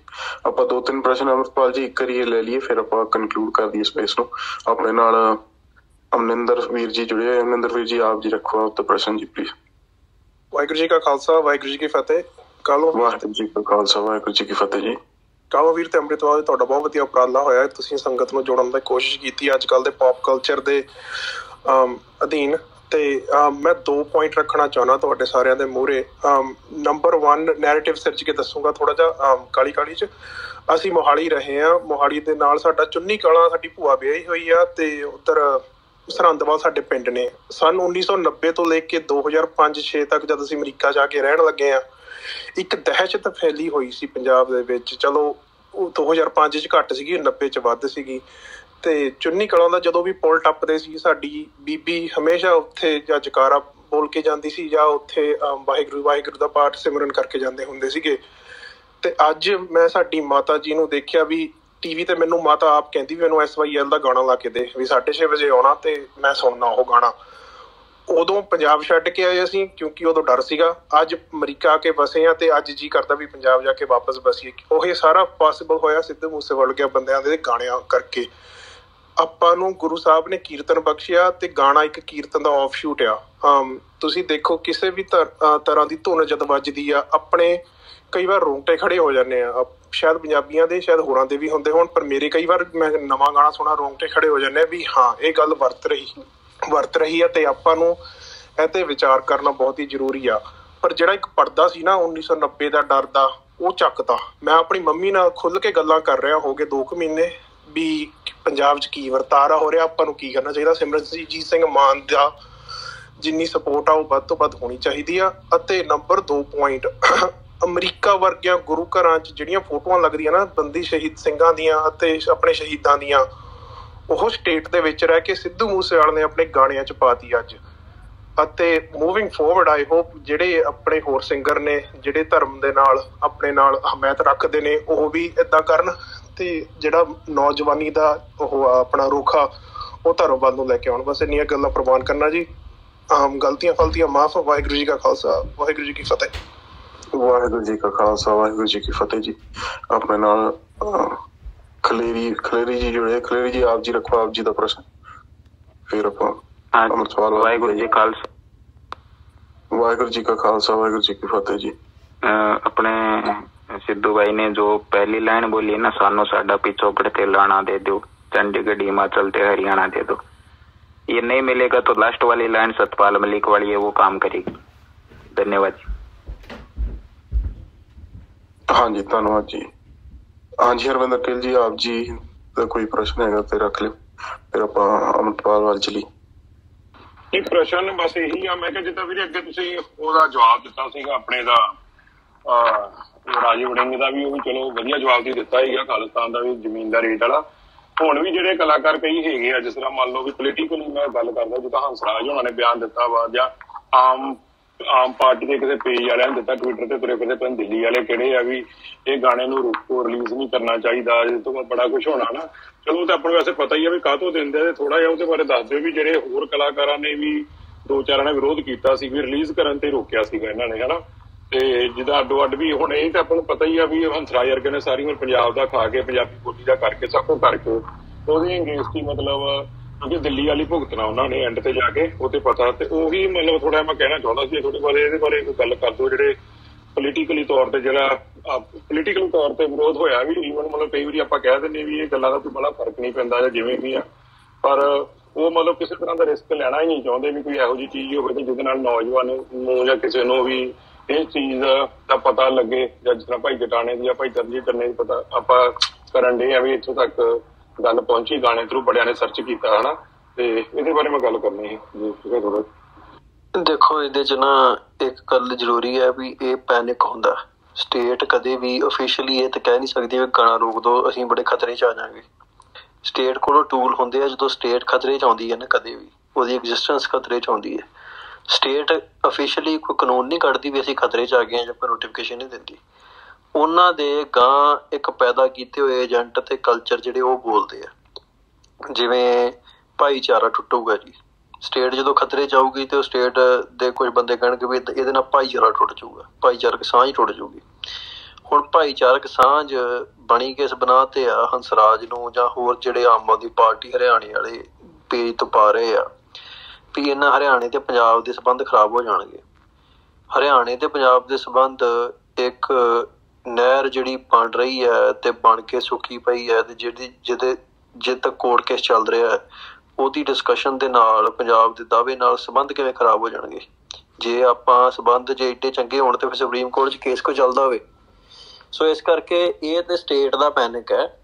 ਉਹ ਪੈਨਿਕ ਇਸ ਕਰਕੇ ਵੀ ਹੈ ਵੀ ਜੇ ਗਾਣਾ ਆਉਂਦਾ ਹੈ ਤੇ ਜਿਹੜੇ ਦੂਜੇ ਸਿੰਗਰ ਆ, ਉਹਨਾਂ ਤੇ ਉੱਤੇ ਇੱਕ ਮੋਰਲ ਰਿਸਪੌਂਸਿਬਿਲਟੀ ਬਣ ਜਾਂਦੀ ਹੈ ਵੀ ਉਹ ਵੀ ਪੰਜਾਬ ਦੇ ਹੱਕਾਂ ਦੀ ਗਾਣਾ ਗਾਉਣ, ਕਿਉਂਕਿ ਇਹ ਨਵਾਂ ਮਿਆਰ ਸੈੱਟ ਹੋਇਆ ਇਸ ਗਾਣੇ ਨੇ ਪੰਜਾਬ ਦੀ ਗਾਇਕੀ ਦੇ ਵਿੱਚ ਪੰਜਾਬ ਦੀ ਜਿਹੜੀ ਸੋਵਰਨਟੀ ਦੀ ਗੱਲ ਹੈ, ਹੱਕਾਂ ਦੀ ਗੱਲ ਹੈ, ਉਹਨੂੰ ਕਰਨ ਦੇ ਲਈ ਇੱਕ ਨਵਾਂ ਮਿਆਰ ਸੈੱਟ ਕੀਤਾ, ਇੱਕ ਨਵਾਂ ਪੈਰਾਮੀਟਰ ਤੈਅ ਕੀਤਾ ਹੁਣ ਬੇਸ਼ੱਕ ਕੋਈ ਉਹਨੂੰ ਪੈਰਾਮੀਟਰ ਨੂੰ ਸਰਪਾਸ ਕਰ ਸਕੇ ਜਾਂ ਨਾ ਕਰ ਸਕੇ, ਉਹ ਤੇ ਆਪਾਂ ਨਹੀਂ ਕਹਿੰਦੇ। ਬਟ ਘੱਟੋ ਘੱਟ ਅਟੈਂਪਟ ਕਰਦੇ ਰਹਿਣਾ ਪਊਗਾ ਸਿੰਗਰਾਂ ਨੂੰ ਰੈਲੇਵੈਂਟ ਰਹਿਣ ਵਾਸਤੇ ਵੀ। ਇਹ ਵੀ ਇੱਕ ਬੜਾ ਵੱਡਾ ਫਨੋਮਨਾ ਵੇਖਣ ਨੂੰ ਮਿਲੂਗਾ ਵੀ ਆਉਣ ਵਾਲੇ ਸਾਲਾਂ ਦੇ ਵਿੱਚ ਜਿੱਥੇ ਜਿੱਥੇ ਪੰਜਾਬ ਦੇ ਵਿੱਚ ਅੰਦਰਸਟ ਵੀ ਵਧੂਗੀ, ਨੌਜਵਾਨਾਂ ਦੇ ਵਿੱਚ ਬੇਚੈਨੀ ਵੀ ਵਧੂਗੀ, ਪੰਜਾਬ ਦਾ ਪੋਲੀਟੀਕਲ ਸਟਰਕਚਰ ਵੀ ਚੇਂਜ ਹੋਊਗਾ ਸਾਰਾ।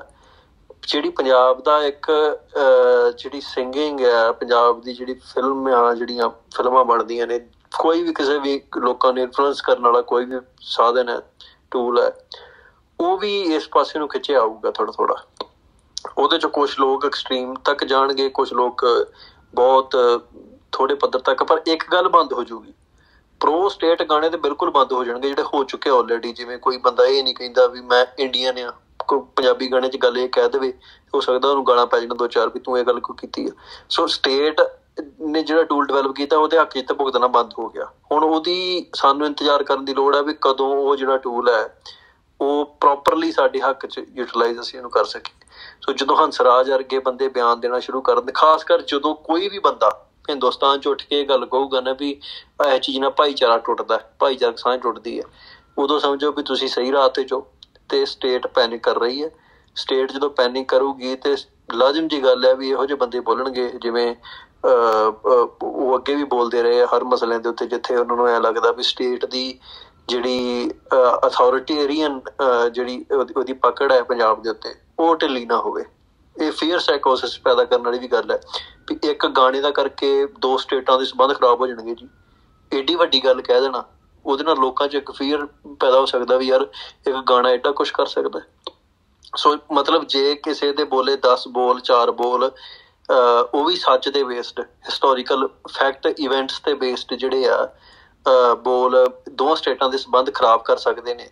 ਜਾਂ ਪੰਜਾਬ ਦੇ, ਇੰਡੀਆ ਦੇ ਨਾਲ ਸਟ- ਸਬੰਧ ਖਰਾਬ ਕਰ, ਇਹਦਾ ਮਤਲਬ ਉਹ ਸਬੰਧ ਆਲਰੇਡੀ ਖਰਾਬ ਆ। ਉਹਦੇ ਚ ਕੁਝ ਹੈ ਨਹੀਂ ਉਹ ਤੇ ਸਿਰਫ ਪਰਦਾ ਪਾਇਆ ਗਿਆ ਵਾ, ਉਹਨੂੰ ਪਾਲਿਸ਼ ਕੀਤਾ ਗਿਆ ਵੀ ਸਬੰਧ ਬੜੇ ਵਧੀਆ ਜੀ ਪੀਸਫੁਲ ਹੈ, ਸ਼ਾਂਤੀ ਹੈ। ਸ਼ਾਂਤੀ ਜਿੱਦਾਂ ਆਪਾਂ ਅੱਗੇ ਕਈ ਵਾਰ ਗੱਲ ਕੀਤੀ ਹੈ ਵੀ ਸ਼ਾਂਤੀ ਮੜੀਆਂ ਵਾਲੀ ਸ਼ਾਂਤੀ ਹੈ। ਮੁਰਦਾ ਘਰ ਚ ਚਲ ਜਾਓ ਉੱਥੇ ਕਿਹੜਾ ਰੌਲਾ ਪੈਂਦਾ ਉਹਦਾ ਅਰਥ ਇਹ ਹੈ ਵੀ ਉੱਥੇ ਸਾਰੇ ਲੋਕ ਮਰ ਚੁੱਕੇ ਆ, ਰੌਲਾ ਪਾਉਣ ਦੀ ਕੈਪੈਸਿਟੀ ਨਹੀਂ ਰੱਖਦੇ ਉਹ। ਇੰਡੀਅਨ ਸਟੇਟ ਚਾਹੁੰਦੀ ਹੈ ਵੀ ਜਿਹੜੀ ਸ਼ਾਂਤੀ ਭਾਈਚਾਰਾ, ਉਹ ਮੁਰਦਿਆਂ ਦਾ ਭਾਈਚਾਰਾ ਹੋਵੇ। ਮਤਲਬ ਸਿੱਖ ਮਰਿਆ ਪਿਆ ਹੋਵੇ, ਹਿੰਦੂ ਨੇ ਉਹਦੀ ਬਾਹ ਫੜੀ ਹੋਵੇ, ਹੈ, ਤੇ ਉਹ ਕਹਿਣ ਵੀ ਦੇਖੋ ਕਿੰਨਾ ਭਾਈਚਾਰਾ ਦੋਵਾਂ ਦੇ ਵਿੱਚ। ਮਤਲਬ ਸਿੱਖ opinion ਦੇ ਹੀ ਨਹੀਂ ਸਕਦਾ ਕਿਉਂਕਿ ਮਰ ਚੁੱਕਾ। ਸੋ ਇਹ ਇਹ ਭਾਈਚਾਰਾ ਚਾਹੁੰਦੇ ਆ ਤੇ ਸ਼ਾਂਤੀ ਉਹ ਚਾਹੁੰਦੇ ਆ ਵੀ ਪੰਜਾਬ ਐ ਕਬਰਸਤਾਨ ਬਣਾ ਦਿੱਤਾ ਜਾਵੇ, ਜਿਵੇਂ ਬਣਾਇਆ ਉਹਨਾਂ ਨੇ। 3 ਲੱਖ 2.5 ਲੱਖ ਨੌਜਵਾਨ ਸਾਡਾ ਮਾਰ ਕੇ ਧੀਆਂ ਭੈਣਾਂ ਦੀ ਬੇਪਤੀ ਕਰਕੇ, ਉਹ ਕਹਿੰਦੇ ਵੀ ਸ਼ਾਂਤ ਹੋ ਗਿਆ ਸਾਰਾ ਕੁਝ ਜਦੋਂ ਨੌਜਵਾਨ ਹੀ ਕੋਈ ਨਹੀਂ ਛੱਡਿਆ, ਪੰਜਾਬ 'ਚ ਰੈਜ਼ਿਸਟੈਂਸ ਖਤਮ ਹੋ ਗਈ, ਤੇ ਉਹ ਕਹਿੰਦੇ ਵੀ ਦੇਖੋ ਜੀ, ਪੰਜਾਬ 'ਚ ਸ਼ਾਂਤੀ, ਮੋੜ ਆ ਗਈ ਹੈ ਵਾਪਸ। ਸੋ ਇਹਦਾ ਅਰਥ ਇਹ ਹੈ ਵੀ ਹਿੰਦੁਸਤਾਨ ਚੀਜ਼ਾਂ ਨੂੰ ਆਪਣੇ ਤਰੀਕੇ ਨਾਲ ਡਿਫਾਈਨ ਕਰਦਾ ਇਹ ਉਹਦਾ ਪੈਨਿਕ ਹੈ, ਵੀ ਸ਼ਾਂਤੀ ਭੰਗ ਹੋ ਜੂਗੀ। ਉੱਪਰ- ਸਾਨੂੰ ਤਾਂ ਸਵਾਲ ਇਹ ਹੋਣਾ ਚਾਹੀਦਾ ਵੀ ਕਿਹੜੀ ਸ਼ਾਂਤੀ? ਕਿਹੜੀ ਐਸੀ ਸ਼ਾਂਤੀ ਹੈ ਜਿਹੜੀ ਇੱਕ ਗੀਤ ਦੇ ਨਾਲ ਭੰਗ ਹੋ ਸਕਦੀ ਹੈ? ਤੇ ਜੇ ਹੋ ਸਕਦੀ ਤਾਂ ਹੋ ਲੈਣ ਦਿਓ ਉਹਨੂੰ। ਜੇ ਇੱਕ ਗੀਤ ਦੇ ਨਾਲ ਇੰਡੀਆ ਵਰਗੀ ਕੰਟਰੀ ਜਿਹੜੀ ਆ, ਉਹਨੂੰ ਡਰ ਪੈਦਾ ਹੋ ਗਿਆ, ਵੀ ਸਾਡੇ ਦੀ ਖਤਰਾ ਬਣ ਸਕਦਾ ਤੇ ਫਿਰ ਉਹਨਾਂ ਨੂੰ ਇਹ ਸਮਝਣਾ ਚਾਹੀਦਾ ਵੀ ਉਹ ਹਿਸਟੋਰੀਕਲੀ ਕਿੰਨੇ ਗਲਤ ਹੋਣਗੇ।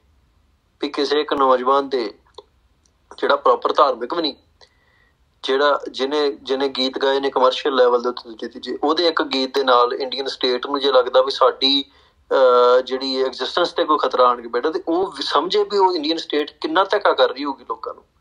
ਵੀ ਇੱਕ ਗੀਤ ਨਹੀਂ ਤੇ ਜੇ ਪੰਜਾਬ ਦੇ ਸਿੱਖ ਇੰਡੀਆ ਪ੍ਰਤੀ ਲਾਇਲ ਹੋਣ ਤੇ ਸਿੱਧੂ ਮੂਸੇਵਾਲੇ ਨੂੰ ਤਾਂ ਆਪ ਕਹਿਣ ਵੀ ਤੂੰ ਭਈ ਇਹ ਕੰਮ ਨਾ ਕਰੋ। ਇਹਦਾ ਮਤਲਬ ਇਹ ਆ ਵੀ ਪੰਜਾਬ ਇੱਕ ਡਿਫਰੈਂਟ ਤਰੀਕੇ ਨਾਲ ਚੱਲ ਰਿਹਾ ਤੇ ਇੰਡੀਆ ਇੱਕ ਡਿਫਰੈਂਟ ਤਰੀਕੇ ਨਾਲ ਚੱਲ ਰਿਹਾ। ਸੋ ਉਹਨਾਂ ਦੇ ਵਿੱਚ ਕੜੀ ਕਿਹੜੀ ਜੋੜ ਕੇ ਰੱਖਦੀ ਹੈ? ਦੋਵਾਂ ਨੂੰ? ਕੜੀ ਜੋੜ ਕੇ ਰੱਖਦੀ ਹੈ ਵੀ ਇੰਡੀਆ ਫੋਰਸਫੁਲੀ ਆਕੂਪਾਈ ਕਰਕੇ ਬੈਠਾ ਪੰਜਾਬ ਨੂੰ। ਜ਼ਬਰਦਸਤੀ ਦਾ ਰਿਸ਼ਤਾ ਹੈ। ਜ਼ਬਰਦਸਤੀ ਦੇ ਰਿਸ਼ਤੇ ਨੂੰ ਤੇ ਭੜਕਾਉਣ ਦੀ ਵੀ ਲੋੜ ਨਹੀਂ ਪੈਂਦੀ। ਉਹ ਤਾਂ ਸੱਚ ਨਾਲ ਹੀ ਭੜਕ ਜਾਂਦੇ ਆ ਨਾ। ਭੜਕਾਹਟ ਕੋਈ ਜੇ ਦਾਵਾ ਕਰਦਾ ਕੋਈ ਬੰਦਾ ਵੀ ਭੜਕਾਹਟ ਪੈਦਾ ਕੀਤੀ ਜਾ ਰਹੀ ਹੈ ਜੀ। ਭੜਕਾਹਟ, ਮੈਂ ਹੁਣ ਤੁਸੀਂ ਮਤਲਬ, ਮੈਂ ਸੱਚ ਬੋਲਾਂ ਤੇ ਉੱਥੇ ਭੜਕਾਹਟ ਪੈਦਾ ਹੋ ਜੇ। ਤੇ ਮੈਨੂੰ ਦੋਸ਼ ਦਿੱਤਾ ਜਾ ਸਕਦਾ, ਨਹੀਂ ਦਿੱਤਾ ਜਾ ਸਕਦਾ। ਸੋ ਇਹ ਹੰਸਰਾਜ ਵਰਗੇ ਬੰਦਿਆਂ ਨੂੰ ਜਾਂ ਹੋਰ ਨਾ ਬੰਦੇ ਜਿਹੜੇ ਸਵਾਲ ਕਰਦੇ ਨੇ, ਉਹਨਾਂ ਨੂੰ ਸਵਾਲ ਆਪਣੇ ਆਪ ਨੂੰ ਕਰਨਾ ਚਾਹੀਦਾ ਵੀ ਇੰਡੀਅਨ ਸਟੇਟ ਨੇ ਪੰਜਾਬ ਦੇ ਨਾਲ ਐਸਾ ਰਿਲੇਸ਼ਨਸ਼ਿਪ ਬਿਲਡ ਹੀ ਕਿਉਂ ਕੀਤਾ ਵੀ ਇੱਕ ਕਲਾਕਾਰ ਦੇ, ਇੱਕ ਗੀਤ ਗਾਉਣ ਦੇ ਨਾਲ ਏਡਾ ਵੱਡਾ ਪੈਨਿਕ ਖੜਾ ਹੋ ਸਕਦਾ, ਏਡਾ ਭਾਈਚਾਰਾ ਟੁੱਟ ਸਕਦਾ। ਭਾਈਚਾਰਾ ਵਾਲਿਆਂ ਨੂੰ ਵੀ ਇਹ ਸਵਾਲ ਚੁੱਕਣਾ ਚਾਹੀਦਾ ਵੀ ਤੁਹਾਡਾ ਸਿੱਖਾਂ ਨਾਲ ਭਾਈਚਾਰਾ ਏਡਾ ਮਾੜਾ ਹੈ। ਤੁਸੀਂ ਸਿੱਖਾਂ ਨਾਲ ਇੰਨੇ ਧੱਕੇ ਕੀਤੇ ਆ ਵੀ ਸਿੱਖ ਸੱਚ ਬੋਲਦੇ ਆ, ਤੁਹਾਨੂੰ ਭਾਈਚਾਰਾ ਟੁੱਟਣ ਦੇ ਖਤਰਾ ਪੈ ਜਾਂਦਾ। ਸੋ ਇਹ ਸਾਨੂੰ ਕਿਸੇ ਕਿਸਮ ਦੀ ਗਿਲਟ ਲੈਣ ਦੀ ਲੋੜ ਨਹੀਂ। ਜਿਹੜਾ ਬੰਦਾ ਇਹ ਗੱਲ ਕਰ ਰਿਹਾ, ਉਹਨੂੰ ਕਹੇ ਵੀ ਸਮਝ ਲਓ ਵੀ ਤੁਸੀਂ ਇੰਡੀਅਨ ਸਟੇਟ ਵੀ ਆਖਰੀ ਸਾਹਾਂ ਤੇ ਆ ਗਈ ਆ ਵੀ ਹਜੇ ਤੇ ਇੱਕ ਗੀਤ ਹੈ, ਨੌਜਵਾਨ ਨੇ ਗਾਇਆ। ਹਲੇ ਕੀ ਪਤਾ ਕਿੰਨੇ ਨੌਜਵਾਨਾਂ ਨੇ ਗੀਤ ਗਾਉਣੇ ਨੇ। ਕੀ ਕੁਝ ਹੋਣਾ ਹੈ, ਹਨਾ? ਭਾਈ, ਜਦੋਂ ਤੁਸੀਂ ਦੋ ਤਿੰਨ ਕਤਲ ਕੀਤੇ ਨੇ ਨੌਜਵਾਨਾਂ ਦੇ ਪੰਜਾਬ ਚ ਮੇਨ ਤੇ ਕੋਈ ਨਹੀਂ ਤੁਸੀਂ ਅੱਗੇ ਹੋਰ ਵੀ ਕਰਨੇ ਨੇ। ਤੇ ਤੁਹਾਨੂੰ ਇਹ ਵੀ ਪਤਾ ਵੀ ਉਸ ਤੋਂ ਬਾਅਦ ਚ ਰਿਐਕਸ਼ਨ ਕੀ ਆਇਆ ਲੋਕਾਂ ਦਾ। ਸੋ ਇੰਡੀਅਨ ਸਟੇਟ ਦੇ ਸੱਪ ਦੇ ਮੂੰਹ ਚ ਕੋੜ ਕਰ ਲਿਆ ਵਾਲੀ ਸਿਚੁਏਸ਼ਨ ਹੈ। ਜੇ ਉਹ ਨੌਜਵਾਨਾਂ ਨੂੰ ਮਾਰਦੇ ਆ ਹੈ? ਕਤਲ ਕਰਦੇ ਆ ਤੇ ਉਹਦਾ ਬਹੁਤ ਵੱਡਾ ਰਿਐਕਸ਼ਨ ਪੈਦਾ ਹੁੰਦਾ ਹੈ ਪੰਜਾਬ 'ਚ ਜਿਹੜਾ ਇੰਡੀਆ ਦੇ ਖਿਲਾਫ ਹੈ। ਸੈਂਟੀਮੈਂਟ ਜਿਹੜਾ ਖਾਲਿਸਤਾਨ ਦੇ ਨਾਰੇ ਲੱਗਦੇ ਨੇ ਕਿਸੇ ਦੇ ਭੋਗ ਦੇ ਉੱਤੇ। ਜਾਂ ਇਹ ਗਾਣਾ ਆਉਣਾ ਤੇ ਇੰਡੀਅਨ ਸਟੇਟ ਨੂੰ ਏਜੰਸੀਆਂ ਨੂੰ ਦੋਸ਼ੀ ਕਹਿਣਾ ਬਿਨਾਂ ਕਿਸੇ ਐਵੀਡੈਂਸ ਤੇ ਐਵੀਡੈਂਸ ਤੋਂ ਭਾਵੇਂ ਹੁਣ ਜਿਹੜੀ ਇਨਵੈਸਟੀਗੇਸ਼ਨ ਏਜੰਸੀ ਦੇ ਇੰਡੀਆ ਦੇ ਹੱਥ 'ਚ ਹੈ ਉਹਨਾਂ ਦੇ ਐਵੀਡੈਂਸ ਪੇਸ਼ ਨਹੀਂ ਕਰਨਾ ਕੋਈ ਵੀ। ਐਵੀਡੈਂਸ ਉਹਨਾਂ ਨੇ ਕਿਹਾ ਗੈਂਗਵਾਰ ਲੋਕਾਂ ਨੇ ਮੰਨਿਆ ਨਹੀਂ ਗੈਂਗਵਾਰ ਹੈ, ਲੋਕਾਂ ਨੇ ਕਿਹਾ ਏਜੰਸੀਆਂ ਨੇ ਕਿਹਾ ਕੰਮ। ਸੋ ਇਹਦਾ ਮਤਲਬ ਇਹ ਹੈ ਵੀ ਜਿਹੜਾ ਸੈਂਟੀਮੈਂਟ ਕਤਲ ਕਰਨ ਦੇ ਬਾਵਜੂਦ ਇੰਡੀਆ ਦੇ ਖਿਲਾਫ ਜਾ ਰਿਹਾ ਹੈ, ਜੇ ਉਹ ਨਹੀਂ ਮਾਰਦੇ ਨੌਜਵਾਨਾਂ ਨੂੰ, ਤੇ ਨੌਜਵਾਨ ਬੋਲ ਕੇ ਉਹਨਾਂ ਦਾ, ਉਹਨਾਂ ਨੂੰ ਡੈਮੇਜ ਕਰ ਰਹੇ ਆ। ਸੋ ਇਹ ਇਹ ਉਹ ਸਿਚੁਏਸ਼ਨ ਆ ਗਈ ਹੈ ਜਿੱਥੇ ਇੰਡੀਆ ਸਕੇਪ ਨਹੀਂ ਕਰ ਸਕਦਾ ਰਿਐਲਿਟੀ ਨੂੰ। ਜਿੱਥੇ ਇਹ ਸਟੇਟ ਰਿਐਲਿਟੀ ਨੂੰ ਸਕੇਪ ਨਹੀਂ ਕਰ ਸਕਦੀ। ਇਸ ਸਟੇਟ ਨੂੰ, ਇਸ ਰਿਐਲਿਟੀ ਨੂੰ ਫੇਸ ਕਰਨਾ ਪੈਣਾ ਜੋ ਕੁਝ ਇਹਨਾਂ ਨੇ ਕੀਤਾ ਉਹ ਪਾਈਲ ਅਪ ਹੋ ਗਿਆ। ਜਿੰਨੇ ਜ਼ੁਲਮ ਇਹਨਾਂ ਨੇ ਕੀਤੇ ਆ, ਉਹ ਉਹਨਾਂ ਤੋਂ ਭੱਜਿਆ ਨਹੀਂ ਜਾ ਸਕਦਾ। ਉਹ ਜਿਹੜੇ ਨੌਜਵਾਨ ਇਹ ਗੱਲ ਵੀ ਕਰਨਗੇ, ਮਰਨ ਨੂੰ ਵੀ ਤਿਆਰ ਨੇ, ਸਾਰਾ ਕੁਝ ਹੋਊਗਾ। ਤੇ ਅਖੀਰ ਨੂੰ ਕੀ ਅਖੀਰ ਨੂੰ ਜਿਵੇਂ ਨੇਸ਼ਨ ਬਣਦੇ ਟੁੱਟਦੇ ਆ ਇਹਨੇ ਜ਼ਬਰਦਸਤੀ ਦੇ ਰਿਸ਼ਤੇ ਕਦੀ ਨਿਭਦੇ ਨਹੀਂ ਟੁੱਟਣਗੇ, ਇਹ ਵੀ ਟੁੱਟੂ। ਤੇ ਇਹ ਇਹ ਪੰਜਾਬ 'ਚ ਰੈਸਟ ਵੀ ਉਦੋਂ ਸ਼ਾਂਤੀ ਅਸਲ ਮਾਇਨੇ ਸ਼ਾਂਤੀ ਪੰਜਾਬ 'ਚ ਉਦੋਂ ਆਉਣੀ ਹੈ। ਸਿੱਖ ਜੀਂਦਾ ਹੋ ਹੋ ਕੇ ਸ਼ਾਂਤ ਹੋਊਗਾ ਉਦੋਂ ਸ਼ਾਂਤ ਹੋਊਗਾ, ਜਿੱਦਣ ਇਹ, ਇਸ ਗੱਲ ਦਾ ਬਦਲਾ ਲਿਆ ਗਿਆ, ਜੋ ਕੋ ਸਿੱਖਾਂ ਨਾਲ ਹੋਇਆ ਜਦੋਂ ਸਿੱਖਾਂ ਨੇ ਆਜ਼ਾਦੀ ਪ੍ਰਾਪਤ ਕੀਤੀ ਉਦਾਂ ਜੇ ਤੇ ਤੁਸੀਂ ਧੱਕੇ ਨਾਲ ਸਿੱਖਾਂ ਦੇ ਮੂੰਹ 'ਚ ਕੱਪੜਾ ਤੁਰ ਕੇ ਕਹੀ ਜਾਓ ਵੀ ਦੇਖੋ ਜੀ, ਸਿੱਖ ਬੋਲਦਾ ਨਹੀਂ ਬੜਾ ਸ਼ਾਂਤ ਇਹ ਤੁਸੀਂ ਡਰੱਗ ਦਾ ਜੈਨੋਸਾਈਡ ਚਲਾਓ, ਇੱਥੇ ਤੁਸੀਂ ਇੱਥੇ ਗੋਲੀਆਂ ਨਾਲ ਬੰਦੇ ਮਾਰੋ ਤੇ ਮਰਿਆਂ ਦੀ ਲਾਸ਼ਾਂ ਲਾਸ਼ਾਂ ਰੱਖਣੀ ਕਰਕੇ ਕਹੋ ਵੀ ਦੇਖੋ ਜੀ, ਸਿੱਖ ਕਿੰਨੇ ਸ਼ਾਂਤ ਲੰਮੇ ਪਏ, ਸੁੱਤੇ ਹੋਏ ਇਹ ਉਹ ਸਾਰਾ ਕੁਝ ਅਸੀਂ ਸਮਝਦੇ ਹਾਂ ਵੀ ਜਿਹੜੇ ਤੁਹਾਡੀ ਸ਼ਾਂਤੀ ਦੇ ਪੈਰਾਮੀਟਰ ਹੈ, ਜਿਹੜੀ ਭੰਗ ਹੋਣ ਦੇ ਪੈਰਾਮੀਟਰ ਹੈ, ਸ਼ਾਂਤੀ ਟੁੱਟਣ ਦੇ ਪੈਰਾਮੀਟਰ ਹੈ, ਭਾਈਚਾਰਾ ਟੁੱਟਣ ਦੇ ਪੈਰਾਮੀਟਰ ਹੈ, ਉਹ ਸਾਡੇ ਲਈ ਨਹੀਂ ਹੈਗੇ। ਸਾਡਾ ਕੋਈ ਭਾਈਚਾਰਾ ਨਹੀਂ ਕਿਸੇ ਨਾਲ, ਸਾਡੀ ਕਿਸੇ ਨਾਲ ਕੋਈ ਸ਼ਾਂਤੀ ਨਹੀਂ। ਭਾਈਚਾਰਾ ਸਿਰਫ ਉਹਨਾਂ ਨਾਲ ਹੈ, ਜਿਹੜੇ ਸਾਨੂੰ ਇਹ ਗੱਲ ਨਹੀਂ ਕਹਿੰਦੇ ਵੀ ਤੁਹਾਨੂੰ ਗੁੱਸਾ ਨਹੀਂ ਸਾਡਾ ਭਾਈਚਾਰਾ ਕੇਵਲ ਉਹਨਾਂ ਦੇ ਨਾਲ ਹੈ, ਜਿਹੜੇ ਸਾਨੂੰ ਕਹਿੰਦੇ ਵੀ ਸਿੱਖਾਂ ਨੂੰ ਗੁੱਸੇ ਹੋਣਾ ਚਾਹੀਦਾ ਸਿੱਖਾਂ ਨੂੰ ਅਸ਼ਾਂਤ ਹੋਣਾ ਚਾਹੀਦਾ ਤੁਹਾਡਾ ਦੋਸਤ, ਤੁਹਾਡਾ ਸੱਜਣ, ਤੁਹਾਡਾ ਮਿੱਤਰ, ਤੁਹਾਡਾ ਭਾਈ ਉਹ ਹੀ ਹੋ ਸਕਦਾ ਨਾ, ਜਿਹੜਾ ਤੁਹਾਡੇ ਤੇ ਹੋ ਰਿਹਾ ਜ਼ੁਲਮ ਦੇ ਖਿਲਾਫ ਲੜਨ ਦੀ ਤੁਹਾਨੂੰ ਪ੍ਰੇਰਿਤ ਕਰੇ, ਨਾ ਕਿ ਤੁਹਾਨੂੰ ਕਾਇਰ ਬਣਨ ਲਈ ਕਵੇ।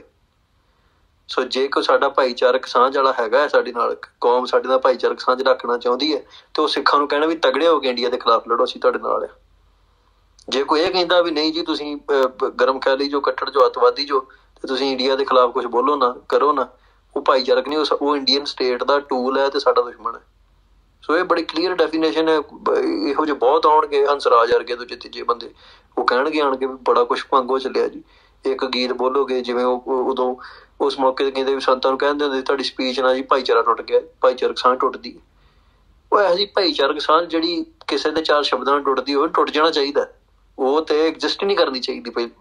ਫਸਟ ਤੁਸੀਂ ਜ਼ਬਰਦਸਤੀ ਸਾਡੇ ਨਾਲ ਸਾਂਝ ਪਾਈ ਹੈ, ਅਸੀਂ ਨਹੀਂ ਚਾਹੁੰਦੇ। ਅਸੀਂ ਚਾਹੁੰਦੇ ਆਜ਼ਾਦ ਹੋਣਾ, ਤੁਸੀਂ ਸਾਨੂੰ ਆਜ਼ਾਦ ਹੋਣ ਨਹੀਂ ਦਿੰਦੇ, ਕਿਉਂਕਿ ਇਹ ਕੰਟਰੋਲ ਤੁਹਾਡੇ ਹੱਥ 'ਚ ਕਿੰਨਾ ਕੁ ਚਿਰ ਰਹੂਗਾ? ਤੁਸੀਂ ਕਿਸੇ ਬੰਦੇ ਦੀ ਬਾਹ ਫੜਨ ਦੀ ਕੋਸ਼ਿਸ਼ ਕਰੋ। ਫੋਰ ਐਗਜ਼ਾਮਪਲ ਇਹਨੂੰ ਤੁਸੀਂ ਜੇ ਇਹ ਸੰਘਰਸ਼ ਨੂੰ ਵੇਖਣਾ ਹੈ। ਹੁਣ ਤੁਸੀਂ ਕਿੰਨੀ ਵੀ ਤਾਕਤ ਨਾਲ ਬਾਹ ਫੜੀ ਹੋਵੇ ਤੁਹਾਨੀ ਤੁਹਾਨੂੰ ਇੱਕ ਦਿਨ ਛੱਡਣੀ ਪੈਣੀ ਹੈ। ਤੁਹਾਡੀ ਗ੍ਰੇਪ ਲੂਜ਼ ਹੋ ਜਾਣੀ ਹੈ ਪੰਜਾਬ ਦੇ ਤੇ ਇੰਡੀਆ ਦੇ ਸਬੰਧ ਇਦਾਂ ਦੇ ਆ। ਇੰਡੀਆ ਕਿੰਨਾ ਚਿਰ ਹੋਲਡ ਕਰੂਗਾ? ਜਿਹੜਾ ਸੈਂਟੀਮੈਂਟ ਪੰਜਾਬ 'ਚ ਹੈਗਾ ਹੈ ਤੇ ਜਿਹੜਾ ਸੈਂਟੀਮੈਂਟ ਗਰੋ ਕਰ ਰਿਹਾ ਪੰਜਾਬ ਦੇ ਵਿੱਚ, ਉਹਨੂੰ ਡੀਲ ਕਰਨ ਦਾ ਇਹ ਤਰੀਕਾ ਵੀ ਤੁਸੀਂ ਇਹੋ ਜਿਹੇ ਬਹਾਨੇ ਬਣਾਓ, ਭਾਈਚਾਰਾ ਟੁੱਟ ਗਿਆ, ਭਾਈ, ਭਾਈਚਾਰਕ ਸਾਂਝ ਟੁੱਟ ਗਈ ਸਾਡੀ। ਉਹਨੂੰ ਡੀਲ ਕਰਨ ਦਾ ਇੱਕ ਤਰੀਕਾ ਹੈਗਾ, ਆਪਣੀ ਗਲਤੀ ਮੰਨੋ। ਸਟੈਪ ਆਊਟ ਕਰ ਜੋ ਪੰਜਾਬ ਨੂੰ, ਪੰਜਾਬ ਸੋਵਰਨ ਆਜ਼ਾਦੀ ਦਿਓ ਤੇ ਆਜ਼ਾਦੀ, ਆਜ਼ਾਦ ਪੰਜਾਬ ਵਿੱਚ ਹੋ ਸਕਦਾ ਤੁਹਾਡੇ ਨਾਲ ਚੰਗੇ ਸੰਬੰਧ ਰੱਖੇ। ਪੰਜਾਬ ਆਜ਼ਾਦ ਹੋ ਕੇ ਹੋ ਸਕਦਾ ਵੀ ਤੁਹਾਡੇ ਨਾਲ ਬਹੁਤ ਵਧੀਆ ਸੰਬੰਧ ਹੋ ਜਾਣ ਇੰਡੀਆ ਦੇ ਨਾਲ ਸਾਡੇ। ਪਰ ਇਦਾਂ ਨਹੀਂ ਇਦਾਂ ਧੱਕੇ ਨਾਲ ਸਿੱਧੂ ਮੂਸੇਵਾਲੇ ਦੇ ਗਾਣੇ 'ਚ ਕਿਹਾ ਹੀ ਹੈ ਨਾ ਇਹ ਗੱਲ। ਵੀ ਮਤਲਬ ਨਾਰ ਲਾ ਲੋਗੇ ਤੇ ਠੀਕ ਹੈ ਪਰ ਜਿਹੜਾ ਧੱਕਾ ਉੱਤੇ ਕੁੰਡਾ ਚਾਹੁੰਦੇ ਸਾਡੇ ਤੇ ਉਹ ਨਹੀਂ ਹੋ ਸਕਦਾ। ਸੋ ਅਸੀਂ ਅੱਗੇ ਤੇ ਗੱਲ ਹੁੰਦੀ ਸੀ, ਬਰਾਬਰ ਦੇ ਸ਼ਹਿਰੀ ਬਣ ਕੇ ਰਹਿਣਾ ਚਾਹੁੰਦੇ ਹਾਂ ਰਹਿਣਾ ਨਹੀਂ ਚਾਹੁੰਦੇ ਸ਼ਹਿਰੀ ਸ਼ੁਰੀ ਬਣ ਕੇ ਕੋਈ। ਗੱਲ ਉਹ ਤੋਂ ਪਾਰ ਹੋ ਗਈ ਹੈ।